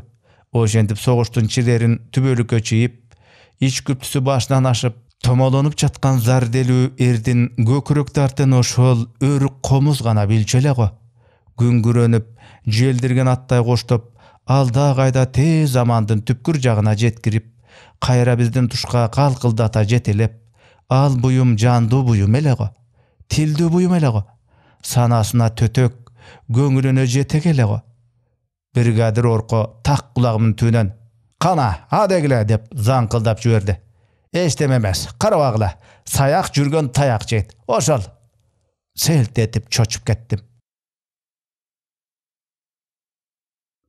китеп окуп сокумда үңкүйүп отурсам жолдон чотур өтүп калды ал тишин кашкайта жылмыйып бир колун өйдө көтөрө берип алыстан салам айтты. Чыны кыртышым сүйбөдү анча козголо бербей те төмөнкү мырза теректин учунан ашыра тиктедим кайрылыш оюнда жок окшойт тушума келгенде басар басмаксан болуп э отурасыңбы деп сурап койду бар бар өз жолуң менен кете бер менде сенин ишиң жок деп күрпүлдөп жибере жаздап өзүмдү өзүм токтоттум отурбаганда отурабыз да деп ордуман туруп тескери бурулуп кеттим эрикпеди бекен дедим эле деди ал эрмек көп тууган дедим мен кайра менин тиштене сүйлөгөнүм кайта анын кытыгысына тийгенсип эркек каздан бетер каркылдап күлөт чатак чыгаргысы келдиби көтөрүп чапчутай үңкүйүп кайрылып бери басты көзү тереңде ойнойт. Бирдемени чамалап бирдеменин өңүтүн күткөн сыяктуу. Мени азыр топтой томолотуп чүкөдөй калчап ойногусу келип тургандай жанагы жылмайышын жазбайт. Ал жакындаган сайын бүткөн боюм муздап мушуна муш кайрууга азырландым анын ар бир кыймылын алдыртан көздөн өткөзүп турдум. Бирок анын үнү баягыдай эле мындан үч апта мурдагыдай эле жайда жумшак да чыкты. Э көптөн бери биздики жака каттабай койдуң го мен камырап койбой дагы тиги жалгыз терек жака бет бурдум. Жөн эле иштер чыгып кол тийбей. Э иштер чыгып кандай иш? Ушунча болуп быйыл бир иштин четинде жүргөнүн көрбөдүм го ха кандай иш ал көзгө илешпеген ошол алында чотурдун бирөөгө бут тосуп сүйлөгөндү жакшы көрөрүн билем сиркем суу көтөрбөй турган чакта бул сөзү жүрүнүмө тийди тишими тишке урдум ого бетер терим тырышып анын жүзүнөн кандайдыр өйдө сүнгөндүктү мени өзүнөн кем санап бозбаш сынткандыкты издедим бирок чотур баягы эле чотур бала болуп башыбызга жүн чыкканы ортобузда кылдай араздык болуп көрбөгөндөй батымды сүйлөп сурабай этпей колумдагы китебимди колумдан алып көңүлсүз барактап кайра берди жүр биздикине сага китеп дегенди көрсөтөйүн «Э, бул эмне бул коңурук тарттырат жүр бүгүн мага дем алыш деп каршылдады мен баш чайкасам ал аң таң койчу соксоюп отурганда эмне чыгат жүр жүр эми жок дегенде ушунча чырсылдап турганымды байкап э баягы даңгесе деген сөз көңүлүңдө экен деп биртеке ойлуу тарта да түшпөйт кемпирлердин бозтаарына жакшылап эле салыштырбадым беле мунун жүрөгүнө өткөндүн бир тамчысындай да так калтыра албаптыр а мендечи менде даңгесе деген сөз суукта жел артынан муздак суу ичкен жөргөмдөй түйүлүп жүрбөйбү мени ой баса түштү атам келди жанында кишиси бар атал уулум атал деди ал аттан шашып түшүп чотур уңкуюп акырын саламдашты да барар барбасты эми өзүмө салгансып жообумду күткөнсүп мени аңкая тиктеди «Ә, макул бир пастан кийин деп жиберипмин чотур эки колун чөнтөгүнө салып жолуна түштү атам а барат барат деп үнүн көтөрө чалып жактырбай ээрчи тиктеп калды кызык буун куйган немеге азыр да ийгем астейдилдеги иш жылытат кандайдыр эле көкүрөктө кат кат болуп сүрсүп жаткан ич күптүмүн түйүнүн ошо тапчудай өңдөнөт. Бирок эмнеликтен ич күптүм бар экенине кайра өзүмдүн акылым жетпейт. Мейман тараз бойлуу төшү чыгыңкы тууралжың келген чийкил киши. Түктүйгөн сары кашты чарт тике бөлгөн эки бырыш кой койгон мурун бекем кымтылган эрин тикирейген көк көз анын айтканынан кайтпаган зәрделүү адам экенине бир баштан күбө бир тиктештинде көзүнөн кандайдыр азапты көп көргөндөй туюлат. Анткен менен тикирейип сергек кандай жерде турам? дегендей тирмеңдеп оропараны тегерене чабат. Абаз көй чекесиндеги бери болгондо жарым кылымды ичине каткан майда бырыштардын бир жагын бүт басып коёндун куйругундай чимирилген буурул чач чыгып турат.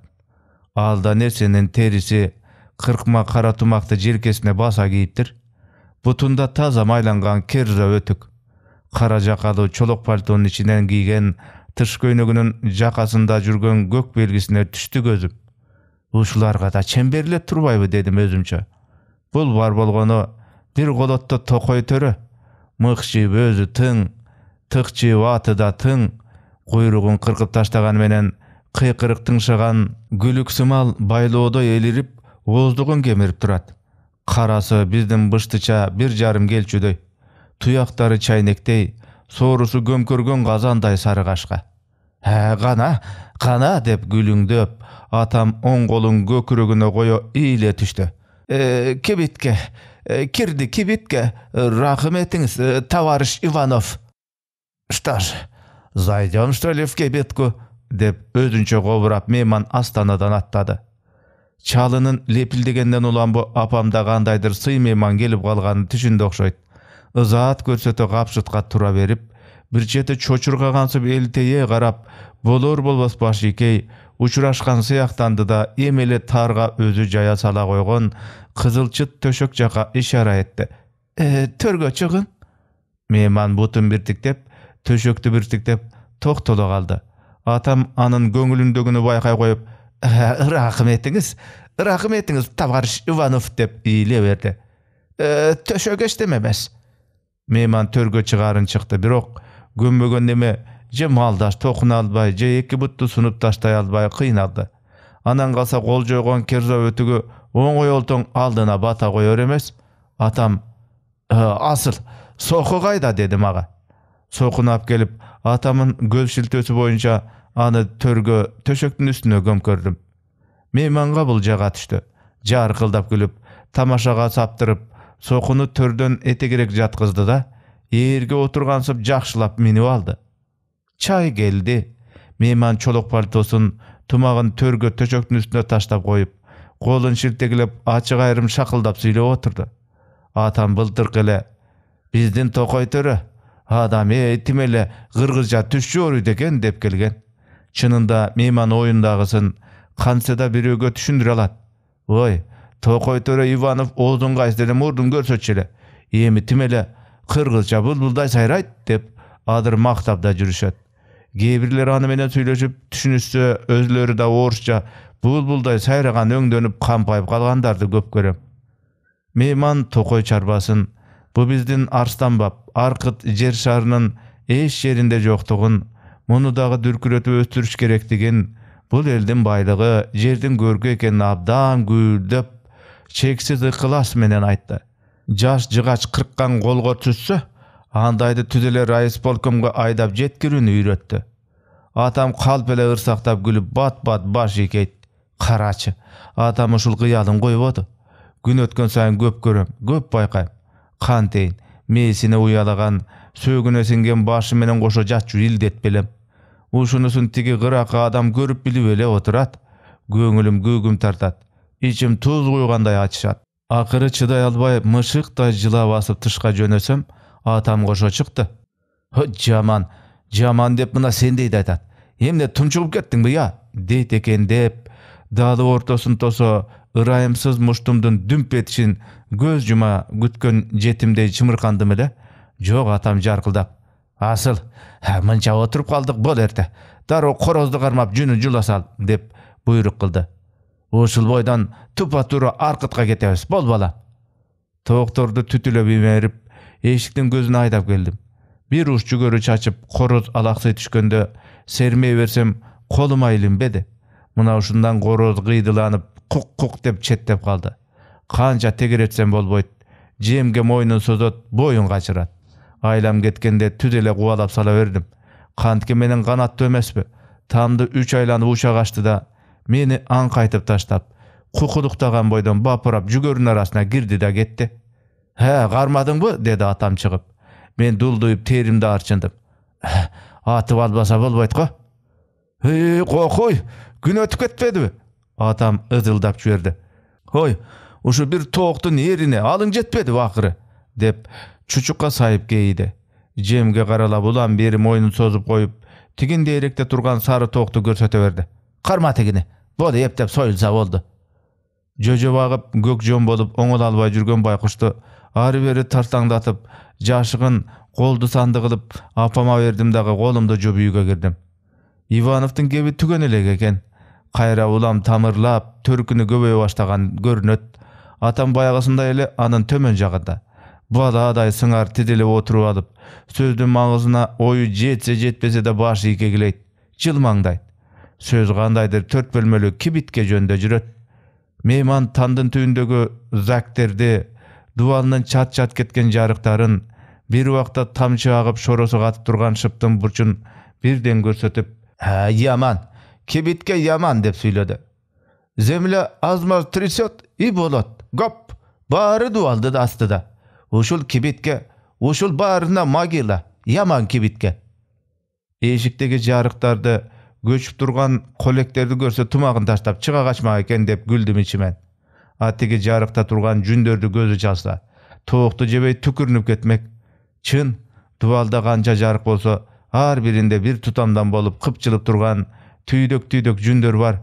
Атам чачын алдырса апам башын жууса чачтарын түргөктөп келип жарыктарга тыгып кое беришет адамдын башы азиз чачты тепсениге таштап болбойт баш аяк асты болуп калат дейт атам апам ага макул иванов кебин улады меники уста жакшы кибитке жакшы салады меники уста жакшы меники сага кибитке салса өзүнүн там мактап жатат деп түшүндүм элем ha meniki biladi sizniki kibitga yaxshi sizniki kibitga abdan yaxshi deb quvvatladi atam. Жок силердин тамыңар жаман жер кичине эле солк этсе дубалдын астында каласыңар дейт деп бай атам беркисин толуктап котордум мен атама устамын дейт силерге үй салып берсем болор эле дейт оюн туура түшүндүргөнүм жакты окшойт иванов мени кубаттап атама баш бармагын көрсөттү во ушундай кибитке салса керек атам оозун ачып калды бу кандай өзү токой төрө болсо анан ким көрүнгөнгө там салып бир болбогон иштерге малынып жүрөбү я деген кыяска кетти окшойт. Бир окумда батынып эгерде сиздики бизге кибитке салса сиздики теңге алат? деп сурады.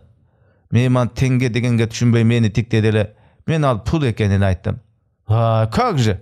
Да алады ошол замат токой төрөнүн көзү жалтырай түшүп адан сайын тактап ишендире кетти.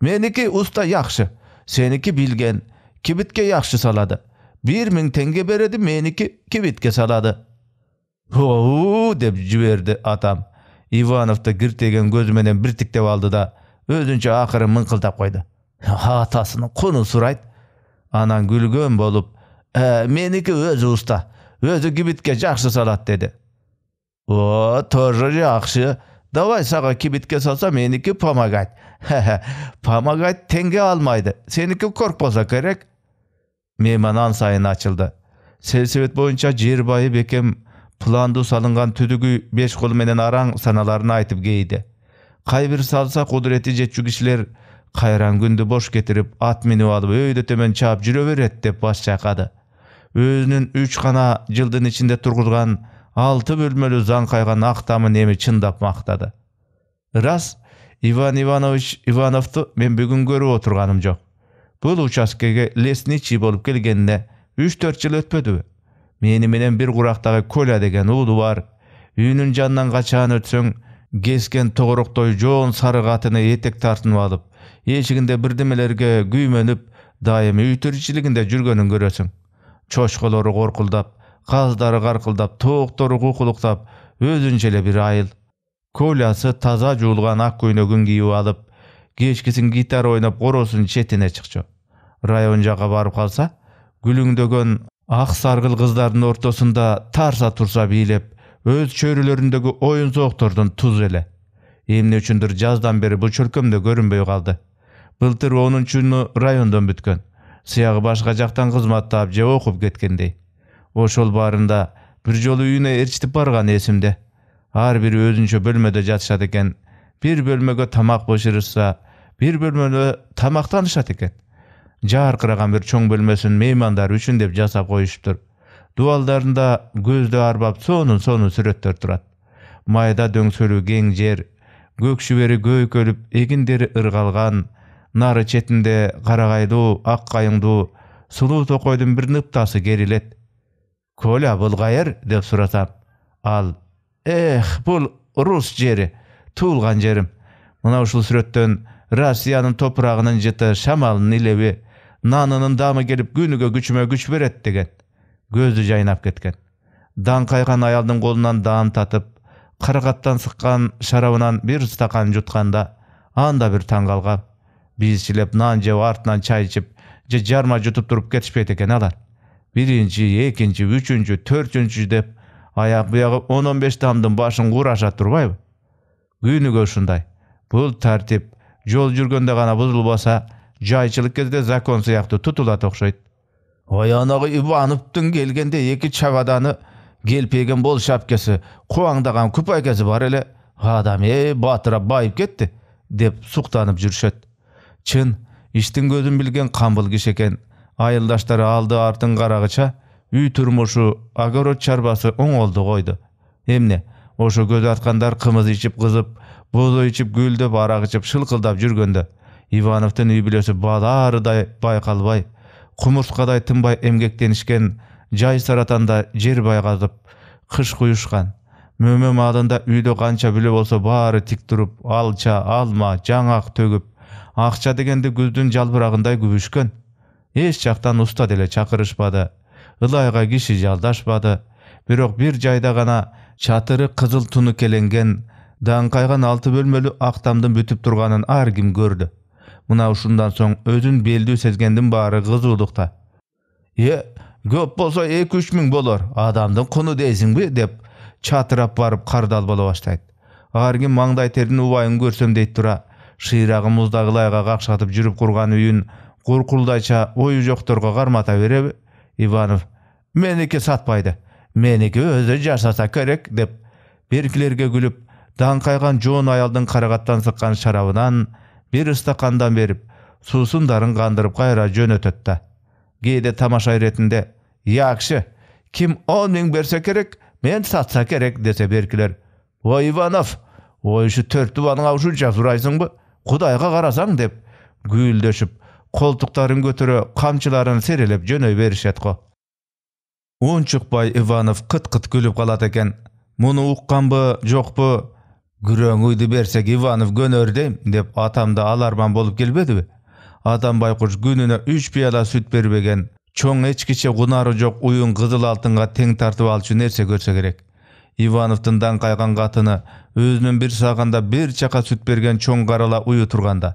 бул акеликти башына урсунбу ушуну ойлоп күлүп жибердим атам тикирейип карап калды мейман сөзүм жаккан экен деп түшүндү окшойт ан сайын бакылдап башын ийке келеди вот ушундай кылса керек мейман аздын көбүн алдыга келген дамга ниет кылды кайра кайра ырахмат айтып апамын колун кармап коштошту жадырап аттанды мени орусча жакшы түшүнөт деди окшойт жан атам мага орусча сүйлөп отурду эле аттанарда жигит надо трудиться без труда нет жизни деди дагы чала түшүнүп калып калдым убадан боюнча чотурга жөнөдүм кайра жүрөк заада болдум так эшиктин алдында токтодум и көрдүк жылмакайларды көрөрбүз райком болуп кеткенин деген үн эсиме түшө кулагыма шак шак тийип кайра келиндин мыкчыйган ачуулуу жүзү көз алдыма тартыла түштү шарт бурулуп кетеримде эшик кыйк деди ана бет алдымда дал ошо кара келиндин өзү экөөбүз тең бири бирибизге өмүрүбүздө азыр көрүшүп тургансып таптакыр аң таң калган кыязда тиктеше калдык ал жолумда мындай боло берди да келгиле деди акырын этегин делбең эткизе таштап чүйрүңдөп үйүнө кайра кирип кетет го деп дал ошону күтүп тургам же эри эскертип койгонбу же өзүмөн өзүнөнбү айтурганча дагы ырайы жылуу үнү жумшак келгиле үйгө киргиле мени укпай турабы дегенсип үнүн көтөрүңкүрөөк чыгарып бат бат сүйлөп жиберди келгиле үйгө киргиле киргиле өзү үйдө үн катпадым астанасын акырын аттадым. Чотур кадимкисиндей жайдары. Төрдө тиккич машинеге бирдеме салып үңүлүп баягы дилди кыз отуруптур кыз мени көрүп адат эмеспи өйдө тура калып жалжылдаган капкара көзүн чырактай жадыра кадала бир тиктеп купуя учурашты анан эмне үчүндүр ийменгенсип бой жыйра жүйүртүп отурду билем бул кызга чотурдун эки ата өтүшкөн бекен иши кылып агаалык жайы бар ага сынып дилденин бул үйгө көп катташканы ошондуктан го радио турчу бурчка серп салсам чотур ал уктап калган деди атасынын көрү электр тогу болбосо мунун оогат эмес экен бир туруп батареясы түгөнөт бир туруп дагы бирдемеси бузулат анан оңдотом батарея алып келем деп салпактап жүрөсүң айласы жоктун тирилиги турбайбы а баягында таш көмүрдө жүргөндө восток деген радио бар эле бияка көчкөндө сатып жибербедимби о мына ошо сүйлөсүн койсун эле төгөрөктүн төрт бурчунан тартчу табак койсоң андан. Электр менен жүрчү эле да мунуң болсо ушу фрунзе ташкенди ала албай кыкылдайт да турат ал колун шилтеп салды. Э электр болбосо деги ишиң ары аттар эмес айтмакчы мен сага китеп көрсөтөм дебедим беле мына машина китеп де ушуну айт орусча тишимин өтүшүнчө эптеп окуп жүрөм окуп алсаң пайда да китебин өзү эки үч барактап анан кайра ордуна койду э балам техника дейт муну техникасы жортуп көрчү көзүн ача эле көк күчүктөй да жорто албайсың ha болуптур эмесе кел бир пас салгылашып алалы бети калдыга кирдик колу картаны эпилдетсе үңкүйгөн чотурдун оозу ар кайсынын башын жоурайт келип келип ошол үңкүйгөн отурушун жазбай көзүнүн төбөсү менен тиктеп асылбек деди ал. Өгүнө айтайын десем сиркең суу көтөрбөй турупсуң ой ой бала сен жек көрүндү болуп баратасың кимге ким ал? деп мен чырт кабагым түйүлдү ким болмогулу эл ал кичине буула кандайдыр таарыныч билдиргендей үнү үзүлүп үзүлүп чыкты окуйм десең убагы келсе кете бересиң жолуң ким тосот ага чейин эмне бекер жүргөнчө бекер иште дейт турбайбы билгенге бир сөз билбегенге кайран сөз дегенчилик кылдыбы андан кийин чотур унчукпай койду менин да өйдө төмөн айтышып актанышка оозума кеп кирген жок тигине дилде баягысындай эле колундагы иши менен алек биздин кыжы кыжуубузга аралашпайт. Бирок да алдыртан кунт коюп отурган өңдү. Наристе уурттарында сыргаткан болор болбос үлбүр жылмаюу турат. Ай жамалынын нары ан сайын албырыңкы демек биздин азыркы сүйлөшкөнүбүздөнбү же буга кылдай байланышы жок башка бир жоруктанбы иши кылып кыздын ушу таптагы кыялында ойногон бирдеме бардай кызыл бөйрөк ак алмадай толмош беттин наары көмүрдөй капкара чачтын далыдан ылдый суудай төгүлгөн майда өрүмү кош этектүү ак шай көйнөктү бери түртүп көкүрөк көркү бир сөз менен айтканда дилде кыздын мажүрүм талдай буралган жаш келбети наристе турманы көңүлдү арбайт көздү улам өзүнө байлайт. Картам кез кези менен колуман чубалып маш коюп жаттым. Ой карга күзөр эмес көзүңө кара ой ай деп карсылдайт чотур күзүр чырым болчу. Тиги мени он бештен тарттырам деп бетине шаа күзүрдү койгон экен мен аны карганын алтылыгы менен басыпмын. Тартууга туура келди. Чотур күлүп калды.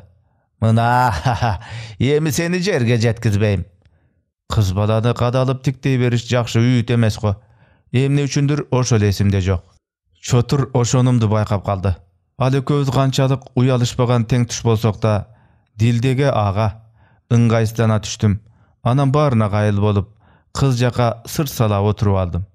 Оюнга кызый кызый киришкен өңдөндүм чотур бир поста эки калтырып алып адатынча бүт картаны башыман ылдый сапырып жиберди мына мына чапан тектирип кий көңүлүм келбей турат көңүлүң келбей турабы дагы эки үч ай бекер жүрө түзсөң көңүлүң ачылып калат эмне дейин оозума эчтеме кирбей ырсайган болдум ха деп чотур жертиктеп ууртунан жылмайды жаштыкпы мастыкпы иши кылып байкуш бактыгүлдүн кадырын билбей жүрүп өзүң билесиң кетирдим сөйкө эрин бир акшыя карап алды да атаны байкуш ай арманың көп да бечара деп далиске жөнөдү чотур көз кыйгы менен узатып катынына ого бетер кыча сүйлөп калды байкуш бактым кышта келген эле баш ай чымчыктын өзү болчу эх анын ак көңүлдүгү ишенчектиги баyoолугу ушул жерде чотур канчалык тамашага ыйгарса да кантсе да бир өкүнүчтүн четин чыгарды анысын далилдеп кандайдыр кыстоо абалда калгандай уурту ыржайып эки бети кызарып да кетти адатынча оозун ачып каркылдап күлгөн болду мага бурулду ошентип ал кетти апам өлдү иштен келсем суу берер жан табылбайт атасынын көрө өтөр кетер деп ишти биротоло таштадым. Эртели кеч жүрөр жерим базар ичкеним бозо арак кумар ойнойм башка жактан акча табышка көз жетпейт бар тобокел дейт экенсиң бир күнү үстүмдөгү пальтомду уттурдум ичим аябай ачты. Кантип кайтарып алыштын эле аргасын ойлойм. Жерге кирсин кол бир кезде оңолушу кыйын окшойт туугандардан деп үч жүз сомчо карыз алып колдо бирдеме болсо тура албайт экенсиң түптү деле барып кумарга кайра түштүм дагы шыпырттым аты дагы эсимде жок ал жук жуйган көзү кызыл улгайып эле калган киши эле кетеримде ме бүгүн оокат кыл ойногонго жараша беш жүз сомчо убан чогултуп алып анан ойнош керек антпесең пулу көп киши сенин майда чүйдаңы бир гана чап алып коет оюндан чыгасың отурасың ойносоң ошентип чөнтөктү мыктап алып ойногон деп колума он сом карматып жолума салып койду. Бир күнү вокзалда турсам бир үлбүрөгөн жаш келин чемоданын көтөрө албай араң келе атыптыр жүгүрүп барып аяш кайда жеткирейин? деп лыпылдадым. Келин сылык жылмайды жоодураган кара көзү менин үрпөйгөн чачымы ар жерине карамай жуккан эски кемселиме майрыйган батикеме бир сыйра чаргып өткөндөй болду. Тиги дөң кыштак көчөгө барат экен. Чемоданды алып жөнөдүм жүрөгүм дүпүлдөп барат эки жакты карабайм алымдын барынча арыштайм артым тып тып дейт сыягы келин жетер жетпес араң илешип келаткан окшоду аңгыча бир бош машина жандай берерде бар күчүм менен чемоданды машинанын үстүнө ыргыттым анан кандай жүгүрүп келип чыгып кеткенимди өзүм да билбейм бир карасам келин селейип туруптур эмнегедир колун өйдө көтөрө берип бетин чымчып башын чайкап калды чотур бир тике ойлоно түштү алкымына бирдеме чогула калгандай жутунуп алды. Кабагы салынды. Жүзү түнөрдү ошенттим суракта тургандай баш көтөрбөй кайра күңкүлдөй баштады.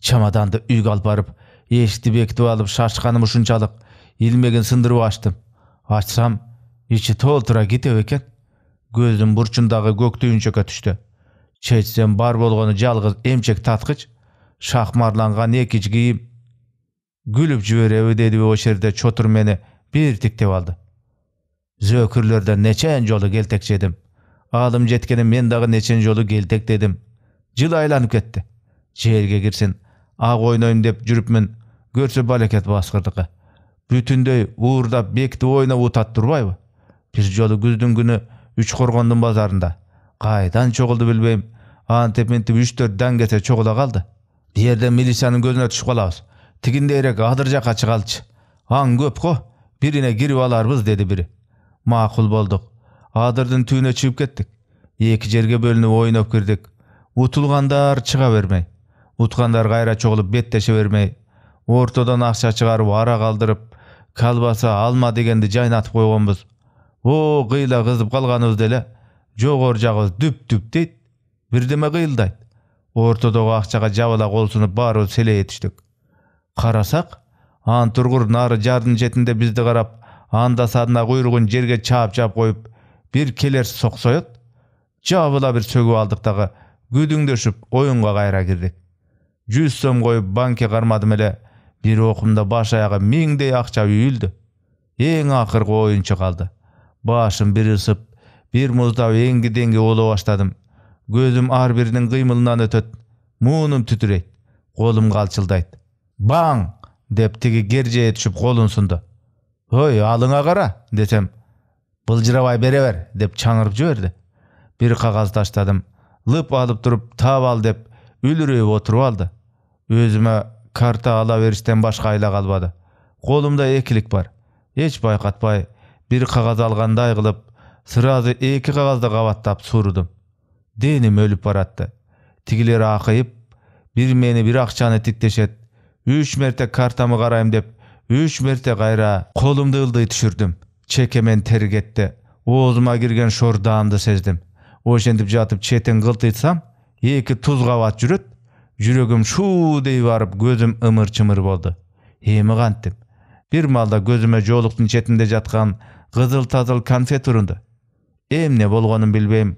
Конфетке кол сундум колдун алдында экилик солдат кошо кетти кармадым эки үч конфетти мыжыгып туруп ага аралаш экилик солдатты кошо бурдап чайнап жутуп жибердим тигилер болой ач же карта ал деп күйпөлөктөп калышты өх кыйын учур кетти жан кайра өзүмө келди колумун калчылдап турганын эми кадимкидей сездим так ошол учурда арт жагыман кың кың үн чыгат койдум койдум садаган кетейин койдум ушинтет ушунчалык аянычтуу айтпа көөрдүн ичинен тырмаланган сыяктуу карасам баягы бир кезде пальтомду утуп алган чал сакалы куду ак эчкинин куйругундай сербейип көзү жалжылдап үңкүйгөн кара неменин алдында жатат а үңкүйгөн кара чекесин жүрүштүрүп тиштенип колундагы бычагын чалдын алкымына такап алыптыр ар ачы жок ар ким өзү менен колундагы картасы менен алек. Тегерегинде болуп жаткан ар кандай окуяга баары кайыл баары кайдыгер эки тузду оюнчулардын ортосуна бир урдум ошол жерден шарт тура калып үңкүйгөн немени желкеден алып эле серпип жибердим ал эки үч ала салып кетти бул эмне ой эл бул эмне бириңди бириң басып жеп. Ой бул эмне өз үнүмө өзүм ээ боло албай кеттим баары селдейип бири да кеп кайырган жок жанагындай баарына кайдыгер тымтырс тээ четтеги эки киши гана күбүрөшө түшүп кете башташты. Бир карасам менин чалым ордунан ыргып турган бойдон топусуна да карабай дикилдеп ири алдыда бараткан экен үңкүйгөн неме үн каткан жок чал экөөнүн чатагы болгон акчаларды делдектете жел айдай баштады. Кантип калам ошол жерде жөнөп бердим ой дос бая сеники ал деди менин шериктеримдин бири токтой калдым экөөнүн колунда жанагы эки туз жасакерлене калп эле жылмайган өңдөнүшүп жалдырап кыйылып тиктешет. Иреңдери чөлдүн турпагындай бопбоз ошол замат көзүмө өзүм жутуп жиберген экилик солдат пайда боло түштү аласам да бересем да жок. Бүттү!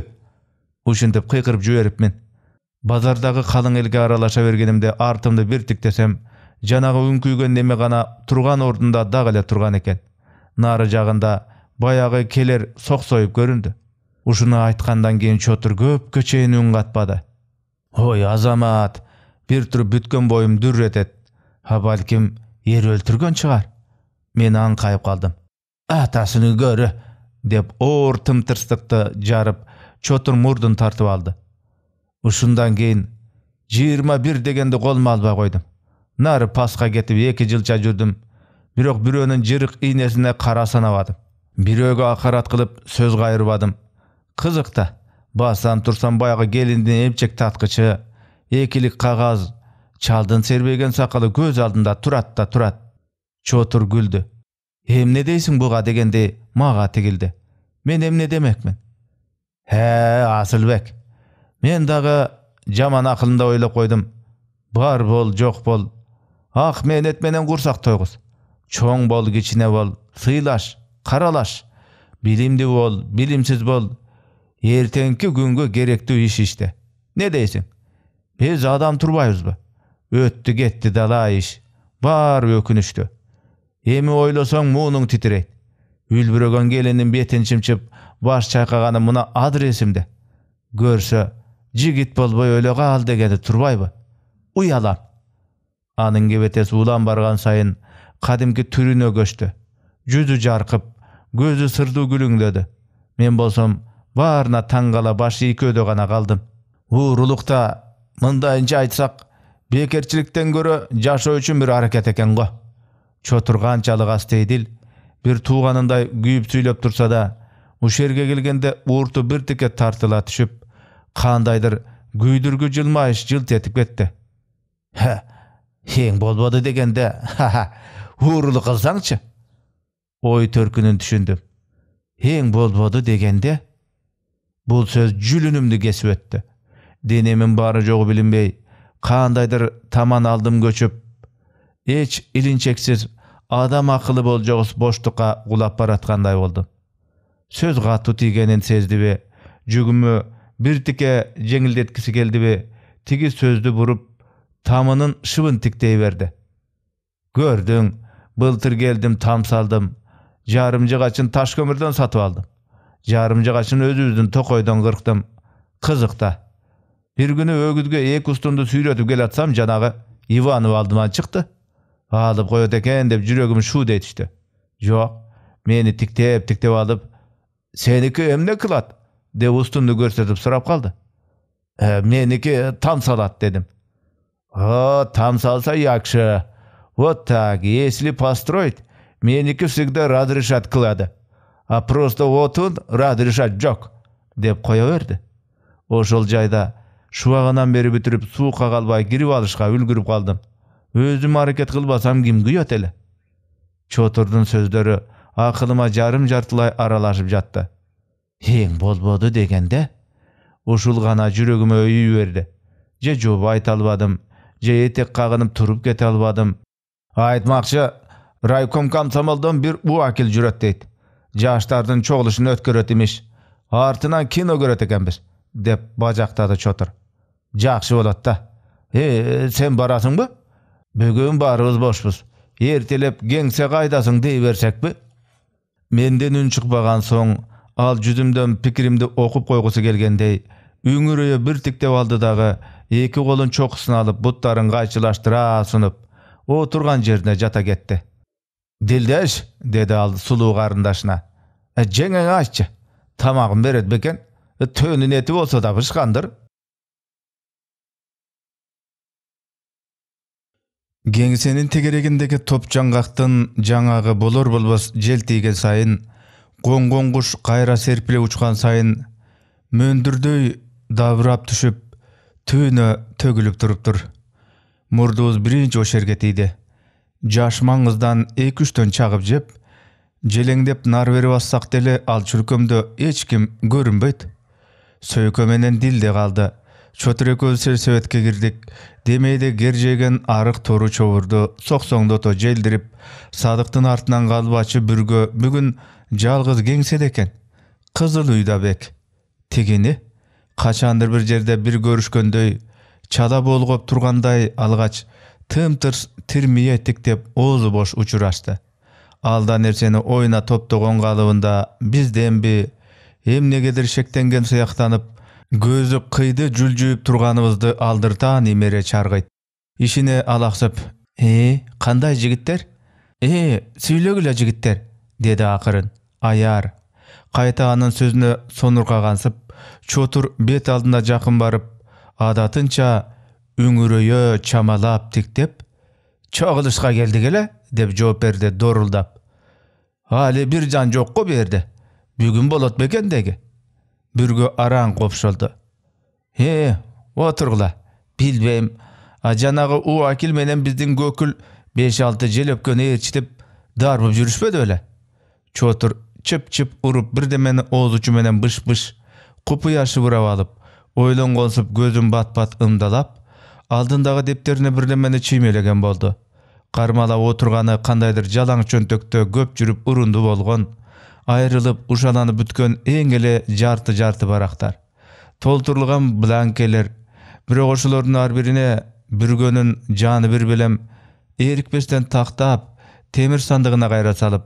Темир сандыкты чеңгел чеңгел келген эки кара кулп менен кулптап куду ажайыпкананын бит караган маймылындай үңүлүп коюнун аңтарынып тээ колтугунун тушу чеңге ачкычтарын бекитти анан кабагы ачылгансып ууртунан кытмыр жымыйды карачы иш чачтан көп. Келсе өйдө карап жакшы саналаш кишилер менен дагы түзүктөп аман түгөл сураша албайсың. Үч төрт күндөн бери башым менен жер казам районго эсеп кызап даярдай албайм.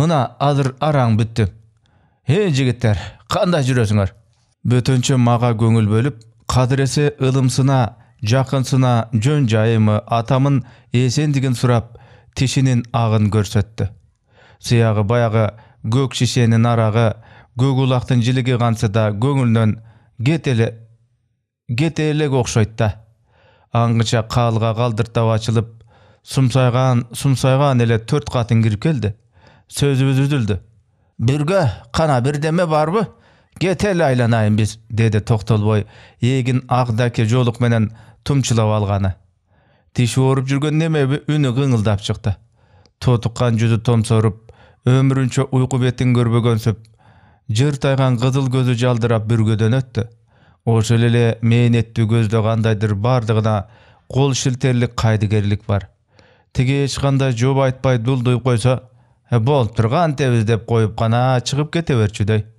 алы жетпегенге карыз берип кайра өзү артынан жалбырып жүргөн киши кебетеленет ой ашыркыл жеңе өгүн эле айтпадым беле жок деп деди бүргө күлүп убагында келгендер алып кетти а силер өз убагында келбесеңер мен күнөөлүү бекем акча деген өзү ал аязда ичиркенгендей эки ийнин куушура култулдап койду бу акча деген өзү сууда агып кетет ашыркул жеңенин артында турган чурмуйган кызыл келин эмне күндө сенделтип берсеңиз бербейсизби же биротоло бербейм дебейсизби деп жиберди ой деп бүргө чекирейди азим сулуу сен койсоңчу тиги ашыркул жеңем алса ал ак никеден тогуз уул тууган экен өзү сен эмне деп күлдү бүргөнүн сөзү чокусуна тийген камчы болду эм келин шарт бурулду да кабарчыктаган бойдон эшикти тарс жаап чыгып кетти бөлмөдө бир пас аяр тымтырстык өкүм сүрө түштү бир окумда деп бүргө өзү сөз ачты. Ой арамсыздык баласы үчүн акча доолап тооба кылдым эй! Бүргө сен бирөөнүн баласына шек келтирбе атасы жок бала бине болмок беле. Сен наристеге шек келтирбе деди. Катындардын бири аарына келип.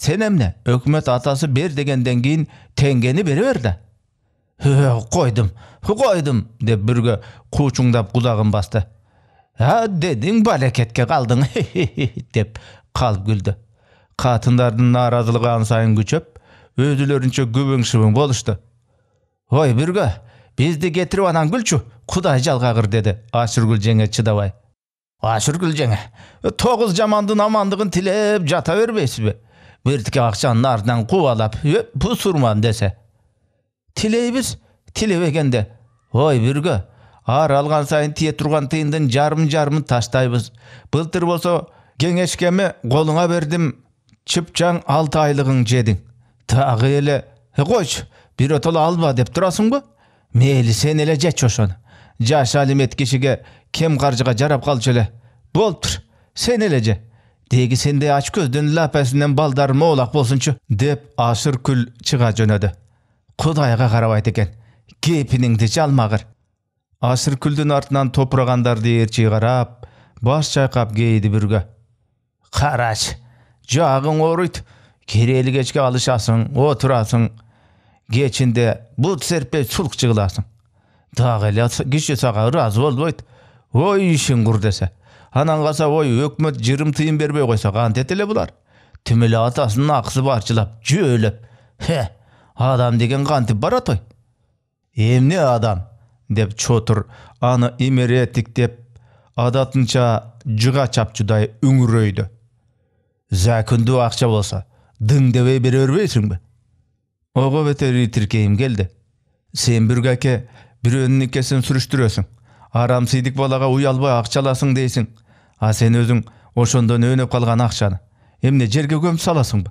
деп сурадым сураарын сурап коюп андан ары өзүмдү өзүм токтото албай арам тамак куу түлкү деп жибердим көз ачып жумганча бүргөнүн баятаан берки күлкүсү тепсендиге күйүлүп түштү таң калгандай мени элтее тиктеди биз артыбызды карабай чыгып кеттик бүргөнүн кудум сары журтта шимшилеп жүргөн даакылуу куу түлкү сымал кешбири анан калса адам диттегис бул ыплас жоругу көз алдыма кайра келип көңүлүмдү жийиркентти жаштар чогулушу колхоздун клубунда өттү келин кыздарды өнтөлөп кешекке отургулганда эл катары сөйкө менен дилдеге да орун тийген чотур үңүрөңдөп тамашага салып жатып очерге батыштык мен дубалга жөлөнүп босого ченде калдым төрдөгү жандак столду тегеректеп секретарь көкүл райкомсомолдун убакили чогулуш башкарууга шайланган комсомол активдери отурушат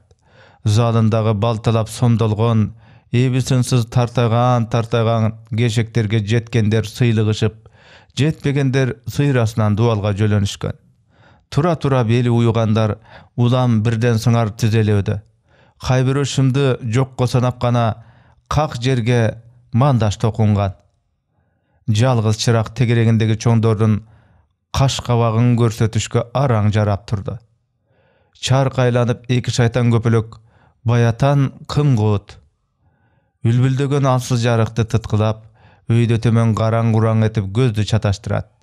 Итиркейди келтирет.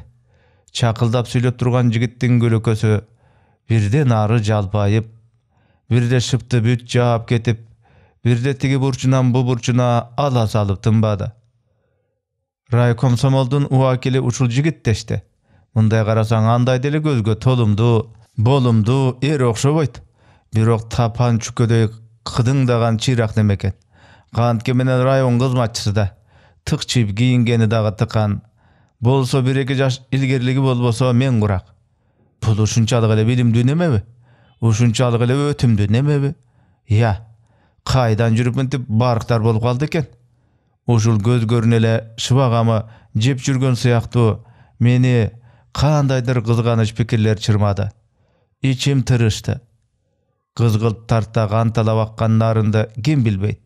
Миң миң жылдар аргымак атка кечүү бербей чалгайлуу кушка суулоо ачпай желке жөнү түксүйгөн кыжырлуу арстандай чамынып үрөй учура күр шар болуп жатпайбы ыгым билгенге баш көтөрбөс кул тамырына кан ыгым билбегенге арыз мұң менен эсептешпеген ташбоор тилсиз жо? Шамалды сайдан нарын торолуп ош жерге чоң электр станция салынат имиш күн мурунтан камынып келген убакил толук бир саатча сүйлөдү бүт союзду алаканына салып алып тоо томкорчу балбан сөздөрдү кептерди чубуртту жолдоштор бул кыргызстан эмес жолдоштор бул бүткүл орто азияда кулап угуп көз көрбөгөн курулуш бул курулуш бүтсө жолдоштор бир кыргызстанга эмес жолдоштор бүткүл орто азияга жарыктайт элдин ишин жеңилдетет турмушун жакшыртат маданиятын көтөрөт мындайча айтканда жолдоштор бул кез биздин бактыбыз биздин келечегибиз деп бүтүрдү мурдатан кабары барлар бул жаңылыкты түздөн түз кубатташты укпагандар дагы кулак түрө тамшанып таң калышты экиден үчтөн бабырашып дуу күчөдү биринен сала бири туруп сүйлөп чыккандар да болду ар ким ар нерсени айтты. Иштин тоготерин беш ооз сөз менен көкүл айтып койду мына карабайсыңарбы деди ал чекесин чүрүштүрө бурч бурчту өңүлөтүктеп үңкүрдөн бетер эчтеке көрбөйсүң электр болсо жок дегенде кашка абагыңызды ачып көрүшүп отурбас белек мынау тукум куруган шайтан көпөлөктөрдөн чырак талашпайт элек го хм биз муну эске тутушубуз оң. Арзан эттин сорпосу татыбайт дейт эл өз жерибизге түшүп жаткан мындай маанилүү курулушка кыш коюшпай калсак жер байына чекет эрибиз танбаса өзүңөр ойлогулачы кийин бүткөндөн кийин биздики деп кантип айтабыз уялбай нурун үйүбүзгө кантип киргизебиз ошон үчүн мен айтар элем куруучулар төгөрөктүн төрт бурчунан келип жатыптыр биздин арабыздан дагы белдүү азаматтар бул курулушка барышы жөндүү бирге оозунан түшүрбөй чочоңдок деп жамандап жүргөн секретарь ушул мүлжүгөн кар жиликтей нооча келген арык жигит өз боюна жыйнак көзү шилиңе өтөт ичиң аңтарат анда санда кызыл үйгө келгенимде карп көрүп жолуга калсам башымы жерге салып өтүп кете берчүмүн э менин түшкөнүм эле тилеп жүрөсүңбү деп сурап жибере тургандай сезилчү. Качан көрсөң башында чекеси бийик көк шапке. Кара тыш көйнөктүн үстүнөн тогоосу шапалактай келген төрт эли кызыл текмат менен белин кынжыйта курчанып алат. Жаманбы жакшыбы иши кылып оозунан чыккан сөзүн коргошундай салмактайт. Байкап отурсаң карбалостоо шашуу деген жок мында. Муну көрүп секретарлык орунга болгон мендеги үмүт колдон түшкөн берметтей эң акыркы ирет жылт этип артына биртике өкүнүч калтырат да бир заматта жоголот. Кайра таптырбастай болот. Сөз ушул. Кимде ким курулушка баргысы келсе мына эртеңден баштап райкомго барып комсомолдук путевка алсын деди да көкүл ордуна отурду.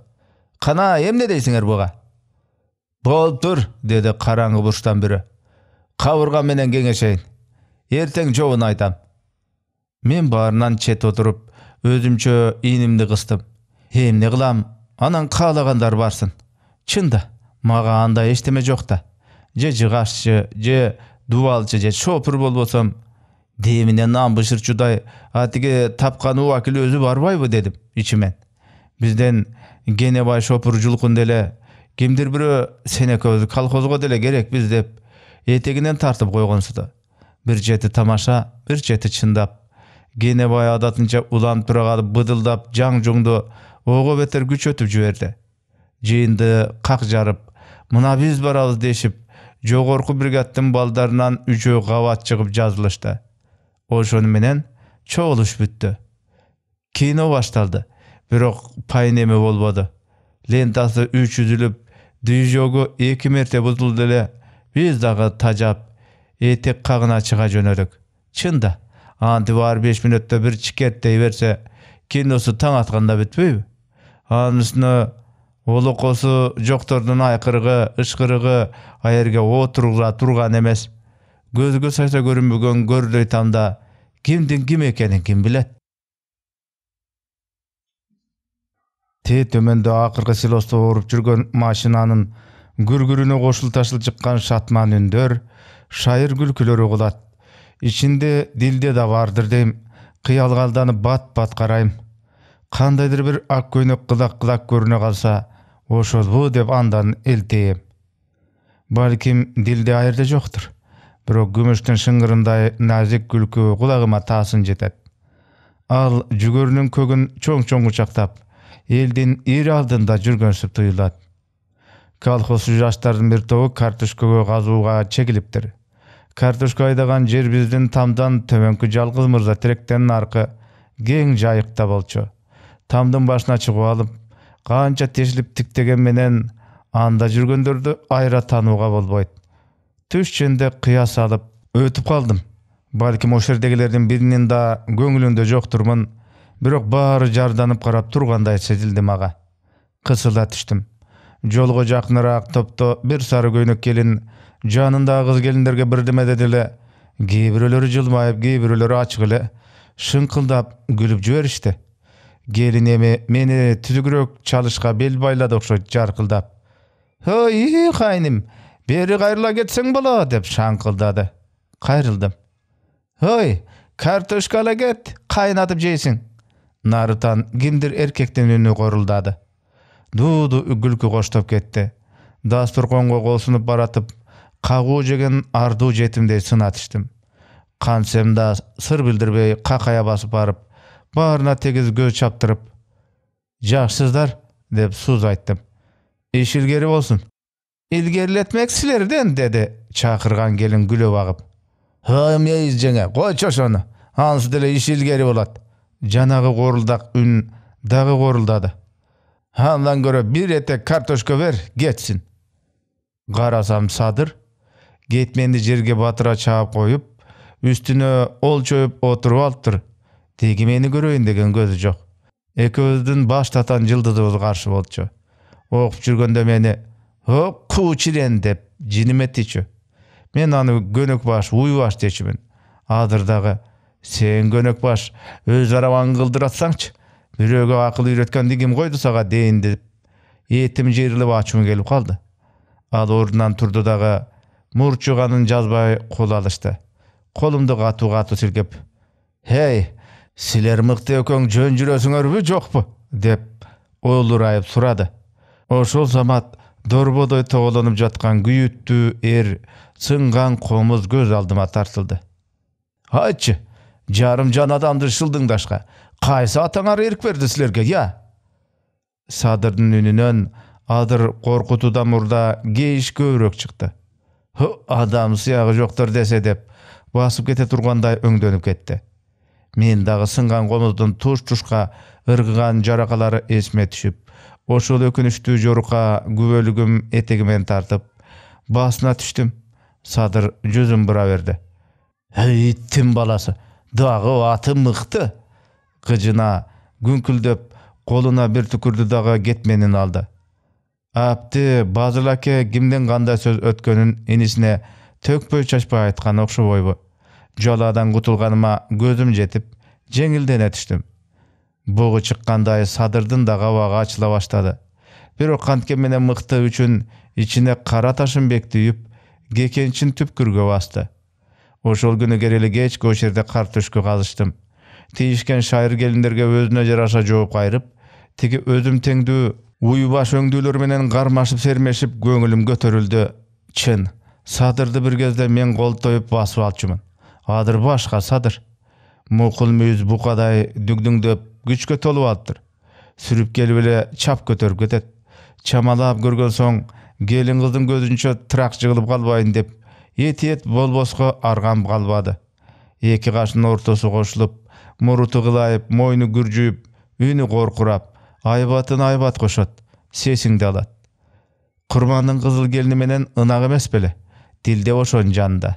Шыңкылдап күлүп кээде кыңылдап ырдап жиберип нары турган тең туштарын картошка менен топ тегезе уруп алып жок жерден тамаша оюн чыгарып агдам жүрөт башкаларга баатыр сынсам да буга калганда тилим буулуп кандайдыр өйдө төмөн сүйлөп тийишүүгө даабайм ушул кыз жаман ишке малынбаса ушул кыз жаман көзгө чалынбаса дегенчилик корчолоо сыйлоо дилиме келет. Дилиме эмне ошонун баарын ушул тегеректегилер көрүп билип тургандай дилдени тиктесем эле ана карап тургула эмне дээр экен? дегендей көбөр шыбыр күчөгөдөй сезилет. Канчалык томсорсом да канчалык бек тутунсам дагы жүрөгүм эркимен тыш алеп жалеп дүкүлдөйт. Көзүмө баягы чогулушка баргандагыдай периште сымак үлпүлдөп элестеп калбады беле бүгүн башка такыр башкача эки билеги түрүлүү үстүндө ийиндери оңуп кеткен сары гүлдүү чыт көйнөк чачты жылаңач билектей кылып колтойтуп жалгыз өрүп таштаптыр али табыгайт элек аптапта нымшыган жүзүнө чаң сиңип иреңи чыңаган колодой жылтырайт түрүндө белсемдүү кайрат ноюгуз кубат турат бул бир жүрүп жүрөгүмдү серпилтет бир туруп титиретет дүшүтөт хе ушу да жигит имиш берчи ал дагы тебетейди мен кийейин деп жерге кагып кетчүдөй күн боз бутосун байырлаган сур булуттарды өрттөп кирип барат да киши көлөкөсү тегеректен узарып кечки сыдырым козголо баштады эртеден берки дуу дуу басылып адыбы тиги ийрилген көксүнүн шокуму кыраан бүркүттүн канат күндөй шуулдап чыга келди иш бүттү садыр элендилеге коршулдап жатып кетмен күрөктөрдү марзедеги алмуруттун түбүндө чогулттурду кеттик айна жеңе кайдасың катүңүн э ушу жеңем ай арыкка барып бетин жууп калган тура жуубай барсаң акем чанып кетеби жүрсөңчү эми мына кызыке ой нары чечекте арабаны токтото тур дечи мына азыр өй аттарды өлтүрөсүңөр арабаны сындырасыңар бир карыш жерге жөө барсаңар чатыңар айылып калабы я жаң жунга аралашып картөшкө тарткан арабаларга түшкөндөр түштү түшпөгөндөр калкамандап туш тушка тарады апасы алда бир жака айылчылап кеткен экен ээн үйдө жалгыз калгысы келбеген окшойт дилде чотур акесиникине жөнөдү кудай жалгап курмандын кызыл келини дагы арабада кетиптир ушинтип эле нарыда жолубуз бир дилде экөөбүз бир басып калдык элдин окчундап биртке наркы беркине сүйлөшүп эркиндей түштүм чын кимдин капарына келип койгон секелек кыз эле? Биз тогузунчу класста окуп жүргөндө бул алтынчыда муздуу баштай сары кыз эле да. Майрам сайын калбаш шаргаччу өзү теңдүүлөрдөн тыкылдагы болчу. Карач улактай маарайт. Бир күнү бир артистти ээрчитип кететпу дечимин күлүп эми мына түгү түшкөн кызыл шабдалыдай жылмакай тартып сынаайып калыптыр. Канткен менен кыз да ал кездеги эчтеңдек мүнөздү артка калтырып адеп сактап эркектен айбыгып ыгы менен ылайыгы менен сүйлөп калыптыр пайдасыздык кулагынын кырынан өткөзүп жүйө сөзгө баам салганычы дилдеш чотур үйүндө болду бекен иштен келишкендир алар деди дилде жадырап чот экен приемнигин оңдоп алды кечээ азыр заңкылдап ырдап тур фрунзеден чоң концерт берет деген жакшы концерт болот бекен. Жакшы эледир. Айыл арасында мелтиреген таш жол кайда марзе жээктеген бир таман жолдо же кызды алдыга кое беришти билбей же алдыга өзүм короё басышты билбей курудум айла болсо катарлап жүргөнгө не жетсин эле. Эки үч ирет жолдун сыртына басып көрдүм болбоду. Бутума чөп жар илешип бак элегиме байпагыма козу уйгак жабыша берди. Анда дилде мага урмат көрсөтүп адеп менен демин ичине ала тык токтоп жолго түшүшүмдү күтө калат эчтеме эмес дилдеш сиз жол менен баса бериңиз деди мастейдил дегиси бешигин терметпегенден кийин сиз биз деген эле түзүк нары үстүнө мынтип бойго жетип акын суунун боюндагы балаты ак кайыңдай үлбүрөп турган кыз балага ой сен сен дейм ой деп сенсиреп доң доң сүйлөп кириш наадандыктын өзү болбосо да эл көрбөгөндүк сый тааныбастык болор. Бирок айдын жарыгында суулоого түшүп келатып алды жактан бирдемеден шабырталган тоо чаарчыгы окшоп дилде биртке элтее түштү жонатан алдыртан кыя тиктешим сабырымсыз көрүнсө да жылыштап жандай басышым. Акыры аягы мынтип сиз дегеним жүрөгү ойгонуп калган байымдуу кыз баланы алдан нерседен кабарлап алдан нерседен шек санатып койду белем көз ачып жумганча өзгөрдү же тултуң этип жүргөн бойдон кетип кала албай же мисирейип менин жүзүмө тике карай албай гүластай кызарды ким билет эгер дилде чым этпей койгондо менин да жүгүм жеңил болмок көрсө мен жакта мындай мамиле болот деп ойлобогон экен мына ушул ылым санаштын өзү ыңгайсыз абалга такады эки бетиме өрт кетирди төбөмдөн жерге какты анан деги ушул дилдеге жакындашайын деген оюм бар беле жок жок адам түгүл жакшы малды жакшы буюмду абаз кылат турбайбы дилденин дилде экенинде кимдин талашы бар? Жөн эле дилдени жакшы көрөм жакшы кыз тилдеш оюңа алба. Эгер байкабастыктан мен жактан чекилик өтсө сөзүмдү кайра алдым дилдеш деп жибере жаздадым. Чын да бул кыз көк боордой былтыя калып муну карасаң мен муну агамдай көрүп жүрсөм бул алда качан акыйып калган турам ага деп мурунтугун үзгөн торпоктой дүңүрөңдөп басып кетсем да өз эрки да. Мени өлү десе көрдө жок тири десе санда жок кылып селдейтип таштайт эле да. Бирок эстүү кыз байкаганын байкаган жерде укканын уккан жерде калтырууну кааладыбы эми же уялтпайын дедиби иши кылып баарын билмексенге салды. Ошол бойдон сөз ыгын таппадым. Бат эле чотурдун тамынын бурчуна жетип калдык. Чотукемдер үйдө окшойт деди дилде. Мени үйгө кирет деген кыясда болду бирок мен мынтип карындашын жандап басып чотурдун көзүнө көрүнүшкө батынбадым. Канчалык ниетинин актыгына карабай кандайдыр шек санап көңүлгө кармап калышабы дейм дилдеш «Э, кайтайын дешке жарадым улутунуп «Э, келип жүр келип эле жүргөн жер эмеспи дилде унчуккан жок бурулуп кетишимди гана күткөн түспөлдө ошол жерде барыңыз кайыр деп колумду суна берипмин дилде биротоло апкарып кетти. Билинер билинбес титирек баскансып барып кыйылып араң кол алышты. Сыга кармадым кабарган жерлери барбы эми алакандан одуракай бирдемелер урун каасыды бирок кыздын колу татына ысык кышкы чилдеде муз эритер жылуулукту жанга жагымдуу бир демди сездим тула боюм чымырап эркимен тыш тыпыраган аз келгенсип көңүлүм сарымай болуп эрип акыл эсим чачылган таруудай тымтыракай кымгыбыт үргүлөп баратып ойгонгондой дилде селт этип тартып алып кылак деп көз ачып жумганча бурчту имерилип кетти көп узабай чотурдун калгасы кырк ачылды да кайра карс деп жабылды. Үйгө келдим атам көз айнегин салынып алып оорумай өтектеп баягы түлөгөн сомкесинен качанкы бир эски ускуу кагаздарын чубап отуруптур бул көз айнек ар качан кылбат жерде катылып эле туруучу.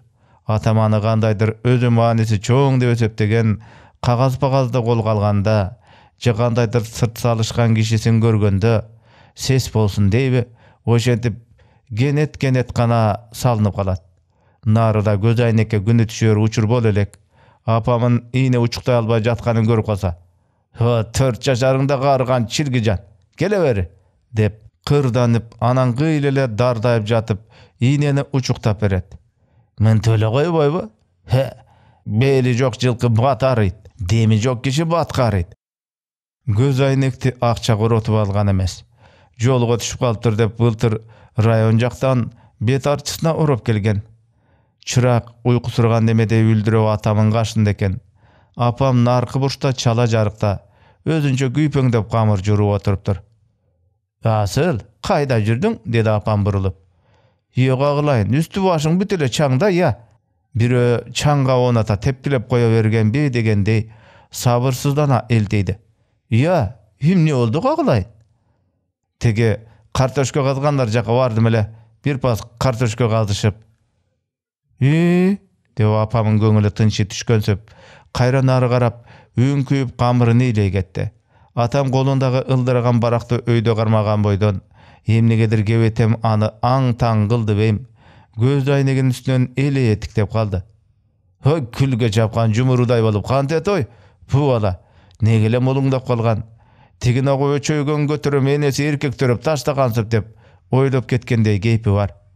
Бир окумда э картошка алып келдиңби деп сурап койду ашка кошуп кайраткыла жейли алып келген жокмун атамын мындан кийинки сөздөрү кулагыма кирбеди чаңымы кагынайын деп отурбастан кайра тышка чыгып кеттим ана дилденин дидары улам жүзмө жүз келет кээде алыстай түшүп түштөгүдөй элес булас тартылат үнү муңайым күлкүсү туйгунга тагылган жылаажындай шыңгыр кагып али кулагымда турат кийинки күндөрдө атам тагдырга көп таарынат отуруп алып аябай кейит тагдыр дегениң барып турган алакчы бери десең нары кетип нары десең бери жыгылган тежик бетин сыгып канын жалаган сараң деп тилдейт ал эми о дилде кыз сага калганда бул тагдыр дегениң жоомарттыгын айкөлдүгүн бир көрсөткөн белем атадай камкорлук кылып энедей мээрим төгүп жашыл тонун саясында өскөн ак гүлдөй назиктикти абасы таза жайдын карлыгачындай сыпалыкты сенден эч аябаган экен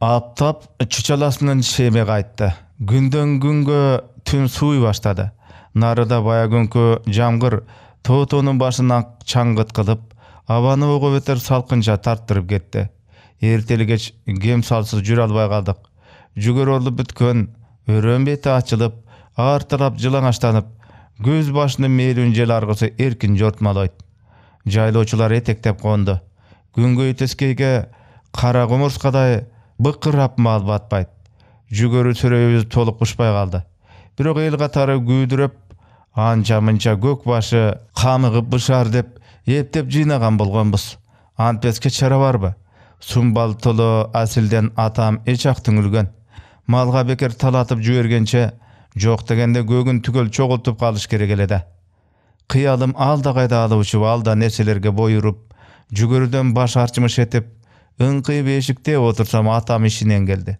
унчуккан жок лымп этип атын алдым. Карап да койбоду камчысын сүйрөп даалдайып эшиктин көзүнө токтоду е айымкүл апам чыкты да анын салбыраган кебетесин көрүп алда бир нерседен чочулагандай үрпөйө тиктеп үйрүлдү табы айнып турат дегидей атамын кейпинде эчтеме жок кабыргасы сынган кишиден бетер көзүн жумуңкурап оозун бекем кымтынганы менен анын чүрүшкөн чекесинде кыжыр азыр эле чырт чурт этердей чукул жаал түйүлүп турган мен го мен апам эңилип жөн сурашка батынган жок атам өзү да ооз ачпады болду болбоду ишинен түшкөн экен деп ойлодум эртең менен мени атам ойготту эй манап тур ыргып турдум көзүмдү ушалап бетимди нымдай салып алдына келдим кечиндеги түнөргөн булут каш кабагынан кыйла түрүлүп калганын байкадым бирок көзүндө кекенчи але туруптур кагаз калемиңди ал деди акырын чемоданымды төргө кое салып жаңы дептерден бирди ачып сыяны белендедим ал эгин өйдө көтөрө көөдөнгө баса үшкүрүнүп жиберип барып былк этпей бир пас ойго алдырып кетти ошол замат эле көздөрү жүлжүйүп таноолору тартылып кимгедир кабарып көк таштай муздак ызырнуу жүзүнө калкыды эмне болсо көрдүм деп тобокелге бел байлагандай үнүн көтөрө чалып жаз деди кыргыздын биринчи министрине жаз бул адрес мага белгилүү атам ушинтип күп эткенде эле кыргыз ссср министрлер советинин председатели жолдош деп кире берем азыр да токтолуп отурбадым дал эле өзүнөн баштап кеттим. Атам колумун кыймылын теше тиктеп оозунан чыкканы такталып жакшы болуп кагазга түшкөн соң дагы жанагынтип ойлонуп алып жаз сен мындай деп жаз деп санын аткыды. Көздөрү жайнап эриндери диртилдеп андан ары токтоно албай ич күптөсүн дүпүлдөтүп кирди. Карабайсыңбы ой биз үч айдан бери саксактап жүрсөк. Карабайсыңбы эми мунун баарын ошо көкүлдүн кылганы тиркиштей тырышкан кыз талактаса жаз бердике ормонов окшогон кыйын кишилерди ушактап кызматынан түшүрттү райисполкомду паралап жолдош ормоновдун ордуна өзү болуп алды. Мансап десе бетинен жыгылат барып турган өзүмчүл өзүндө пиадалдык калдык бар. Катын күндө үч убак акшатып урат шайыр деген учка чыккан жалап катынды ойнош кылып алыптыр ушундай балиттигин көрчү так ошо жалапты азыр сельсоветке секретарь кылып алып отурат мына ушуларды жаз. Сөздүн төркүнүн түшүнгөн соң томсоруп отуруп калдым секретарлыкка илинбесиме го өгүн эле көзүм жеткен. Көкүлдү райисполком өзү трактор менен тартырып чыгарбаса ал ошол кеңседен оңой олтоң былкылдар эмес болчу какчыйгандан какчыйып ичинен бычактын кылоосундай да кынтык билинтпесе өкчөгөн сайын алчы конуп турса андайга кимдин тиши өтөт? Атам күйөө быша башын ийкегиледи мына көрдүңбү оозуңа тийип турган ырыскыңды какты. Жаз катыр. Сен аяп отурасыңбы бүргө эмне болуптур койчу ошону оозго алар ит беле төөнү сел алса эчкинин төрт аягын асмандан көр да. Ошолан турган митени ошол жерге токтотобу жанагы тиркич эле болсо. Отурган жерин кетмендетип салар атам колун шилтеп таштады кана жаз мансап деде өзүн саткан ашынган жүзү кара де иш билген мыкты кишилерди жанына жуутпайт мунун ата теги бузук де илгери чоң атасы бир суу элди куруткан ушундайында кылтасын кыйбаса бул биздин советтик өкмөткө барып турган коркунучтуу киши жөн койсо бул митам мамлекетти астын үстүн кылып жиберери дагы ыктымал дегин мына ушундайчасынан келтирип жаз жаз атасын көрө бир көчүрмөсүн туптура москванын өзүнө айдап жибер атасын жоктот өңгөсүнө көңүл куш болсом да бүргөнүн очерден көзү тазалыгына сүйүндүм ушундай эле болмокчу эле деп ичимен табамганды тамгаларды шурудай тизип арызды жазып бүттүм атамдын оозунан чыккандай адап армандантып кое бербестен колдон келишинче законго таяп аябай такма саладым этегине мундузуп чаңгыл деп чекит койдум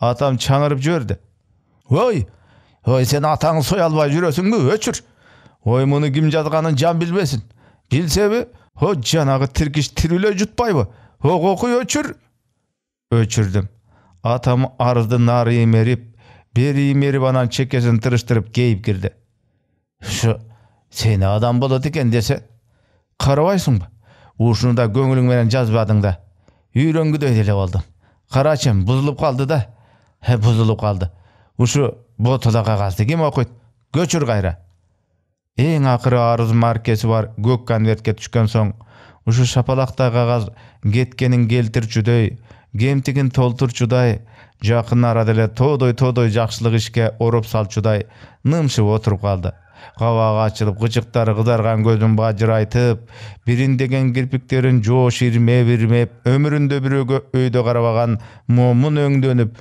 түсү ийге түштү букарда булу бардын көнү ток анын сыңарындай ыкыбал жүрсө кокустан секретар болуп каламбы деп үмүт кургур болбосуму канчалык көрүп билип турсам да улам улам ошол багытка эмерилтип байым бастырып турат эле бирок анча деле ичим ачышпады себеп дегенде менде тилекке караганда кайдыгерлик көбүрөөк болчу баары бир дедим буга чейин деле тиги чотур кара эгиндин аңызын тоңдурмакка оодура баштагандан бери ошонун жанынан эмес элем эми биротоло кошулуп алдым. Чотур абдан сүйүндү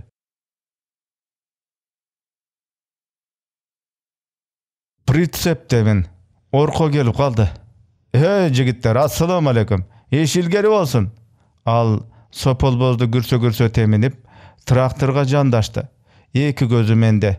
Чотур тракторду токтотуп алакандарын такымына арчып же күлгөнү же бригадирге таңыркаганы белгисиз тишин кашкайтып утуруп басты э биргет аке кулак сизде ассалому алейкум деп атам. Кандай бүгүн бул аймакты бүткүдөйсүңбү а сөйкө кайда чотур болуптур алейкум ассалам деп оозун кыбыратты көрүп турасың биргат эке биртке жерди канды бүтпөйлү бүтөбүз биргат эке айып этпе сөйкө бир эки күн киркок тазалап алайын дейт андан кийин деле каалаган жумушуңа чеге бересиң трактор болсо токтогон жок мына асылбек экөөбүз турабыз го төзөк деди орко мурдунан күңгүрөп анан менден мынтип сурады асылбек укем кайдан мен күлүп койдум жерден эле орко ойлоно түштү ишке чык деп бирөө бардыбы жок ким бармак эле? Орко аке эмне менин иштешке акым жокпу? Сөздү чотур жулуп кетти. Ыя биргат аке. Акыл эстүү киши ишти билет. Сөйкө тигинтип кир коктоп калгандан кийин асылбек айттырбай этпей өзү эле келип прицепке минди койду. Анын эмнеси бар экен? Кой аке? Атың моюнга чап жөнөй бер. Мага асылбектен бөлөктүн кереги жок. Билип турам кайдагы бир каңкылдаган катынды жетелеп келген турасың. Орко тула боюмду дагы бир мерте ченей тиктеди да атынан түшүп чылбырын соконун башына иле салды түзөк деп койду чыдар бекенсиң балам чотур асман тиктеп күлдү ха ха биргат аке баланын кебин сүйлөйсүң да куп чыдайт да кечээ кичине көнбөгөндүк кылып а бүгүн жакшы иштин көзүн таап кетти чотур кыйла компойду эчтеме эмес үйрөтөбүз бригадирдин көзү күлүңдөп уурттары мулуңдайт байкашымда бир каңкылдаган катынды жетелеп келер такыр оюнда жоктой. Менин мынтип соко минип отуруп калышым мунун үч уктаса түшүнө кирбеген окшобойбу деги кандай дерин билбей калды. Түзөк ал көзүн ымдалап ымдалап желке жагынан тумагын чекесине түшүрө түртүп коюп кепти алыстан баштады. Жигиттер мен силерге бирдеме айтып берсем о илгери бир байбача жигит болгон экен байбача бир күнү акылмандын алдына келиптир дейт акылман атам эрте алжып калды күндө үч убак уруш чыгарат тилдеп карып неберелеринин жүрөгүн түшүрдү кандай эле кылам э акылман деп сабылыптыр дейт ошондо акылман сураптыр жакшы жигит атаң не деген адам эле атам бий эле акылман дептир дейт байбача андай болсо жакшы жигит аркырап аккан суунун боюна тегирмен салдыр. Атаң алып барып тегирменди каратып кой муну оң менен ук сол менен да ук жакшы жигит чыпчаң үч айдан кийин мага бир кайрыла кет деп акылман байбачаны жолго салыптыр. Байбача акылман айткандай кылыптыр чыпчаң үч айдан кийин алдына келиптир акылман атам оңолду деп сүйүнүп айтыптыр дейт ошондо акылман жайкалып белине түшүп турган аппак сакалын сылап ha ошондой болмок жакшы жигит атаң мурда бий болсо элди буту менен булгап колу менен калчап көнгөн ана билегинен күч кетти колунан иш кетти чоң сүйлөгөндөн бөлөк өнөрү жок нааданды баягы бийликтин кумары тутту да бар эми бара бер жакшы жигит атаң тегирменге келгендерге ой сен ертең тарт ой сен бүгүн тарт ой сен буудайыңда таш жүрөт чыгар деп күпүлдөп жүрүп өтөт сенин үйүң өрттөнүп жатканы менен мындан ары анын иши болбойт? О сага айтарым жакшы жигит алдан тайганда амал качканда. Атаңдын кебетесин кийип калбастын камын адыртан көр. Чокой ултарганды үйрөнүп ал дептир. Анын сыңарындай асылбек укем чакемин дагы ой жүз сомду качан төгөсүң? Ой пейна тууп коет ой деп чочоңдогондон бөлөк өнөрү жок. Куурай башын сындырып көргөн жан эмес. Тили коо буудай кууруйт чаңгыз закүнчү деп бекер атыгыптырбы лесхозго корол болуп кирген турай эми ой баштыгың түбү эмне тумпуят жаңгак окшойт э кайда алып барасың бияка жүр дейт жүрө берет ушинтип бирдемеге алаксыбаганда бузурман чакем сени мынтип прицепке миндирмек эмес ха туура айттымбы уулум коп байкапсың биргат аке деп чотур каркылдап күлүп топуракка талтайып отура кетти мен жылмайышка аракет кылып экөөнүн алма телиме карап тишимин агын көрсөттүм бирок мойнум алайын атам үчүн намысыма келип ичиме сынып калдым канткен менен орко жерде балекеттей сүйлөп койду азамат укем буга калганда эстүүлүк кылдың биз чакем экөөбүз жерге кирели кыжы кужубузга кулак салба.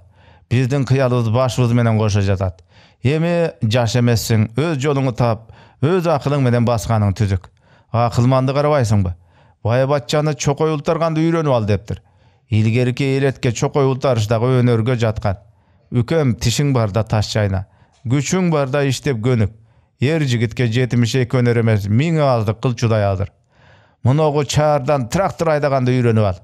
Ашык акыл баш жарбайт ушуларды жоорады да орко сопол бозун шап минип унчукпастан жүрүп кетти тээ чоң жолго түшкөндө сопол боз алдынан чыккан жөөнүн жанына барып тык токтой калды.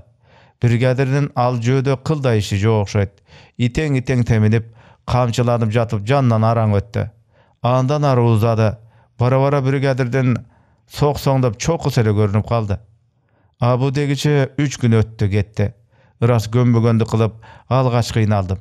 Чекем тердеп колумга барып кечке утур ииним шалдаят күндөн күнгө тула бой мынтип оорлой берсе тири жан кантип чыдайт ишке деп жүрөксүсөм бирок ошо шалдырап талынганын баштагы баш каңгыраткан илэнди ой санааны аластап уктасам ыракат берди турсам кайта чыйралтып кубатыма дем кошту бара бара иштейим ачылды көңүлүм көтөрүлдү демейди апам кагылайын окуйм деп жүрүп бир ичеги болуп калдың деп өңчөлөп отурар эле го эми ошол жок колума тийген данды кургак буурдап чоң кара кесеге мелт калып жарманы дем албай тартып салам. Апам тегеренейин аш болсун деп күбүрөп сүйүнүп тиктеп калат ишке берилип баратам. Ай күйдүм ай е турган айымкүл оногу жаманды карачы о жанагы чотур кейпи суктун катынын ордуна иштеп жүрөт ой намыс дегенди билбедиңер да бетиме ай деп бызылдашып ышык эле бирок атам өзү менен өзү алек мени тескешке чолосу тийбей калган. Гербыштыны алчактатып таң каракчысында жүрүп кетет. Эл жатарда келсе келет келбесе кээде ошол жакта түнөйт. Ошентке менен жанагы секретарлык бизге артпай калгандан бери сууз дайыма кабагы түйүлүү апам экөөбүзгө сөздү чорт сүйлөйт өкүм кыла сүйлөйт. Бир күнү улуу шашке атам гербыштыны камчылап туйлата теминип келип айдоонун чекесине токтой калды. Шашкан түрү бар. Ой ой асылбек деп үзөңгүсүн чирене тээп обдула берип кыйкырды ой бери бас чотур унчукпастан тракторду бир кунунда айдап кете берди атам кыжырланып бизди карата аркыратып аттын башын коюп жиберди гербышты тракторду жандабай ойт берип өтө качты канча камчыласа да кулагын тикчейтип кетенчиктей берди айласы курдуп элем атам тээ маржеге чыкты да быштыны ошол жерге байлап өзү ормой бизди карай басты.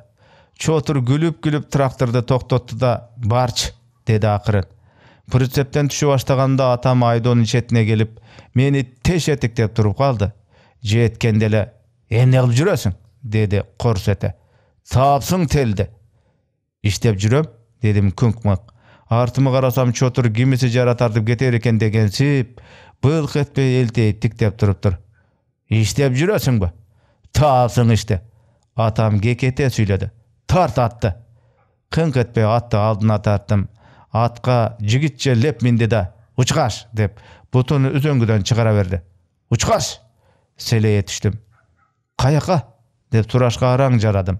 Ал эрдин кашына өктөй берип ой асылбек! деп шаша буша күүрөп жиберди бүгүн сүйлөштүм жүр азыр. Мектептин директору менен мукум сүйлөшүп келдим уулуңузду бүгүн алып келиңиз деп калды күнү кече секретары бошоптур бизге айлыгы да бар окшойт болот ошол азырынча жүр азыр документтериңди тактай салып бол эрте чаап бара кой түшүнүктүү же шарт учкашып кете албай же бир жобо айта албай ден дароо болуп тартышта калдым чотурдун барчы деген күңкүлү кулагыма кайталанып элтейип турган кебетеси көз алдыма тартылды ата эмне жумуш кылат экен анда эмне кылмак элең орого орбойсуң кетмен чаппайсың айтканын кылып айдаган жагына жүрүп эмне директордун өзүнүн катчысы болосуң. Ошол жерде көөдөнүмдөн бирдеме чарт жарылгансып кандайдыр ысык бирдеме оргуп оргуп бүт денеме баскансып көзүмө парда тартып кулагымды дүңгүрөттү кол жолугу болот экенмин да оозумдан бул кеп кантип чыгып кеткенин билбейм. Шарт бурулуп жүрүп бердим. Барбайм. Буулуктум.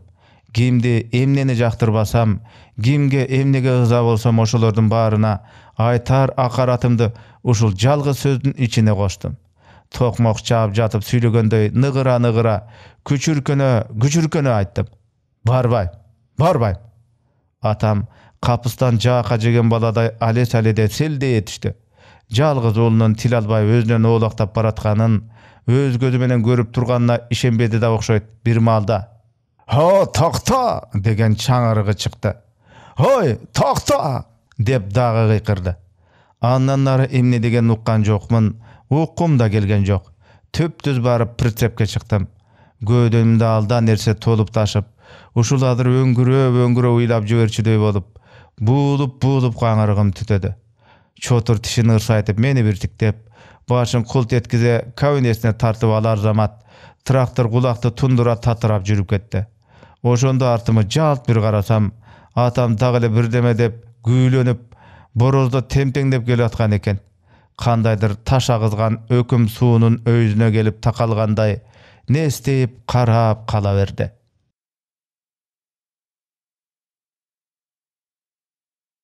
өмүрүмдө ата сөзүн эки кылып же кайрылып каяш айтып көргөн жан белем чийки май жегендей көкүрөгүмдө бирдеме дүпүйүп бул күнү сарсанаа менен кечкирттим бороздо темтеңдеп калып калган эсимден кетпейт улам жүзмө жүз тартылат.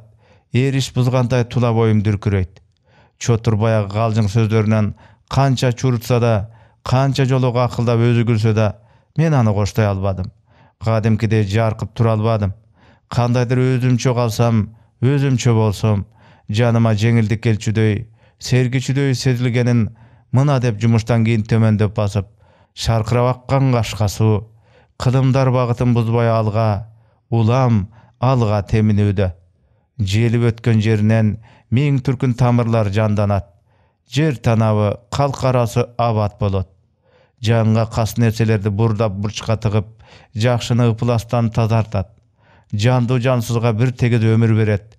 Көкүлүнө көрк тагат сууга ушул сууга колумду салсам эле жүзүмдү чайысам эле бир гана ууртасам эле көкүрөктөгү түйүлгөн неме заматта жок боло калчудай көңүлдүн кири жуулуп энеден кайра төрөлгөндөй ар күнөөдөн сап наристедей пакиза боло түшчүдөй сезем майда бадал дүпкүр көп.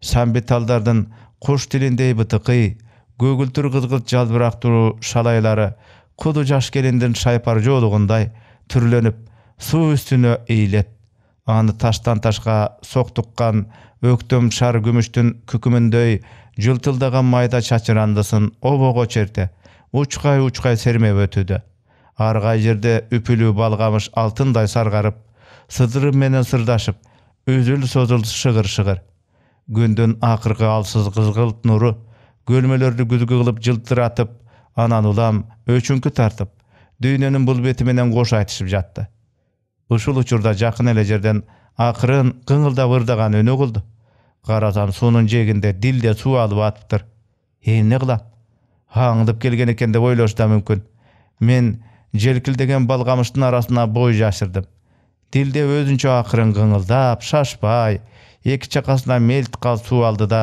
ийиндеп бураң бураң басып кашаттан өйдө жөнөдү өзүмдөн өзүм жүрөгүм туйлап ак жибек көйнөктүн өңүрү кылак этип кашаттан нары жашынып кеткенче көзүмдү ирмей албай карап калып калдым айдын да дилде кыздай толгон чак эле назданып кыранга көтөрүлө берди үлбүрөгөн шоола оронуп күнгөй тарап агарыңкы кылайды тескей көмкөрө бериштери али кара алжын. Бөксө адырлар күдүрөйүп тоолордун кыргактары алды кийин билинбей бир чийинге тартылып учук эри ченемсиз зор океандын түбүнө чөгүп жаткандай бир жери булаңгыр бир жери күңүрт кашатка чыксам шаркыраган шоокум алыстан кыйла эле басаңчалап аптап сиңген мээлүүн желдин экилениши кара чегиткелердин чыр чыр жаак жанышы өкүмдөндү ар ар жерден оттор жылтылдайт анда санда жылкынын кишенегени иттердин абалаганы бар. Те адыр жактан үгүү деп кызыл көзүкүнүн зикири кулакка келип жатты.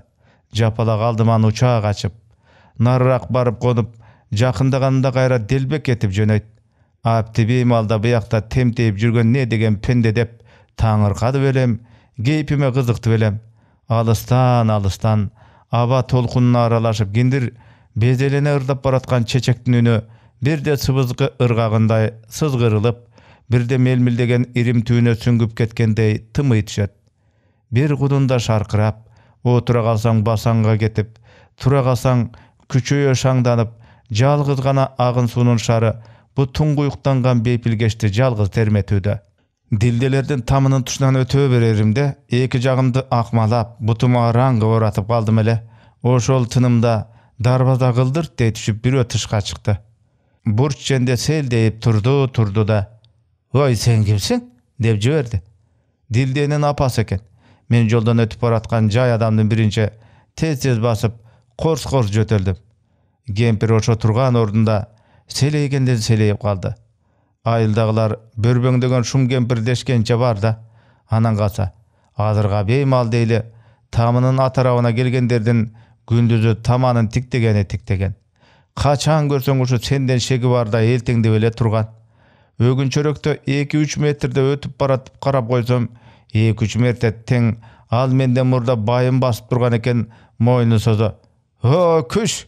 О күш кырылгыр деп тоокторун кууган болуп өзүнүн ошол жерде экенин бут атымдан туйдурат. Койнундагы алтынын бирөө сууруп кача тургандай бир эсе корккондой чекирейе тиктеп алып бурулуп кетет. Бали сактыгыңа дейп өйдөрөктөгү марзедеги кичинекей ак талга жетип артыма карасам кемпирдин караны көзгө илешпей да калыптыр. Ооба бул жалгыз түп ак талга быйыл менче көп сүйкөнгөн түбүн менче көп тепсеген жан жоктур күндө келем күндө жөлөнүп турам чалкаман түшүп түбүнө жатып алып асман тиктейм кандайдыр ич жылытар сүйкүмдүү жылдыз издейм өзүмдүн жалгыздыгымды унутам жорго желп желп ынтылса оң жагымда отуз жигит сол жагымда отуз жигит шакардай толуп отургандай туюлат акталдым барки шыгыр шыгыр ыргалса дилденин өзү менден именбей тике карап кулагыма азыл бирдеме шыбырагандай кескин кескин демин ала тез тез сүйлөгөнү мүнөз ойното шыңк күлгөнү бети бетиме жанашкансып ысык ысык илеби сезилет төмөрөгүмдөгү жарык чыккан жалгыз терезени бат бат тиктейм бүгүн өзүмдөн өзүм өрөпкүйм чектен тыш кайраттуумун да жылыштап отуруп терезенин түбүнө жеттим үйдүн ичи жарык демек тыштагы киши көрүнбөйт анча деле бой качырбай айнектен көз таштадым. Дилде төрдө китеп окуп отурган экен. Күбөрө апасы далистен кирди. Дилдеш «Ә, жатсаңчы кагылайын деди. Кемпир наркы бурчтан бирдемелерди кайсалап жүрүп жумуш деп дагы таңда кетесиң кагылайын болам уктап алсаңчы э азыр апаке эшикке чыкпайсыңбы? Кемпир эшиктерин илмектеп ичкисин жоон бака менен дагы бекемдеп дембелеп салды. Жанагы чаңгул закончунун баласы ой ошону ушул арадан көп көрөм да асылбекпи кайда жүрөт дилде китебинен көзүн албай беймарал сурады күндө эле көрөм нары өтөт бери өтөт солдойгон бирөө кетти ушундан нары ошобу деп калдым кемпирдин кабагы түйүлдү дилиме ийнедей кадалды эңги деңги болуп кетенчиктей түштүм дилде китепти жерге кое коюп эркекче баркырап күлүп жиберди ой апам ай түкшүмөлдөбөй жүрө албайсың э ушул жерден жол бойго көп эле кишилер өтүп жүрбөйбү ошолордун бири да деп кемпир кызын көзүнүн кыйыгы менен тиктеди ошондой эле болсун тегисин айтам да абы күнү айымкүл тамашага чаптырып балдардын көңүлү табышса дилдешти келин кылып берсеңчи курдаш дейт куйкам курушту дилде таңыркагандай телмире карады кой апа болбогон ишти жобураба апасы ойлосо ойлоп болжосо болжоп жүргөндүр асылбек мен аны чотукемдей көрөм ордунан туруп сыртка чыкмакчы болду окшойт кепи деп бурч жака өңүлдү кынжылып айнектен оолактап кетишке аргасыз болдум мени ой басты. Бар болгону чотукесиндей көрөт экен да. А мен болсом бул ааламдан ага тең таба албайм эч жүрөгүм элжиреп периштедей ыйык сезем. Чотикесиндей көрөт экен да бар болгону кантейин мен караламан көптөн бирмин да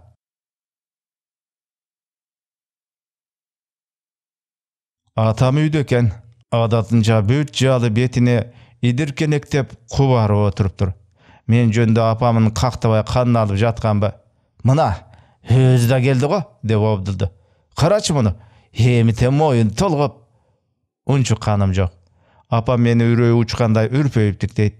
Сыягы атам чымынды төө кылып жоосандап анын оюн дагы өз тарабына буруп койгон окшойт.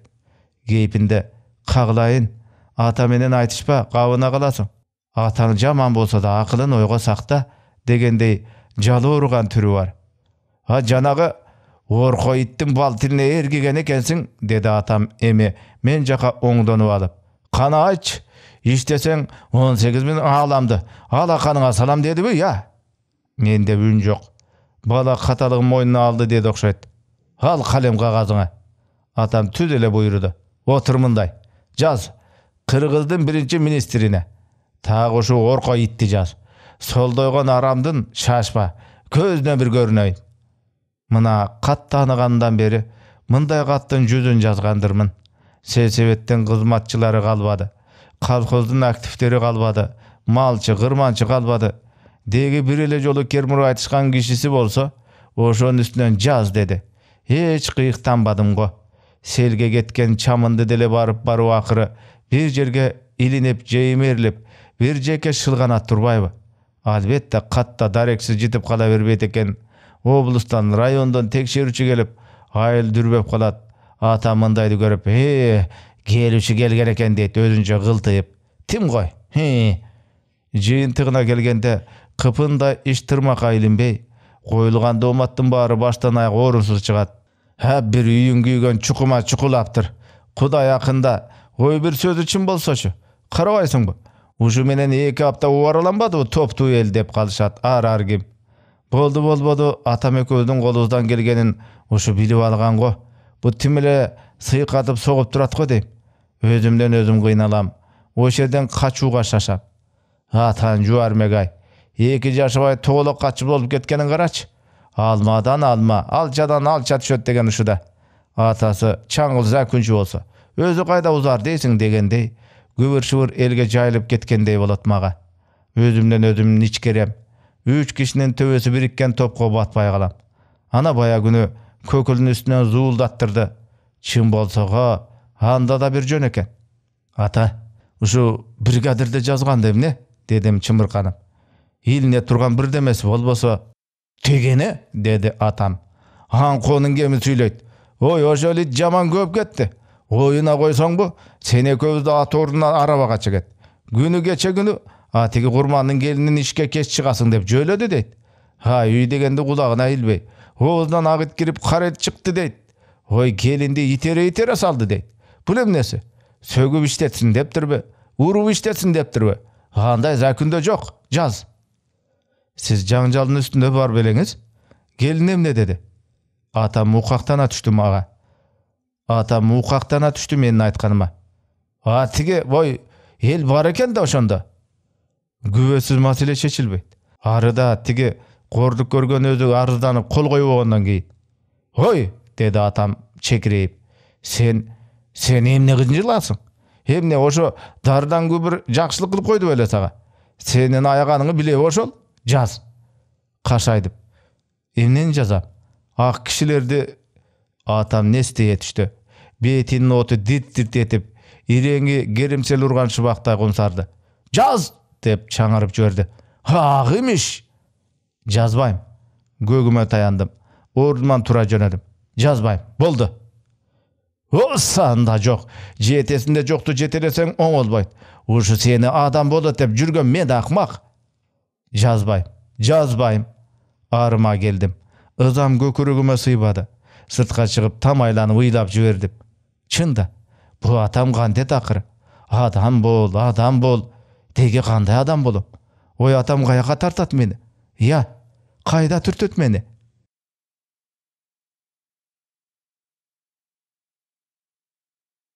эл кыдырып тери чогултуп жүргөн кезим эле. Кайкыны ашкынча быштынын таноолору дердеңдеп көзү жашылданып кулагынын түбүнөн тер төгүлүп андан нарыда басар жол алыс экенине жүрөк заадаланып кайкыдан нары таш коргон жака карай кокту өрлөгөн ичке чыйырдын учун тиктеп үшкүргөндөй демин чыгарып суулугун шылдыр чайнап жиберди. Кантсың байкуш? Кыштын кыраан чилдесинде жеми арпа аралаштырган үч пыяла чар болсо жүгөрү пая жалмаласа бечарада кайсы ал?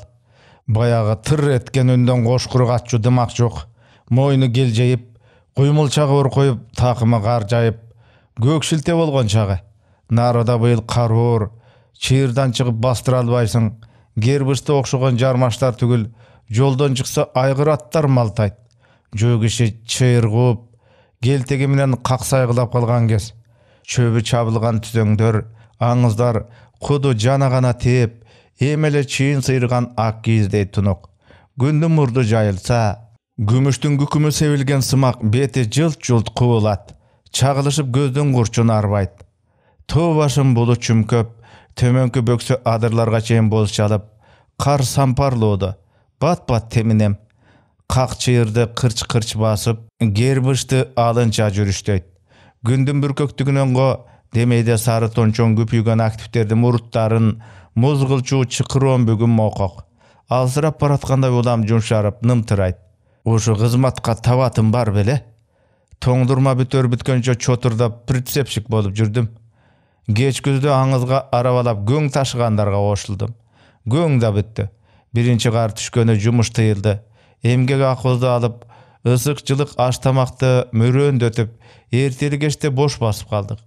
менде баягыдай ийин кысуу жок кимди болсо да көзүнө тики карайм сайышка түшүп намыс алган баатырдай жоро жолдошума сөзүм тең үнүм таасын баягы тоголок каттын азабынан чыккан жаңжалдан кийин атамын деми тайган баштагыдай өкүм кыла кыйкырбай башың баш бак алчагың кара таш дегенчелик кылып жай сүйлөшөт бирдемеге жакшы кеп менен ийиктиришке аракет кылат мен ал сайын чыйралам өзүмдү өзүм билип өз бетимче жүрүп кадыр эсе кишидей карманам албетте башта кандайдыр жетекте жүргөн тайлактай бет алдың менен ишиң жок экен эми башчынын кебин кеп кылбай кеткен соң өзүңө бир өжөрлүк кайрат жыйылып өз жоопкерчилигиң өз мойнуңа түшүп алды кейиниңе абайлап каранып наркы беркин ойлонуп ой жүгүртүүгө мажбурсуң да асыл мындай отурчу балам деди атам акырын бир күнү кечинде эми колхоздун иши жазда кызыйт эмне ага дери бош жүрө бересиңби иштеп турбайсыңбы о тиги райондо жип сыйроодо бир иш бар экен ошону колго ала турбайсыңбы алдыңда атың бар үстүңдө тонуң бар ойлонуп көр балам ылайыгына карата жүр атам өмүрүмдө менин өз тагдырымы өзүмө сала сал кылганы ушул не кылган менен перзенти турбаймынбы жүрөгүм ысып мындан он жыл мурдагы көөдөк кезимдей мойнунан кучактап терин жыттап эркелегим келип кетти макул деп жибердим эртеси эле райондук завод живсырье кеңсесине бардым. Барсам мурунку заготовщик бир буту жок чал болчу ыкшып ыкшып жөтөлүп коюп мени бошоткула кыш күрөөдө ат үстүндө жүргүдөй алым жок бел оорум күч алып баратат алды күчтүү чалдар толуп жүрбөйбү каалагандар бар чыгар деп киркиреп даттанып отуруптур мени көрөр замат мекеменин жетекчилери эмнегедир буйрук жазгыча шашып бутума чокума чыгара тектешип кандайдыр арзан мал түшүргөн соодагердей өзүлөрүнчө күдүңдөп калышты. Көрсө жалынса да бу мен курактуу жигиттер келишпейт турат мына бат эле райондук живсырье кеңсесинин бир колхоз боюнча заготовщиги болдум да калдым. Атам сомкесин сылап сыйпап кармалап туруп ишке киришкен күнү эле эрдин кашына илип берди. Ошол күндөн тартып бөктөрүнгөн куржундан үч төрт түгөй кончо өтүк баш кежирнай таштаман үзүлбөйт чынында жаныңда убанч болбосо иштин ары каттары арсар. Койчу кагылайын чаң кылып бир өтүк баш бермегеле деп ишти таштап сен изиң кууп жүрөмбү деп тескери басар четтен чыгат жок дегенде квитанциясын тактап алып калышат иштегениме эки айдан ашып барат го көп нерсени көрдүм көп сөздөрдү уктум кээ бир аксакалдар ой теричи келиптир жүргөн турган териңер болсо бери алып келгиле завод бышырган булгар аласыңар ой. Атканаңардын шыбында тура берсе чычкан эле күнүн көрөт. Андан көрө буяка өткөзүп бирдемеге жаратып калсаңар болот деп айылдын ортосуна үн салат. Калдайып каткан терилерин куудуратышып ар ар ким туш туштан чууруйт опур топур көбөйүп иши ийгиликтүү жылат. Бирок кулагыма теричи деген сөз жакпайт. Кийинки учурда тең туштары биротоло талпакчы бучкакчы деп алышты. Ие дейсиң. Иренжибей иштей бер деп жубатат атам мына каерден бучкак сырайып чыгып турса ошол жерди течетиктей турган болдум жүрөм жакшы отуруп тое ичкен тамагыңдан башка эртеңкиге эсте калар окуя турмушумда кезикпейт тигил таш коргон ылымта жер тегереги кар жукпаган таштуу боз көңгөй бүгүн кар боройлоп жаап кетсе эртең күнгө бет жерлери карайып жандык малга жайыт ача берет сыдырым шамал кол тоңдурар аяз жок ар кандай кышта жерде жетим козу куйрук үзбөйт жетим улак бөйрөк майын бузбайт бышты тыныгар жайды көргөндө чыйралып шайбырын чыгара лепилдеди моордон түтүн бурулдап койдун чыбашы ысык кыктын коңур эси урду кышкы туума козулардын чуручу маараганы бала сап койлордун күпкө башын кактап мекиренгени бирин серин жаң жуң үндөр кошулташыл мамбеттин куросунан чолток куйрук кудаа кесип көктөбөт гүрсүлдөп үрүп чыкты. Аттан оодара татчу түспөлдөнүп капталдан кайра кайра аркырап качырат. Мамбет кара көрпө тебетегин калдайтып туруп алып сарайдын үстүнөн арык торгуна чөп сууруп таштап жатат. Жардамчысы менен аялы чөптү бир тутамдап бөлүп бөөдө тепселип коромжу болбосун дешеби бириндетип чачып жүрүшөт. Омуру териси буржук буржук шалкы кабатталып согулган жүн каптай шалбыраган ак койлор гана бирине бири ыктап быртылдата чөп жеп турушат. Ха кет таңтар! деп мамбет сарайдын үстүнөн итине опуза кылды саламыма баш ийке баалик алды атымы байлап бөктөрүнчөгүмү чечип эрдин кашынан сумкеми алып ичкертин кимдир бирөөнүн кобур угулганына тиги мамбет келгиче отура турмакчы болуп үйгө кирдим. Үйдө токтор бар экен. Апасы нары ашканасында күймөлүп жүрүптүр. Токтор колара тешкич кыргыч окшогондор менен өзүнчө алектенип отуруптур мени көрүп келиңиз деп илбериңки учурашты анан колундагы тактага карамыгып аны тегерете тегерете карап алып керкилеп жылмалоого киришти сурку кадыр эсе уста тактанын бетин ыкшыя тиктеп өңгүл дөңгүлүн байкап белгилеп алып оңдоп солдоп кайта сыйдалайт алаксыткым келбеди унчукпай куржунду чыканагыма жазданып төргө кыйшайдым так так чык чык үндөр аранын шыр шыр жүрүшү гана өкүм сүрдү. Бала терин жеңи менен улам сүртөт мурду быш быш тартат. Менин үйдө баары жогу монтуп койду. Ааламды батберек кылчу бирдеме жасап жаткандай эс учунда жок. Токтор оку түзүкпү? деп сурап койдум. Ал чала угуп эмне дейсиз? деп кайра сурады. Оку түзүкпү? деп. Токтор башын ийкеп э жакшы деди да кайра дым боло калып тактаны мелтирей шыкалады эмне жасайсың токтор ыя эмне дейсиз эмне кыласың буларды дейм э стол жасайм деп күйрөдү ал анан мен жактан дагы алаксып нары карап үңкүйүп араасын тытырата ыйкап кирди мамбет аке келди чокой балбырап кетиптир баскан сайын былч былч этет жулугунан суу көбүрө түшүп ылдый сарыгат таманын автомашинанын баллонунан кесип ултарган экен. Сыягы ар бири эки килдей келип майда барат эпеген кишилерге бир көтөрүм бар. Даалбайган кара чапандын эки этегин кайра кыстанган. Көрпө тебетей барпай өзүнчө бир кучак. Саң саң жүн кабагын жаап чүңүр көзү ого бетер тереңден жылтырайт. Мурдунун учу борбоюп сууктан кызарып чыгыптыр. Саргыл мурутунун кылдары өрттөнгөн токойдун жалгыз аяк калган бадалындай болуп анда санда сербейет атанаар сакал жок бар болгону эгинде кайырмактанып үч төрт кыл турат мамбет аке бүкүлү бойдон төргө чыгып таардын үстүндө буттарын колдойто сунуп отура кетти токтор балам жый ишиңи атаңдар оокат ичишсин жый балам деди маржан эне анан алдыбызга дасторкон жайды чал бутуңду тартсаң асыл жакыныраак отурсун «Ә, жок эчтеме эмес эне ушул деле жетем деп сыңар тизелеп чокчой калдым мамбет аке буттарын канча жыйырса да алдына батыра албады маандаш токунуп такымын муздатышка дити чаппады окшойт сал тартып туруп дасторкондун бурчу менен чокойдун тумшугун жаап койду чоң кара аякка толтура сүзмө катык жүгөрү аталаны токтор болуп үчөөбүз кашык салып ууртай баштадык нанды бир сындырымдан алып тиштеп жеп отурушка алымсынбай мамбет аке бир каламаны аталага бүт туурап жиберди анан жумшаган соң ууртаган сайын бирден сугундук тойдук мамбет акенин кашынын үстүнөн мөлтүрөп тер чыкты ошондо гана чоң тебетейди өйдөрөөк түртүп кекирип алды. Чекесинен буу көтөрүлдү жарыктык жатканда гана башынан түшүрбөсө чоң тебетейди керели кечке баса кийип жүргөнү жүргөн экен күнүгө он тердеп он кургабайбы чеке териси бышарып кетиптир журчу келден бетер кашкаят кокочо болуп кирдеп бүткөн эски бет арчы менен кекиртегинен бери бир сыйра сүртүндү да дагы бир карт кекирип алды кандай чакем аман жүрөбү шүгүр жүрөт токтор сөздү бузду быдылдап баятан берки кармалап отурган иштерин бирден көтөрүп чыгып көрсөтө баштады карачы ата жалпак стол жасайм ошондо мына ал колу менен ортобузду жаңсап ченеп кирди мына ушундай тегерек стол келет үстүнө дасторкон шашпай отуруп алып гана оокат жеп анан бүткөндөн кийин тиги бурчка алып барып жөлөп коет бала дикилдеп нарыктан бир кичинекей отургуч алып келди мына ата мына буга отурсаң отурсаң ата балам өзүң отура бер мамбет аке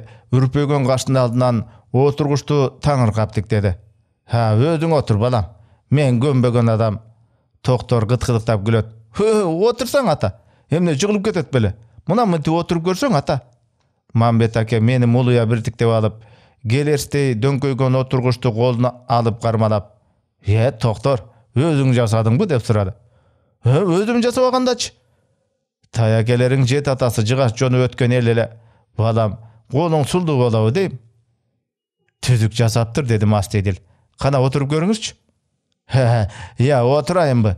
Мылжыйып мамбет аке кайта менден сурап койду мындайга о тиги район чендегилер э биз эми элеттин кишиси мындайга көнбөсөк ал ыкшалып отургучту көчүгүнө басты да күчү канча бар экен дегендей ныгырып ныгырып көрдү аха деги чокчоюп калат турбайбы киши анан отургучту алдынан сууруп баласына карматты түзүк тура я өзүң жасадың балам? Тияктан зайыбы күлдү айныган мен жасаптырмын анан токтор өзү эле жасады. Кечээ өзүңдүн көз алдыңда буттарын кыркпады беле төрттү жасайм деп көтөрүлдү токтор келген мейманыбызды дагы ушуга отургузабыз. Аспап жакшы болбой атат да. Ранда жок. Керки менен араң чабасың. Мектептеги устака мектептеги устаканадагыдай болсобу бир жылдан бери үйрөтөт бизге. Окутат муну ата. А түзүк тура деди мамбет аке акырын. Ушул эле бекен мектепте машина айдаганды трактор айдаганды үйрөтөт. Өгүнү мектептин машинасынбы? Ата үч жүз метрге чейин өзүм айдадым. Сен бат үйрөнөт экенсиң деди агай. Ha түзүк тура. Үйрөн десе үйрөн балам кыш куйганды үйрөтөбүз деди. Бир ногой кышчы таап келишти. Ha түзүк тура дейт мамбет аке көзүн жылтыратып. Анын жүзүнөн же жактырбаганы же ичи жылыганы билинбейт. Баарына сырт. Мамбет аке чөптөн башкага зыяны жок момун адам. Малдын жайытына карап кыштоосу кыштактан чет. Жайкысын жайлоодо күздө күздөөдө обочо шайлоо учурундабы же колхоз бериш менен атайлап чакыргандабы келбесе элге аз аралашат. Кара баса катын кетет бакпаса мал кетет. Малдын үстүндө бололу кой баралы деп түтпөйт экен. Ушунча болуп колундагы ыңкыган койдон бейчеки биринин бутун сындырып көрө элек кышында суукка тоңуп саратанда аптапта какталып жүрөсүң. Эй шорду соолуктан бир жыл жара тартсаңчы дейт дагы кай бир куулар.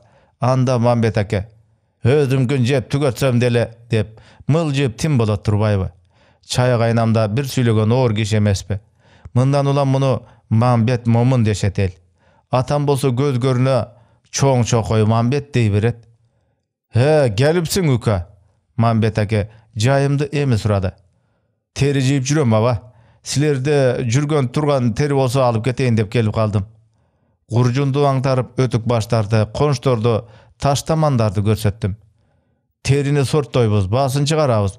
Ошого чагып өтүк баш десеңиз өтүк баш конш десеңиз конш таштаман десеңиз таштамандан аласыз. Мамбет аке таштамандан бирди алып кайыштыра кармап чертип көрдү да кайра ордуна таштады. Бул түздө жүргөндөргө болбосо катуу экен ташка турбайт тиги кырым кайышың биттин кабарсыгындай нерсени бир эле күндө шалабыла кылат караган район чендеги сыпаа кишилерге болбосо мунун анан зайыбына да баштады маржан терилерди алып келчи торпоктун териси кайда торпоктун терисин көк кылабыз деп эдиң беле жыдытайын деп жибитип койсом бая күнү төңтөр тытып таштаптыр козулардын териси турат деп күңкүлдөдү зайыбы ап кел баарын токтор апасынан мурда учуп туруп курушкан төрт терини калдыратып бир паста алдыма сүйрөп салды карап көрүп эки терини экинчи сортко эки терини үчүнчү сортко жаздым. Дагы бир жакшы тери кошсо башы менен хром конч келерин айттым жок деди мамбет аке колун шилтеп өтүк баштын деркери жок бизге бирдеме жараткандар албаса мейли терилерди керектүү жерине тапшырып жибере бер ука бу жерде турганда эмне келемиш кемирип кетет же жанагы ит тытып салат да кайышка токтор кызыкты улам бирин карманап көзү кызарды азыке муногу жукасын башы менен бер кошумча терини өзүм таап берем э кой балам аны эмне кылмак элең деди мамбет аке баласынын колунан коншту алып куржунга салып бүт эле буюмду бөөдө бузасың да устанын колуна тисе бирдеме болбосо биз эмнеге жаратмак элек балам токтор кыйылды апама маасы тигет болчумун а мейли токон алып кал дедим мен бала сүйүнүп кетти охо мен сонун кылып тигем көрөсүң ата. Оңой эле бу баазы эле өтүкчү улуттар отурганын көргөм мен андан сонун кылам мамбет аке кейип калды токтор бул үйдүн жалгыз медери көзүнүн үстү көпчүңкү эриндери калың мурду борбойгон кара бала. Быйыл жетинчиде баланын ар нерсеге шыктуулугу кимдин болсо да ичин жылытат атасы мамбет момун кой жайгандан башканы билбеген оозунда сөзү жок түркөй түнт адам. Бул токтор аз жылда үтүрөгөн жалпактамды бузуп ордуна ивановдуку сыяктуу алты бөлмөлүү ак там салышка умтулар колунан көрү төгүлгөн уста же инженерликти окуп техника дегендин мыкчыгери болуп чыгаар таш коргондон ылдый үймө үй териликтеп кеттим кайыш салган куржунум бошоду экиден болсо да арбын. Жыйган терилерим быштыга эки тең жүк болду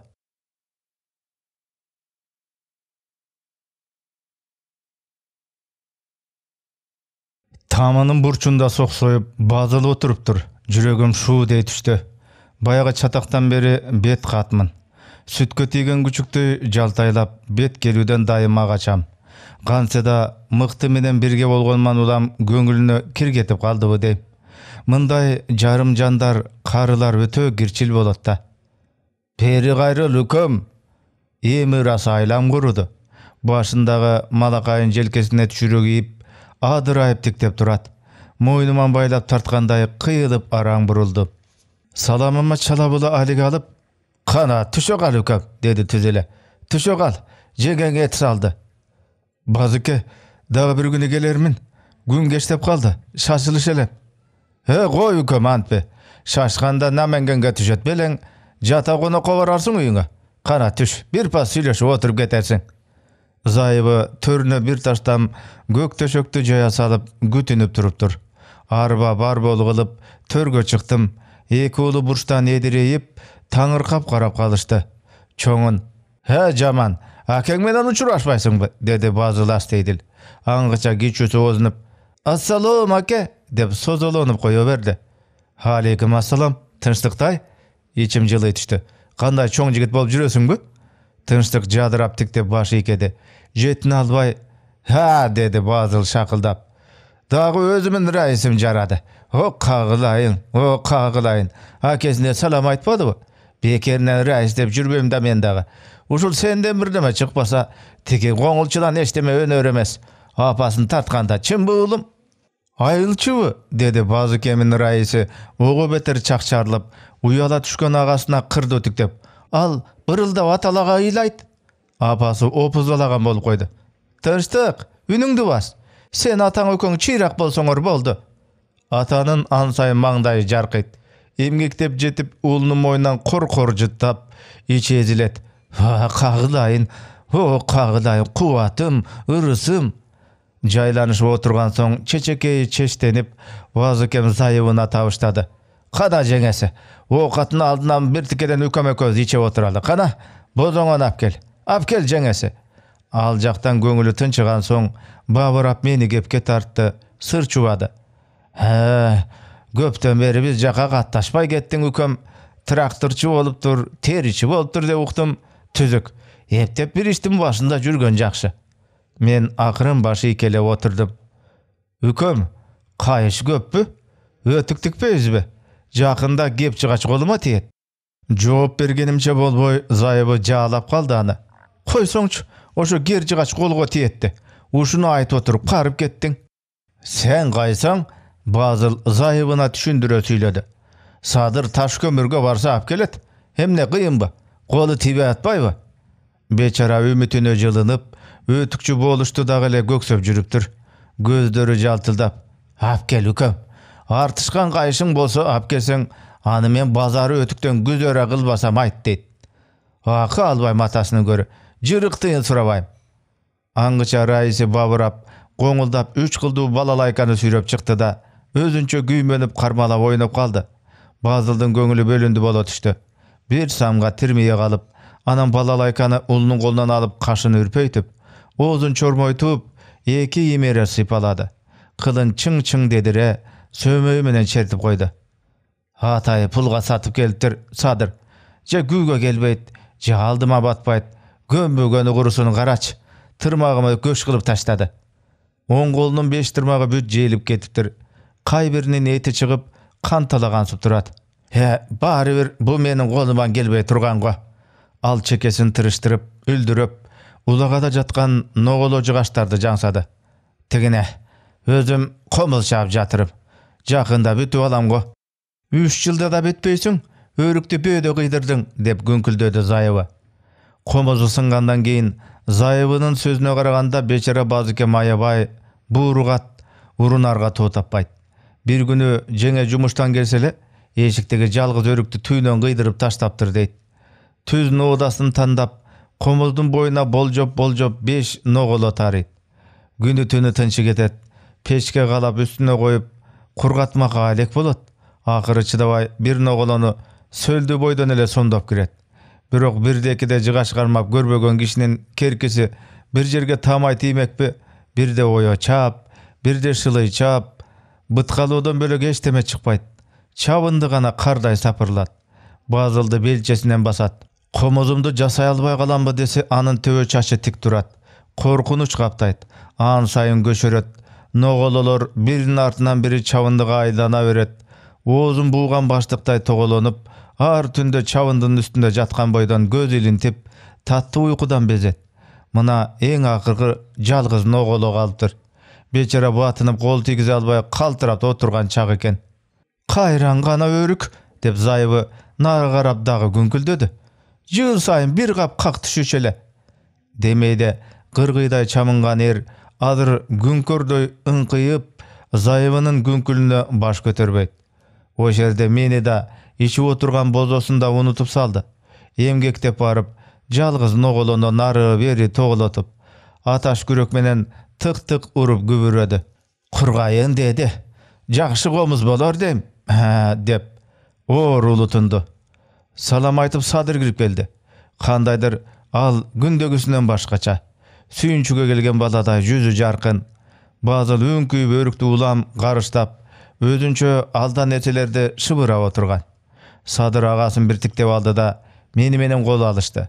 Анан койнунан чачыгы салбактаган кыпкызыл өрүк комузду суруп чыгып аке деди өзү толкунданып көздөрү жалтылдап жүрөгүндөгү нукура кубанычын жашыра албады аке карачы муну көрдүңбү базыл башын көтөрө калып селдейип ката түштү бара бара наристедей уурту алжайып барбайган чорлуу колдору алга сунулду ынтыла берип куду тамтум баскан баладай эки алаканы менен талп деп жыгылып кайра тикелене калды садыр колтугунан сүйөп комузду колуна карматты кара устадан алып келдим аке базылдын кепке келүүгө чамасы жок комузду нары бери имерип сылап капкагынын чырашын тикирее тиктеп бетин сөмөйү менен чокулайт раиси жарышып кармалай баштады эле аны колунун сырты менен тигинде оолактата сүрүп салды. Салалары титиреди бул дүйнөнү жадынан бүт чыгарып комузга кайра кайра үйрүлдү бир убакта комуз болбосоң кое кал деп жиберди садыш садыш кагылайын кайдан таптың муну пай пай пай. Комуз болбосоң кое кал каңырыгы түтөгөндөй үнү дирилдеп түпкүрдөн чыкты кагылайын кагылайын бир боорум кайдан таптың иә? Жогорку кара устадан район чендеги алда кимге тартууга апармак экен жалынып отуруп зорго алдым аке садыр мага карап көзүн кысып койду аке кандай кылсак кара устаң бир тай нопас бересиң дейт базыр шашып кетти е катын ой кара нопас уйканада турабы жеткиз эртең устага же садыке кагылайын өзүң эле жетелеп барып бересиңби жеңе да чын сүйүндү бирок анткен менен үйдөгү кириш чыгышты башкарган ошого «Э, бир нопаска дейби деп кичине оорунгандай үн салды садыр күлүп жиберди тамаша кылам уста экеми билет экен базылдан тыйын албайм дейт отуз сом пул сунсам кайра мени уятып койду базыл кашын үрпөйтүп ойлоно калып анан ан сайын шашкалактады «Э, жок жок бирөөнүн тоогун жесең казбайла ой катын жок дегенде торпокту бер бекер экен деп кымылдап жатып калыш болбойт ал эчтеме көрбөгөндүн кылары иши шүгүр боорубуз менен сойлоп калган жерибиз жок бер торпокту э мейли деди зайыбы астейдил үч башка буралган үч кылдан үч түрлүү мукам кошул ташыл дирилдеп үй ичине толуп чыкты көптөн бери комуз үнүн укпай ал дагы кумарланып калган белем демейде үйдү үч көтөргөн тынчтык азыр тымтырс атасынын колун момурап тиктейт агасы андан бетер басым нары четте кыздай кылтыят базыл комуздун башын тиктеп туураса селт этпестей оорлук менен отуруп жылаажын добушундай жүрөктүн тамырына барып урунган көңүлдү өргө айдаган бир башка шаңдуу найын ыргак коштото эски ырчы күнү кайрыды комузду кошколдоп жогору көтөрүп дагы бир ирмеп ах үнүңдөн үргүлөйүн а! деди көзү жайнап чекесинен чыбырчыктап тер көрүндү үнүңдөн а ар кандай күүгө элпек ченде жок буура экен ох буура экен базыл терең ойго чөмүлө түнөрө үңкүйүп кандайдыр мен укпаган муңду обоңго салды! Комуздун көөдөнү боздогон каймалдын көмөкөйүндөй күңгүр чалып чыйрак кыл беш бармактын уунда шыңгыр какты мукам ар кандай кишини жолдо баратса тык токтотуп алда кайда белгисиз түпкүргө кыялын жетелеп термелтип башын төмөн ийдиргидей ырга күйгөнгө караганда солуктаган ыйга ыкташ чучук сыздаткан өкүнүчкө жакын бул кайрымдан башта таң кабардар болса да мындай так мындай найын кыл ыргагын угушпаган көрүнөт зайыбы дагы балдары дагы жада калса садыр да токтогон судай мелтиреп коюп угуп олтурушту базыл адатынча бак бак сүйлөп көкүрөк керди эски күбө илгери илгери кыргыз атпай жайкысын кыраңда кышкысын ылымтада көчүп конуп жүргөн кез экен дейт ушу биздин аксы багытынанбы кулак угуп көз көргүс бир жака чынар деген айдан күндөн ачкан сулуу кыз ол жого кетет айтымда чынар кыз барган жеринде кордук көрүп түгөнгүс түйшүккө туш болуптур күндө токойго отунга барат күндө ошол жерде арчадан арчага кылактап конуп бир жалгыз күкүк жүрөт ошондо карагайдын түбүнө эңгилчек баскан ташка отуруп алып бечара чынар кыз күкүк менен үндөшүп ыйлаган экен дейт таластын башы тарагай күкүк кылка бир кылка карагай күкүк аралап бассам шуулдайт күкүк анда да санам жуулбайт күкүк байырлап бассам шуулдайт күкүк баары бир санам жуулбайт күкүк. Боздогон ингенде мойнун созо көзүн сүзүңкүрөп киркиреген жапыз үнү менен муңга чалынган комуз күңгүрүн андан нары коштоду.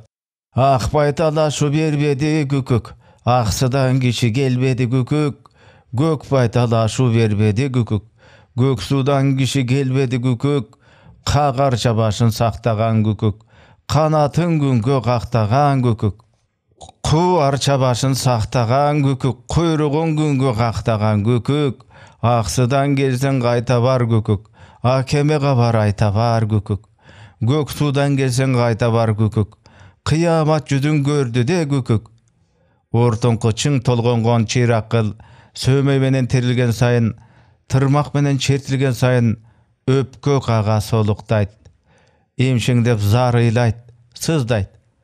Арманда чынар өлдү де күкүк ажалга шорду көндү де күкүк. Кыйноодо чынар өлдү де күкүк акырет жүзүн көрдү де күкүк. Ушинтип куса басып бечара чынар кыз тамыры кыркылган чөптөй куурап ак эткенден так этип бул опасыз дүйнөдөн учуптур дейт. Күкүк ай күкүк күкүк ай күкүк күкүк ай күкүк күкүк ай күкүк ырдын артынан күүнүн өзүн дагы бир кайрып таштады да базыл армандуу чынардын ыйын кошо ыйлашкандай сабыры сузданып улутунуп алды. Тымтырс кандайдыр сыйкырдуу күч башыбызды имерип ой кыялыбызды арбап учсуз түпсүз тереңге тартты. О алыскы акылга камтылгыс түпкүр керең жаман. Күүдү урдурган шамалга аралаш. Уңкулдап бөрү улуп үстүндө байбулуу коркунучтуу балдырап турса кенебей жайдак жондо эрин жазданып эки колун чокусуна алып кыргыз таш уйкуда коңурук тартат. Не дейсиң азды бөлө тартып көптөн куйрукту сыртка сала качып эрлер бөрүгө насиптеш. Эр өлтүрүп кун кууп олжо талап. Көр намыска желдет жүргөн күн. Ана чымкый кара жамынган эки инине эки нар көтөрчүдөй алып жигит кол баштап бир бепил айылды кызыл кереге кылды. Ана кол башчысынын туулгасы жаркылдайт. Үкүлүү кундуз тебетей кийген ай жамал кызды уңшутуп теминдирбей уламдыр коюп өрөпкүп турган жаадай кара аргымактын көмкөргөн казандай соорусуна арта салды. Ошол чынар кыздын өзү. Улуган иттен айланып түшкөн кузгундан башка айылда тири жан көрүнбөй кан сасып түтүн быксып гана кала берди. Тигине чынар кыз колтугу кызаңдап чачынын бири жазылып карт арчанын түбүндө эңгилчек баскан ташта отурат. Теребели ың жыңсыз чагылган тийип куураган куу сөңгөк арчада учуп конуп жалгыз күкүк какшанат. Чынар кыздын ак жүзү кубарыңкы кабагында кайгы көзүндө жаш. Бечара жаагын тизесине жөлөп кош канаттуу эркин макулук менен муң гана үн алышат. Макулук күндөн күнгө алып бараткандай чочубайт кыздын дартын түшүнгөндөй жубаткандай эч болгусу келгендей үстүнө айланып леп леп канат кагат. Күкүк ай күкүк күкүк ай күкүк күкүк ай күкүк күкүк ай күкүк ортобузду кузгун жашыгым тыгыз аралык бөлүп турса да чынар кыздын аянычтуу зары түшүндөгүдөй ың жыңсыз тереңдикти жарып кулагыңдын түбүнөн чыңылдайт бир уч өмүрү дастан болуп атадан балага өтүп энеден кызга кетип кыяктын кылында комуздун үнүндө көзү өтсө кезинде жолбоштон тайманбаган азамат эрлердин аты кошо өчөттешет абыжар канаттай алсыз кыздын элеси али тирүү зомбулукка түбөлүк каргыш жаадырган ый ошо көр заманга миңден бир табылгыс адил күбө өчпөс тамга. Тынчтыктай кагылайын эшикке чыкчы деди базыл уулуна. Азыкеңдин атын карап койчу ошентчи уулум терилерин иттер таткылап кетпесин тынчтык тышка чыгып кайта алактап кыйкырып кирип келди. Ата ата азыкемдин аты өлүп калыптыр эмне дейт. Жарыша атып турдук. Садыр жулунуп чыгып мурун кетти жеткенинче чоюлуп турган чылбырды силкип жиберди аяк серппей терейип жаткан экен бышты селт эте баш көтөрдү да бышкырынып ордунан тура калды байкасам алты саны аман. Көк шилте болуп арыган мал бүгүн көбүрөөк кыйноо жегенге ого бетер бууну куруп жүккө бели уюп жата калган окшойт эри ооп эки тең тери боорунда жүрөт ха балам саманкананы өрт алып бир десе самарканды жоо чаптыр болуп бөөдө тополоң баштап бадыл шыпшынып баш чайкады тынчтык моюн бербейт жана өлүп жатат болчу ата өлүп эле жатат болчу анда садыр кичинекей инисин шылдыңга алып ошондой деп каркылдап күлдү жана өлүп жатса биздин дүбүртүздү угуп соет экен деп коркуп тирилип кеткенбин бир пазда ичин жарып бөйрөгүн алып чокко салмакпыз корккон экен бала ошого ишенгенсип калат. Өлүп жатты эле жана эле дейт мурдун тартып. Тердик желдик терилер чылага оонаттыр токулганы оңдоп жүктү артмакка салып кайра таңдап теңдедик. Жөнөгүчө гашектеп алсын деп быштыга биртике бедет салды садыр ошондо көөнү жайланды белем базыл жобураган бойдон ичкери жөрмөлөдү атаны жаным калсачы тынчтыктын жоругуна күлүп өйдө төмөн сүйлөп эркелетип баарыбыз шатман отурдук. Бул күнү базылдын кубанычына чен жок. О дүйнө бу дүйнө тилегейи тегиз болгончулап каш кабагына кыпындай кир калбай. Жүрөгүндөгүнү ортого төгүп шакылдап сүйлөдү балача наристе жылмайды кыткылыктап күлдү. Мен тизгин алып чоң жолго түшкөнүмдө каш карайып күүгүм чалды. Чынар кыздын кара чегирткедей чыр чыр үнү чучук сыздаткан ыйы өксөгөн комуздун мукамы менен тээ алыстан сызылып кулагымда кетти кимгедир жегим күчөп көкүрөгүмө зарде толуп кандайдыр каш көй чечкиндүүлүк дилиме туулду кайриет азыр андай шумдук боло албайт башы кара бут айры пенденин желкесинде адилдиктин албарс кылычы кынсыз көтөрүлүп турат ал өзүнүн сүрү менен мизи менен адамгерчиликтин түбөлүктүү чектеринде ар качан сак ушуларды ойлоп ошол адилдиктин кылычынын сабы азыр менин колумда чылап ой кыялым алга ушту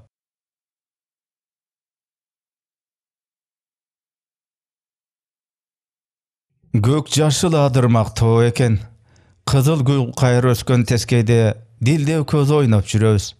Баягы тери жыттанган күпайке жулугунан чыла кетпеген колдойгон кержа өдүк жок кийгеним көгүлдүр костюмчум ак көйнөк. Бутумда жапжаңы кара туфли чачым айлангандай жылтырата таралган дилденин акшай көйнөгү өтө эле узун арты чөпкө сүйрөлүп этегин сал жыя кармап алып шаңкылдап күлүп мени менен жарыша чуркап көпөлөк кууп жүрөт мен аны шап жерден көтөрүп алам мойнума колун артат мен баладай эркелетип колумда селкинчек тептирем ал бакытка балкыгандай эки бети бир түркүн албырып эки көзү жалжылдап чыргалым деп дилинен сызылта кулагыма шуурайт көкүрөгүмө дагы бекем кыналат жаным дилдешим дейм. Анын акактай таза тамагынан аста аста жыттайм. Көңүл оту ан сайын жалбыртайт. Ошол учурда кайдандыр кыяк боздойт жүлүндү солкулдатып бу түбүң түшкөн жалган дүйнөнүн улам артып өкүнүч улам алды кызык экенин зар какшайт ыргак улам шаттык төгүп улам кайруусу жаңырып миң түрлөнүп кубулжуду тирүүлүктүн жыргал күүсү көңүлдү чалкытып жүзүбүзгө жаркыртып нур септи дилде ойлуу телмирип тыңшайт. Мен ан сайын анын мүнөзүнө көркүнө тартылам арбалам. Энтиге эсими билбей боорума кыстым кылгырган карагат көзү сүзүлүңкү тартты. Ошол учурда жалтылдаган ири кылыч кайдан жайдан маңдайыбызга тапталды. Акырында ылдыйлап ортобузга түшүп бизди бөлдү. Жалт карасам шалдыраган кара жынжыр доот кийген дөө жигит мага каарын төгүп ыдырынып турат. Ошол ошол. Чынар кызды олжолоп кеткен кол башчынын өзү кыяктын кылы тырс үзүлдү үнү тып басылды. Ой бечара жан деди жигит. Ач арстандай күркүрөп добушу үйдү жарды. Эки көзү кан тилеп чоктой кызарды сенин ата бабаңда кегим калган мына мен дагы эле жүрөм үйүңөрдү күл кылам итиңерди улутам эрдем сиңгендин канын суудай төгөм катынын олжолоп ат соорусуна салам дилдени аркама корголотуп өлсөм салгылашып өлөйүн деп жер сыйпаладым адилдиктин албарс кылычын издедим көзүмдү ирмейм мына кызык дөө жигит жок анын ордуна темтейип мыкты турат эки чөнтөгүндө эки шише арак тиштерин арсайтып э коркпогула мен эле эй келгиле өлбөгөн жанга биртикеден жутуп алалы. Мына арак десең деп күлдү канталаган көзү кылыйып дилдеден өтөт кыжырым кайнап муну ушул жерде ныптап таштап кете бермек оюма келди бирок колума эчтеме кирбеди добул жүрүп чагылган кулак тундурду мыкты жөө туман болуп тарап кетти мен көз ачып жумганча жылаң айлак жылаң баш бир чуштуйган таш чокуга отуруп алдым. Бутума мойнума кара булут чулганды дилде этек жеңи канат болуп дирилдеп ободо калкыды. Кыйкырсам үнүм сунсам колум жетпеди. Көкүрөгүмө чер алып көзүм ысык жаш тепседи. Ан сайын бороон катуулап демимди кысты дилде! О дилде! Дилде! Ал ого бетер бийиктеп кундуз жылдыз багытын туштап сызды о асылым кудайлык сөздү өз оозуңан укпадым кечиктик дегендей өтө өкүнгөндөй эми менден күдөр үзгөндөй жүзү үйрүдү кайрылбады үнүмүн баарынча бакырып көккө талпына кол сермедим ай ай ай асылбек! Уйкусуроодо апкарып апамдын каргыл үнү чыкты ай ай эмне болду балам? Ордуман ыргып турган экем билем бир онтоп жибердим да кайра төшөккө отура калдым эчтеме эмес эчтеме эмес атам менден мурда апамды солуктуруп камырабастан жөтөлдү балам түш көрдүң окшойт э жүрөгүм лакылдап көөдөнүмө жара тээп чыгып кетчүдөй урунат эдешке эсим келбеди кагылайын жата кой душман не дебейт түшкө не кирбейт жата кой колдору калчылдап апам үстүмө жууркан тартты атам жайынча түйшөрүп эстенип алып үшүргөп койду балам бирөөнүн атын айтып акырдыңбы ха жаш кезде болот ошондой кечки оттун чогу өчүп табы кайтып үй сууп калыптыр муздактым сезилет буу баскан кичинекей айнек булаңгыр тартып агарып турат төшөгүмдүн этегине бөгүп алган тар кылмышык кыр мыр этет уйкуда а менин кирпигим катты тынчым кетти купайкеме желбегей жамынып атамдын эски кепичин шалактата сүйрөп тышка чыктым сыдырым козголуп сары чолпон балбылдап чыгып үркөр ылдыйлап таң кулан өк салыптыр түн кубула уламдан кара суюлуп шоолу ачылып аалам жарыгып барат капилет түш көңүлүмө бүлүк түшүрдү күн өткөн сайын күдүк көбөйүп түркүн түмөн ой жорууга жолуктурду бирде дилденин нагыз периште келбети азем кыймылы кайра көз алдыма тартылып жыргалым деген сөз тула боюма жылуу илеп оройт бирде жүрөгүм өйт кандайдыр бир кокустук болуп кетчүдөй тынчсызданам коркунучка кабылам кышылдаган жаман үн Хе, көлөкөдөн томбучуп. Эй, ошо жан сөйлөтүм дегениң өзү кандай ойдо болду экен? Сен ошону билесиңби?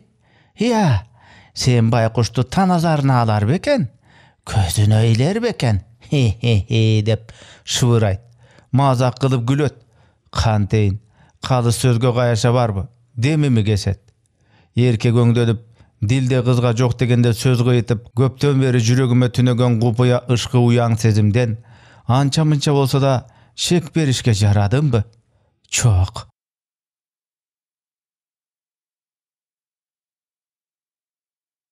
күндөн күнгө күн жылымдады биздин тамдын камышынан жылт жылт этип суу сарыгып дубалдын түптөрүнө тып-тып тама баштады ай эми кара жамгыр бир төгүп берсе тиги ала чокул карлардан эчтеме калбайт суу болуп сай сайга куюп кетет дейт атам э март жаңырды убакыт келди да кызыл жарда кош чыгыптыр дейт дедим мен дагы шотурдун артына сүйрөлгүсү барбы дегендей атам мени бир карап алды нары кетсе жыйырма күндө кошко жүрүлөп орко дагы сороктоп чаап калар кошунан бизге набы кайсы балам а кечеги теңгенеге союлган уйдун териси кимде экен сүрөтүшүп албайсың ошону балам бышты тыныксын деп аптадан бери үйдө аттанып чыктым оркого жолуктум машинасы баткага тыгылып жаткан экен кенебай шопур бир пас айтыштым эки үч чалдан маасылык жука кайыш карыз болчум кыдырып аны черим жазылып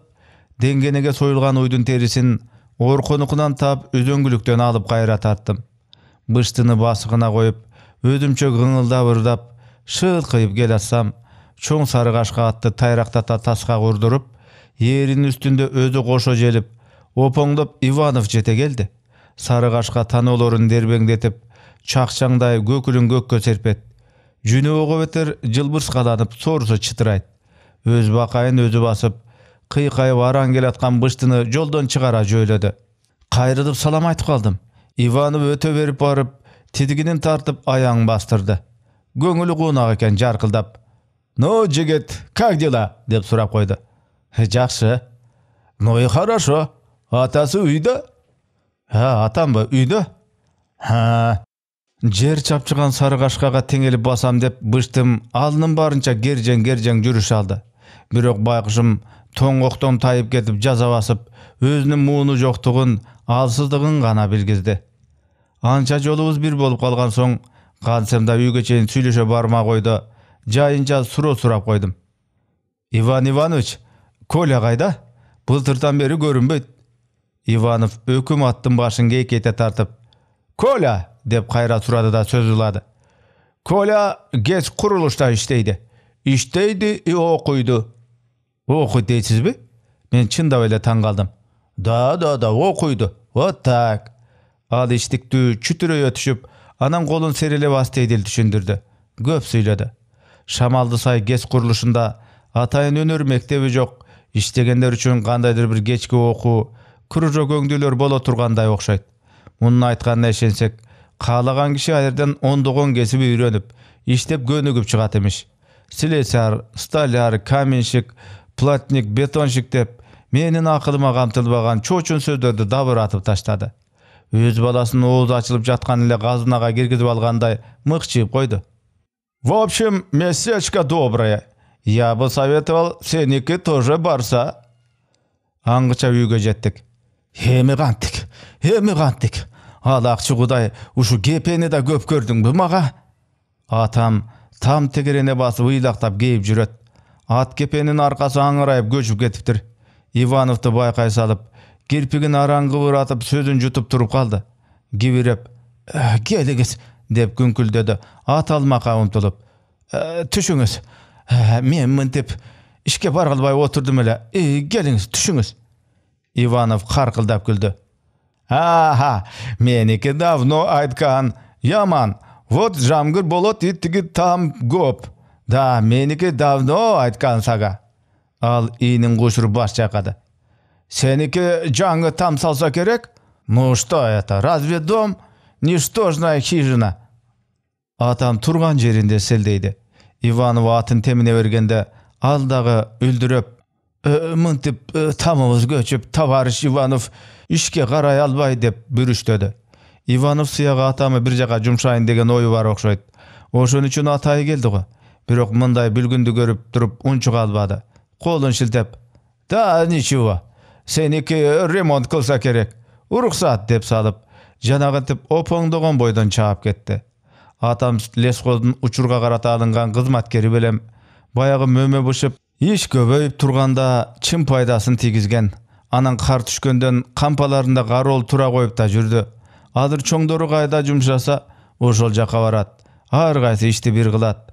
Туруктуу милдети жок сыягы лесхоздун чоңдору жүнү тирүү элпек чалды колдон чыгарбайлы дешеби айына анча мынча маяна берип эптеп кармап келатышат атам пулуна кайыл лесхоздун карамагындагы киши делинип орко көрүнгөндө моюнду толгоп тескери басканына гана ыраазы оппа караң күн ай карачы уй ичинде калды ушуну басат эми атам кайра баштан кейип кирди аттын тизгинин тамдын соройгон тоозуна иле салып кайра келип көчкөн жерден ат кепенин ичине баш бактым ай жолобо жолобо айланып кетейин күйдөй түшпөсүн апам келип уюу турган бурчка тигиле тиктеп алдынан өтө берди эле быяка тур э деп атам ачуусун чыгарып алды көз барбы кадасы зорго сүйөп э уй сообу деги э кудай билет соогаларын дейт атам тамдын аркасында кардын эриндиси көлкүлдөйт белгилүү жер байында муштумдай ташы же шапалактай кышы жок.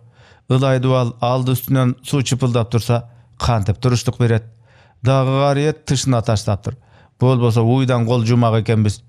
Кааданы келтек менен ургулап көрсөм деги былк этер эмес. Дубалы жыгылган соң устунду салмак ого бетер ныгырыптыр ураган жактан кирдим. Уйдун башы бош экен. Наркы бурчта көзү жылтырайт. Беймарал гана кепшеп турат. Эшикти ачып тышка айдап чыгарып жибердим. Чык! Болду эми дейт атам тыштан шаштырат. Тооктордун түнөгү сынып жатат. Иш жака оогон ылай кесек терилерди басыптыр бучкактар сыраят тигинде чаар короздун канаты көрүнгөнсүйт сууруп алдым. О байкуш бурчта быштыдан калган биртике чар бар болчу чиртенин жыртыгынан ошону чукулап турганда дубал көчкөн окшойт тим эле жалпая түшүптүр кечинде мал байларга келгенде башыбыз катты апам уюна кайгырып аябай чыйпылыктады атам үңкүйөт чилде чыгып кетпедиби быштыны жабылап койсо турат э сууктун шеми тая элек тоң урбайбы дейт апам. Эчтеке эмес деп атам үнүн көтөрө күңкүлдөп көңүл жубатты илгери мындай там деген баале жок мал ылымтада таш таштын түбүндө эле туруп кыш чыккан эми эле биротоло деле малынын деле жаны аялы болуп кетти ушул сөз менен уй бышты беш алты күн тышка байланды уй анча билген жок ичегисинде кырынды калбаган бышты шорду сууга салынгандай калчылдады эртең менен карасак такымына чыласы катып кирпигине бубак туруп кебетеси сөңгөк эле болуп калат буюгага тартсаңарчы деп апам чыйпылдайт ай убал го малга мынтип отуруп көтөрөм кыласыңар эгер токулгаңарды кучактап отуруп калганыңарды бир билесиңер атам анда сөз бербейт кантейин сени эшикке чыгарып салып сени ордуңа байлап алсам болобу деп кайра итиркей келет эмне жарым жансыңбы апам мага капа болду жерди бүтөп коюш колуңан келбейби күн жылыгыча эптеп калка болор эле го чын оңдоп койсо болгудай чечинип таштап ичиндеги урандыларды тазалоого кириштим кереги тичүү кесектерди ылгап жыйдым бурчтан кургак топурак казып ылай жасап дубалды кезектеп сарапка чейин көтөрүп чыкмай оюма келди атам сырт бүтөй коелу десем унчукпай угат да кыбырайын дебейт жылыткан сууга топуракчылап жатсам көзүн ымдалап мындан эмне чыгар экен дегендей кайдыгертиктейт колун артына алып чыйт түкүрүнөт баягы икрам кайда экен деп күңк этип көчүп түшкөн жерди сыдырата тиктейт э муну ошондой устасы бирдеме кылбаса унчукпай койдум жанымда дагы бир пас турду үн бербей тиктебей тултуюп ишке үңүлө беришим аны кандайдыр ыңгайсыз абалга түрттү окшойт ыңгырагандан бушайман түшкөндөй ыкшалып кантип эми муну деп өзүнчө күбүрөп кесектерди кармалап үңүлдү анан кургактарынан бирден алып мага жакын таштай баштады. Ылай кол күймө кайнак сууга кылынса да муздак терини тырыштыра тырмакты сыздатат эптеп урмалашка кириштим мына иш жүрүп барат көңүлүмө кыйла ишеним болуп кесекти чечкиндүүрөөк чеңгелдейм атам да кетенчиктей берип дубалды тиктейт окшоп калды кадыр эсе деп мулуңдайт ал мага андан дем денем балкыйт ылай алышым кезек кынашым бара бара эптекей тартты ал күнү тизе бою эртеси күн чубагын күтпөй эрте эле бурундум атам жанымда апам жанымда ийгилик аларды да шыктантты оозуман сөз чыга электе лепилдешип ийкемдүү каралашып ал тургай бири бирине да жылуу кеп урушуп жумшарып калышты түш оогончен көкүрөккө көтөрүлүп келген дубалым бир жагына кыңырайып барып барып күдүр этип жаңы урулганы бүт бойдон көчүп түшүп кетти мына мына айтпадым беле деп атам кыжылдап кейип кирди алда качан эле болбойт дебедим беле мен. Ушуга ылай жуурулуп отуруп өлсө е өлсө буйрубаган мал өлөт эле да кантсе да бул ишке демилгеч эмеспи апам үн ката албай чалынын алдында өзүн күнөөкөр сезе шалдырайт мен мурдуму шыр тартып ылай колуму салбыратып отуруп калдым атам кырданды алда качан айткам экрамды салсакпы десе жообу эмне айлам эмне кулагым ыңжың ата безерлик кыласың дайым өзүң билемдикке саласың деп көптөн ушундан пайдаланып айтып алды. Ай менин сөзүмө уксаң болбойбу я? Акыры мен сага атамын го жаман болсун дейминби мен айтканда эле икрамды чакырып келе койгонуңда бул балекет жок алда качан бүтмөк акыры бир нерсени билгениме сүйлөйм го чачым күнгө агарган эмес эле ушу түбүң түшкөн турмуш менен тырмактайман алып урушуп келатам го үн катпадым үңкүйүп бурчтап отуруп отуруп анан тышка чыктым карбаластап кайра кирдим ха иш илгери болсун дейт бирөө өйдө карасам тешиктен чотур бери эңкейди тиши алда кайдан кашкаят көзү күлөт ал көчүп түшкөн ылайдуу кесектерди көрүп ха көчүрүп алдыңарбы деп арсактады ха кокуй кесекти да ушинтип кынайбы запуста экенсиңер деп күлдү айткам мен дагы болбойт дегем деп атам келип дат айтты. Мен кары менен чекеми сүртүп мурдуму шыр татышка араң жарадым чотур ичкери секирип түшүп ат кепенин турманын көрүп ууртун ырсайта баш чайкады. Ай ушуга короткон кайран күч. Эски тооканадай үтүрөйүп жыртылып бүтүптүр. Ал дубалдын тиги бурчун жаңсады. Мына кудуу шерге кудуу шерге тирөөч коюу керек. Антпесе эртең эле көчүп түшөт. Көрдүңбү тиги шыбынан суу сарыга баштаптыр. Ошол жерде чотурдун көтөрүңкү сүйлөшүн мыкты сынган кебетесин кыртышым сүйбөдү сырт сала кынжыйып өзүмүн аябай чарчаганымы тизелеримдин уюганын сезип ордуман туруп тышка жөнөсөм ал карыма түрттү эй эй уста! деди ал күлүп менин жаңы дубалыман наркы бурчта тебетейдей жери көчпөй жармашып турган экен ал ошону сайды тигиде ылайың суюк саманың жок анан дагы мынтип улам калыңдатып уруптуң албетте көчөт дубалды колдон келсе түз алып урат же улам жукартып улам жогору жагын ничкертеп барат карабайсыңбы сен улам жогору жагын дулдуйтуп жибериптиң ә дагы уста деп карсылдап күлдү баамдасам чын эле ошондой эки күндүк эмгегимин көз ачып жумганча жексенделип калышынын себебин эми билдим ошол замат чотурга болгон кыжырым тарап өзүм бушайман жедим жүр асылбек деди чотур андан кызып жүр о тиги колхоздун атбагарынан үч боо камыш сурап келели кудай алсын сокур ит жалаңгыча чып бекитип коебуз үч боо гана камыш кетет макул деп камышты атбагардан алдык тирөөчкө жарагадай жыгач чотурдун өзүнөн табылды ал бизге күпүлдөп буйрук этип ишке киришти эң биринчи эле силердин бу жерде кереңер жок деди атамы апамы те эрбейген боз караганды көрдүңөрбү о тиги төштүн түбүндө турбайбы дал ошого баргыла эки үч ноодасын акырын кынып башынан жип менен байлап сүйрөп келе калгыла тирөөч айтылган бурчка коюлду камышты бир тутамдан тестелеп түбүн тегиздеп эки жеринен бууп анан кечеги өзүм урган паксанын үстүнө кыдырата кынадык этек жагын ылай кармады башы шыпка бекитилди аңгыча мындай тарт десе деп апама тоң бий сүйлөп жемелеп атам да келди чотур күдүңдөп колунан карагандарды алып калынган камыштын сыртына мал тумшук салбас кылып айкалыштыра тартып таштады бир пастык гана түйшүк экен жалаң ушундай иштин үстүндө өмүр өтүп келаткан каниги кишиче чотур таасын кыймылдап заматты колдон чыгарды атасын көрө чотекең чартак менен намангенде өрүк жеп жүрө бериптирби ha үйрөнгөн да ha үйрөнгөн да ишти деп күлүп карсылдап ал тамашага чаптыра бакылдайт бирок ошол жерде чындап көтөрүлүп алды эле ha мынтип эле кое турган нерсени атамын көр намысы келди окшойт чотурду кыя тиктеп алып жылмайган болуп ha сен сен түзүк турбайсыңбы я деп мыңкылдады анын кантсе тигинин түзүктүгүнө шек кылгысы келгендей түрү көрүндү бирок арбыта албады кайра өзүнөн өзү жеңилгеси унчукпай калды чотур колундагы ылайды кардан чөлмөктөнгөн муздак суусуна жышып жатып ан сайын барбактап бизге акыл үйрөтө сүйлөдү ha мына уюңарды бош камабагыла ичинен камышты бүт жеп тышка чыгып кетет. Анан тиги жан коюлган тирөштү этият кылыш керек.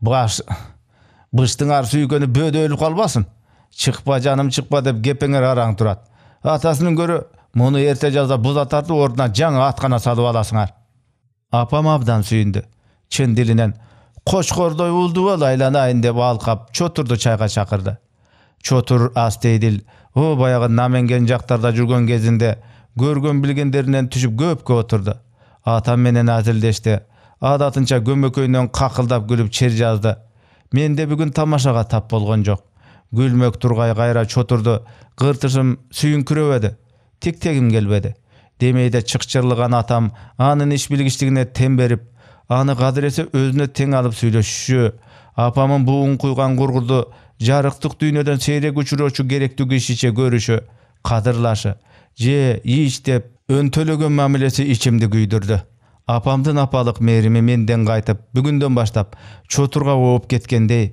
апам көз көрүнө мени жеригендей учурады чотурдун жанында мен эчтеме арзыбаган анча көңүлгө алына бербеген бир буюмдай четте калган сыяктандым өз жаныман кобулдаган боштукту жер таянса колтуктан сүйөрү жоктой жалгыздыкты. Байкуштукту сезе түштүм. Ыя ушу тартайган чотур менден өтүмдүү болуп кетеби дейм.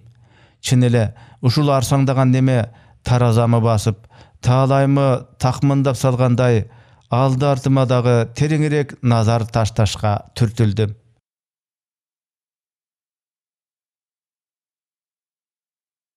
Апа эки өтүктүк конуш жок да э тургандыр турса гана баятан бери үч сыйра эсептедим же ким билет дагы бирөөгө бергендирсиң эстечи ойлоном ойлоном бул аптада эч кимге кайыш берген эмесмин өткөн кеткенди тырышып эске салам. Кайта кайта түгөлдөйм эки өтүктүк хром конч башы кош экем атаңан сурачы чоңдору бир жака жумшап жибербесе турбайт түшкө жакын келип калар өзүмөн өзүм итиркейим келип өзүмөн өзүм буулугуп бирөө менен сүйлөшкүм да келбей сүйлөгүм да келбей эшикке да чыкпай дулдуй бурчтап отурдум атам кечиккен сайын чыдамым кетет кыжаалатым күчөйт эмне курдашымдан замандашыман кем жаралган кемпаймынбы я турмушка бир тактача керегим болбой өлбөстүн күнүндө эки көздү жылтыратып жүрүп бул адамдан бир өтүп кете берүүчү макулук катары кала беремби ой кыялым алда кайда учат. Учкан сайын чарасыз абалга такалам. Чын да атам экөөбүз алты күнү кыжылдашып бир тешиктин ыгын ылайлыгын билбесек ой мен кантем? деп дилимден ачуу кыйкырык ызалык атылат. Алмадан алма алчадан алча. Эмне ушул чынбы? Миң жылдардын тажрыйбасынан арткан калетсиз сөзбү? Мына атам байыркы койчу азыркы чала актив. Тили буудай кууруган куру чечен. Ишинде дайыны жок куу чирен. Демек мен да андан ашып кете албаймынбы ыя кантсем да адам болушум керек эле го ооба чотурдай адамдарга ылажы барбы алар турмуштан таалим алган кайра турмуштун өзүнө кереги тийчү заттар. Жашай билет жашата билет айланасы абат шаттык тоюнчулук не дейсиң буга апам ичи тышын сыйрып жууган эски төшөгүнүн кирип калган кир пактасын тытып отурат. Ал анда сана мени алдыртаан тиктеп коет. Менин көңүлүмө түшкөн бүлүктү жүрөгү сезгендей четтетип чала чарпы билгендей кебетесинде кабатырлык бар. Эң акыры чыдабадып элем жаныма келип кагылайын асылтай эмне бирөө менен нары бери дештиңби? Эки күндөн бери санаркап калдың да. Же бир жериң ооруп турабы медерим?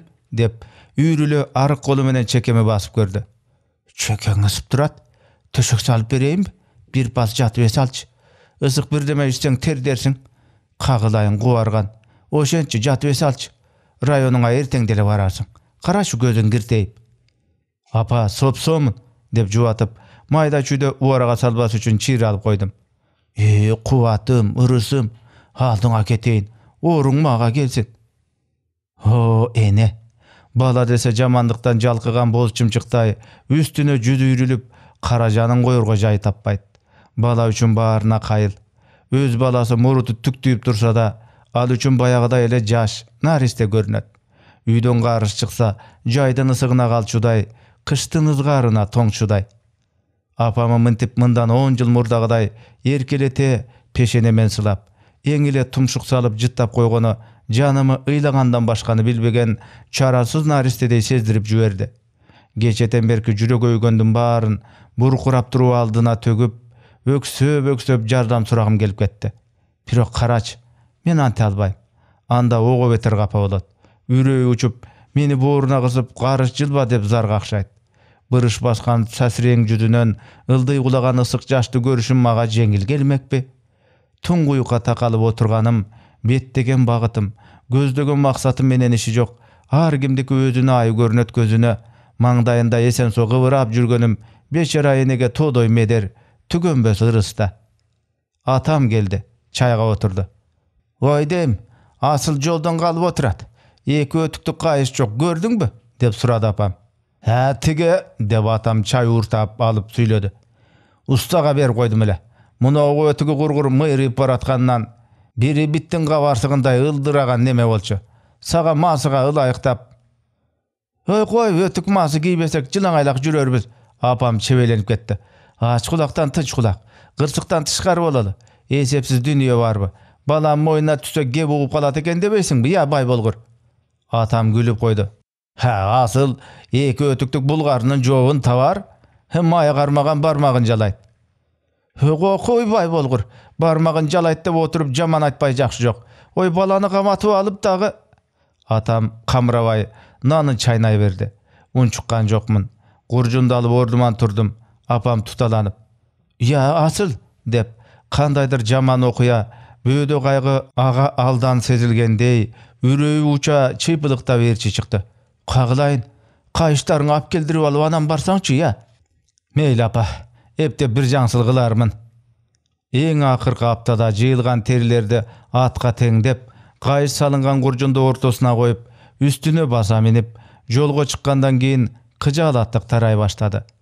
Алакандын чуңкурунда кичинекей сай. Биздин кыштак.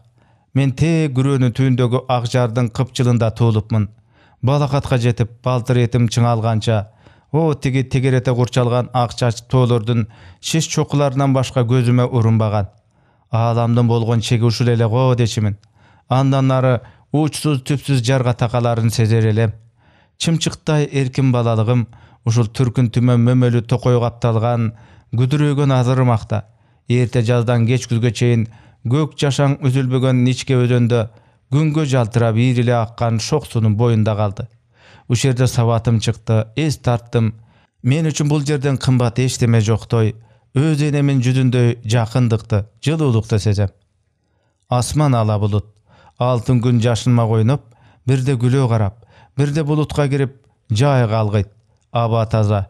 Ар кайсы үйдүн эшигинен чуу чуу ойногон балдар эрбелеңдейт эски дубалдын кырында короз созолонот каткан терилерди салбыратып өтүп баратканымы көрүп там түбүндө үргүлөп жаткан сапалак иттер оңдоп тиктеп баш көтөрөт кай бири коңк коңк үргөн болуп талыкшыгандай узун тилин шалбырата сунуп оозун чоң ачып эстенет да кайра нары басып ордуна комдонот эки үч келин бирин бири куушуп бирдемелер үгүңкүлдөшүп шыңкылдашып чакаларын кагыштырыша суу жака түшүп баратышты.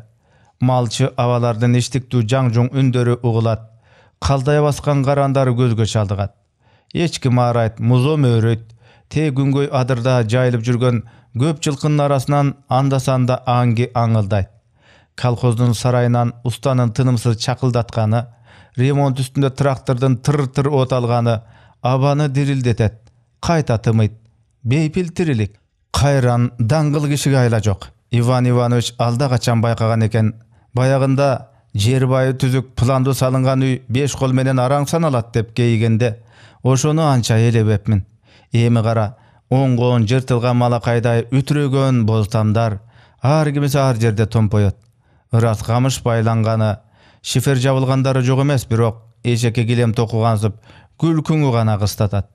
Анан калса баары эле төшкө тырмышып дөң кууп же жылга оозун бакалап салыныптыр аттиң акча тапса акыл таппай күнүмдүк токтугуна корштон жүргөндөр көптүр а улуу учурдун ыгын маданияттуу шартты жоосунду али дурустап адат кылып ала электигибиз аркасыдан эске келет.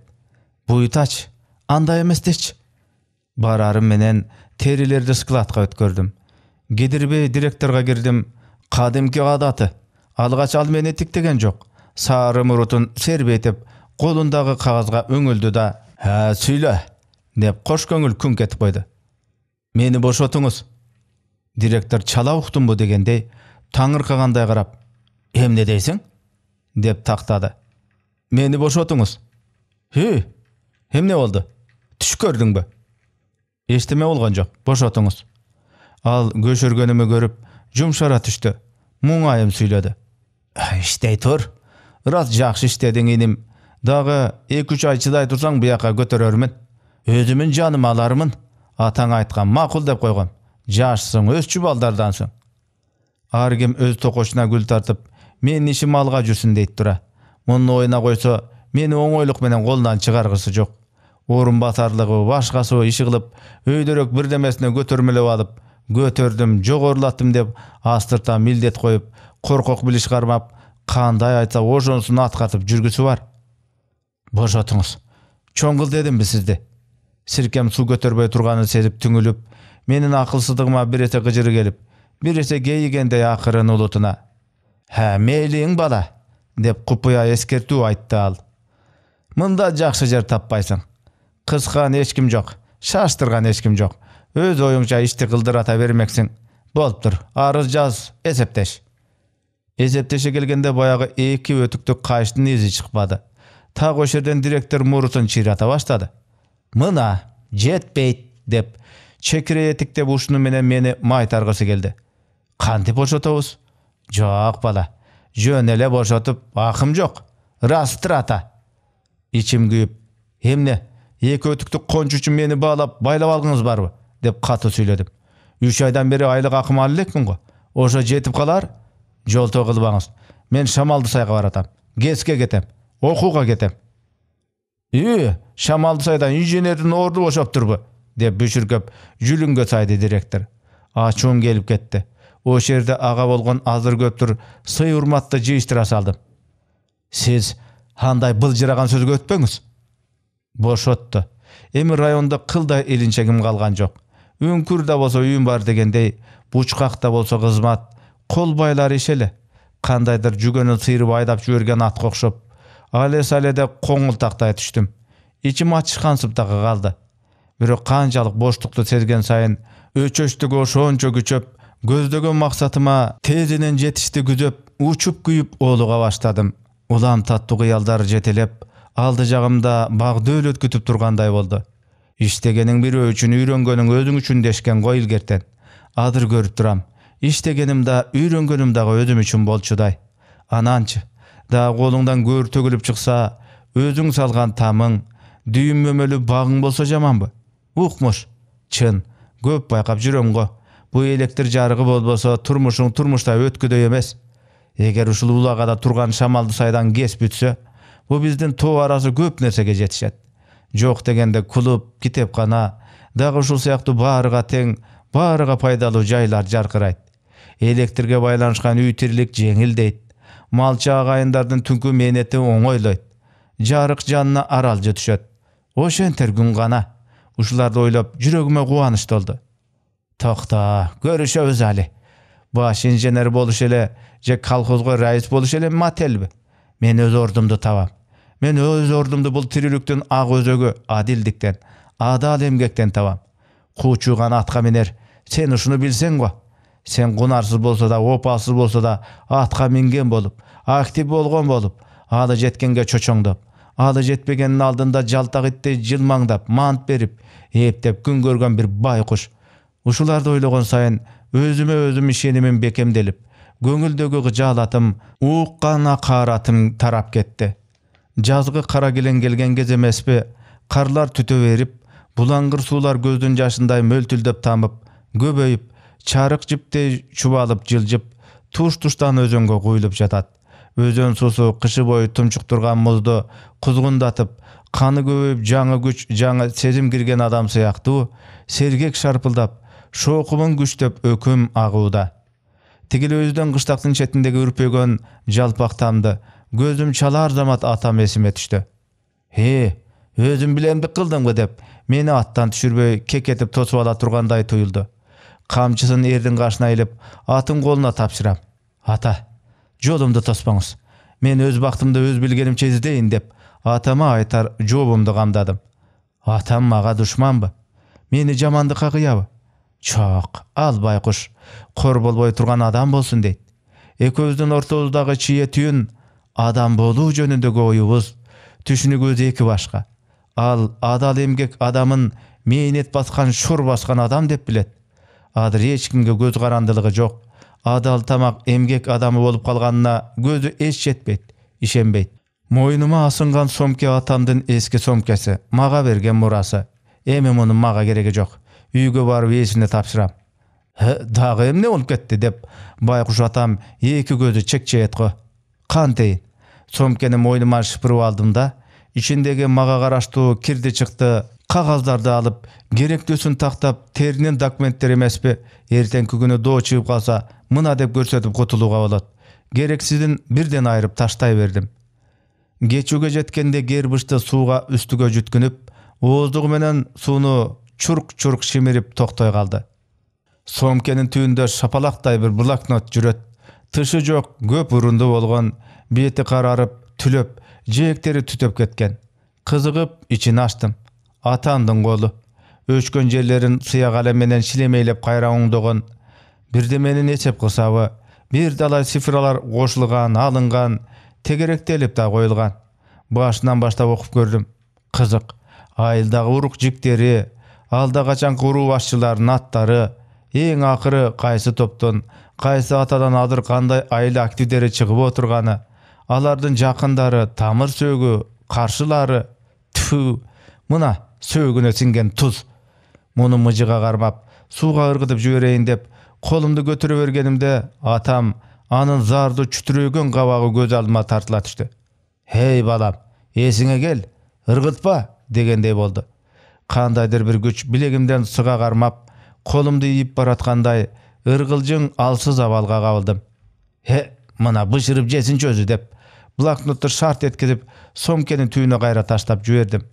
Ушул учурда сомкенин өзү дагы көзүмө суук боло түштү. Ал менин бутума тушоо бетиме чүркөө болчу душманымды корголотуп койнуна жашырды. Оозу келерстин уртундай акырын кымтынып алды. Ушуну сезүү кайра ошол замат ызалады. Ыргыт эскиликти бул сенин кармасаң колуңду ойлосоң оюңду сасытат ыргыт деп көкүттү мына ыргытса. Сомкени кош колдоп баардык күчүм менен баардык кыжырым менен башымдан өйдө көтөрүп туруп тиги кирген суунун өктөм шарына уруп жибердим. Сомке ала салып агып жөнөдү.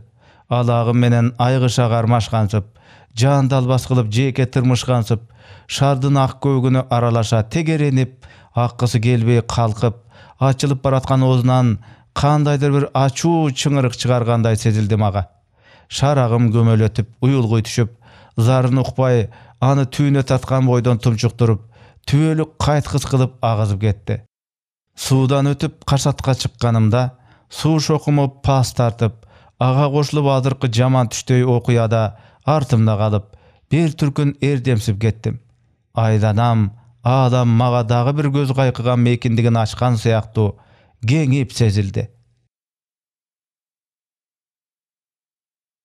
повесттин аягы чыгарманын автору төлөгөн касымбеков чыгарманы окуган үндөштүргөн эрнес кыяз.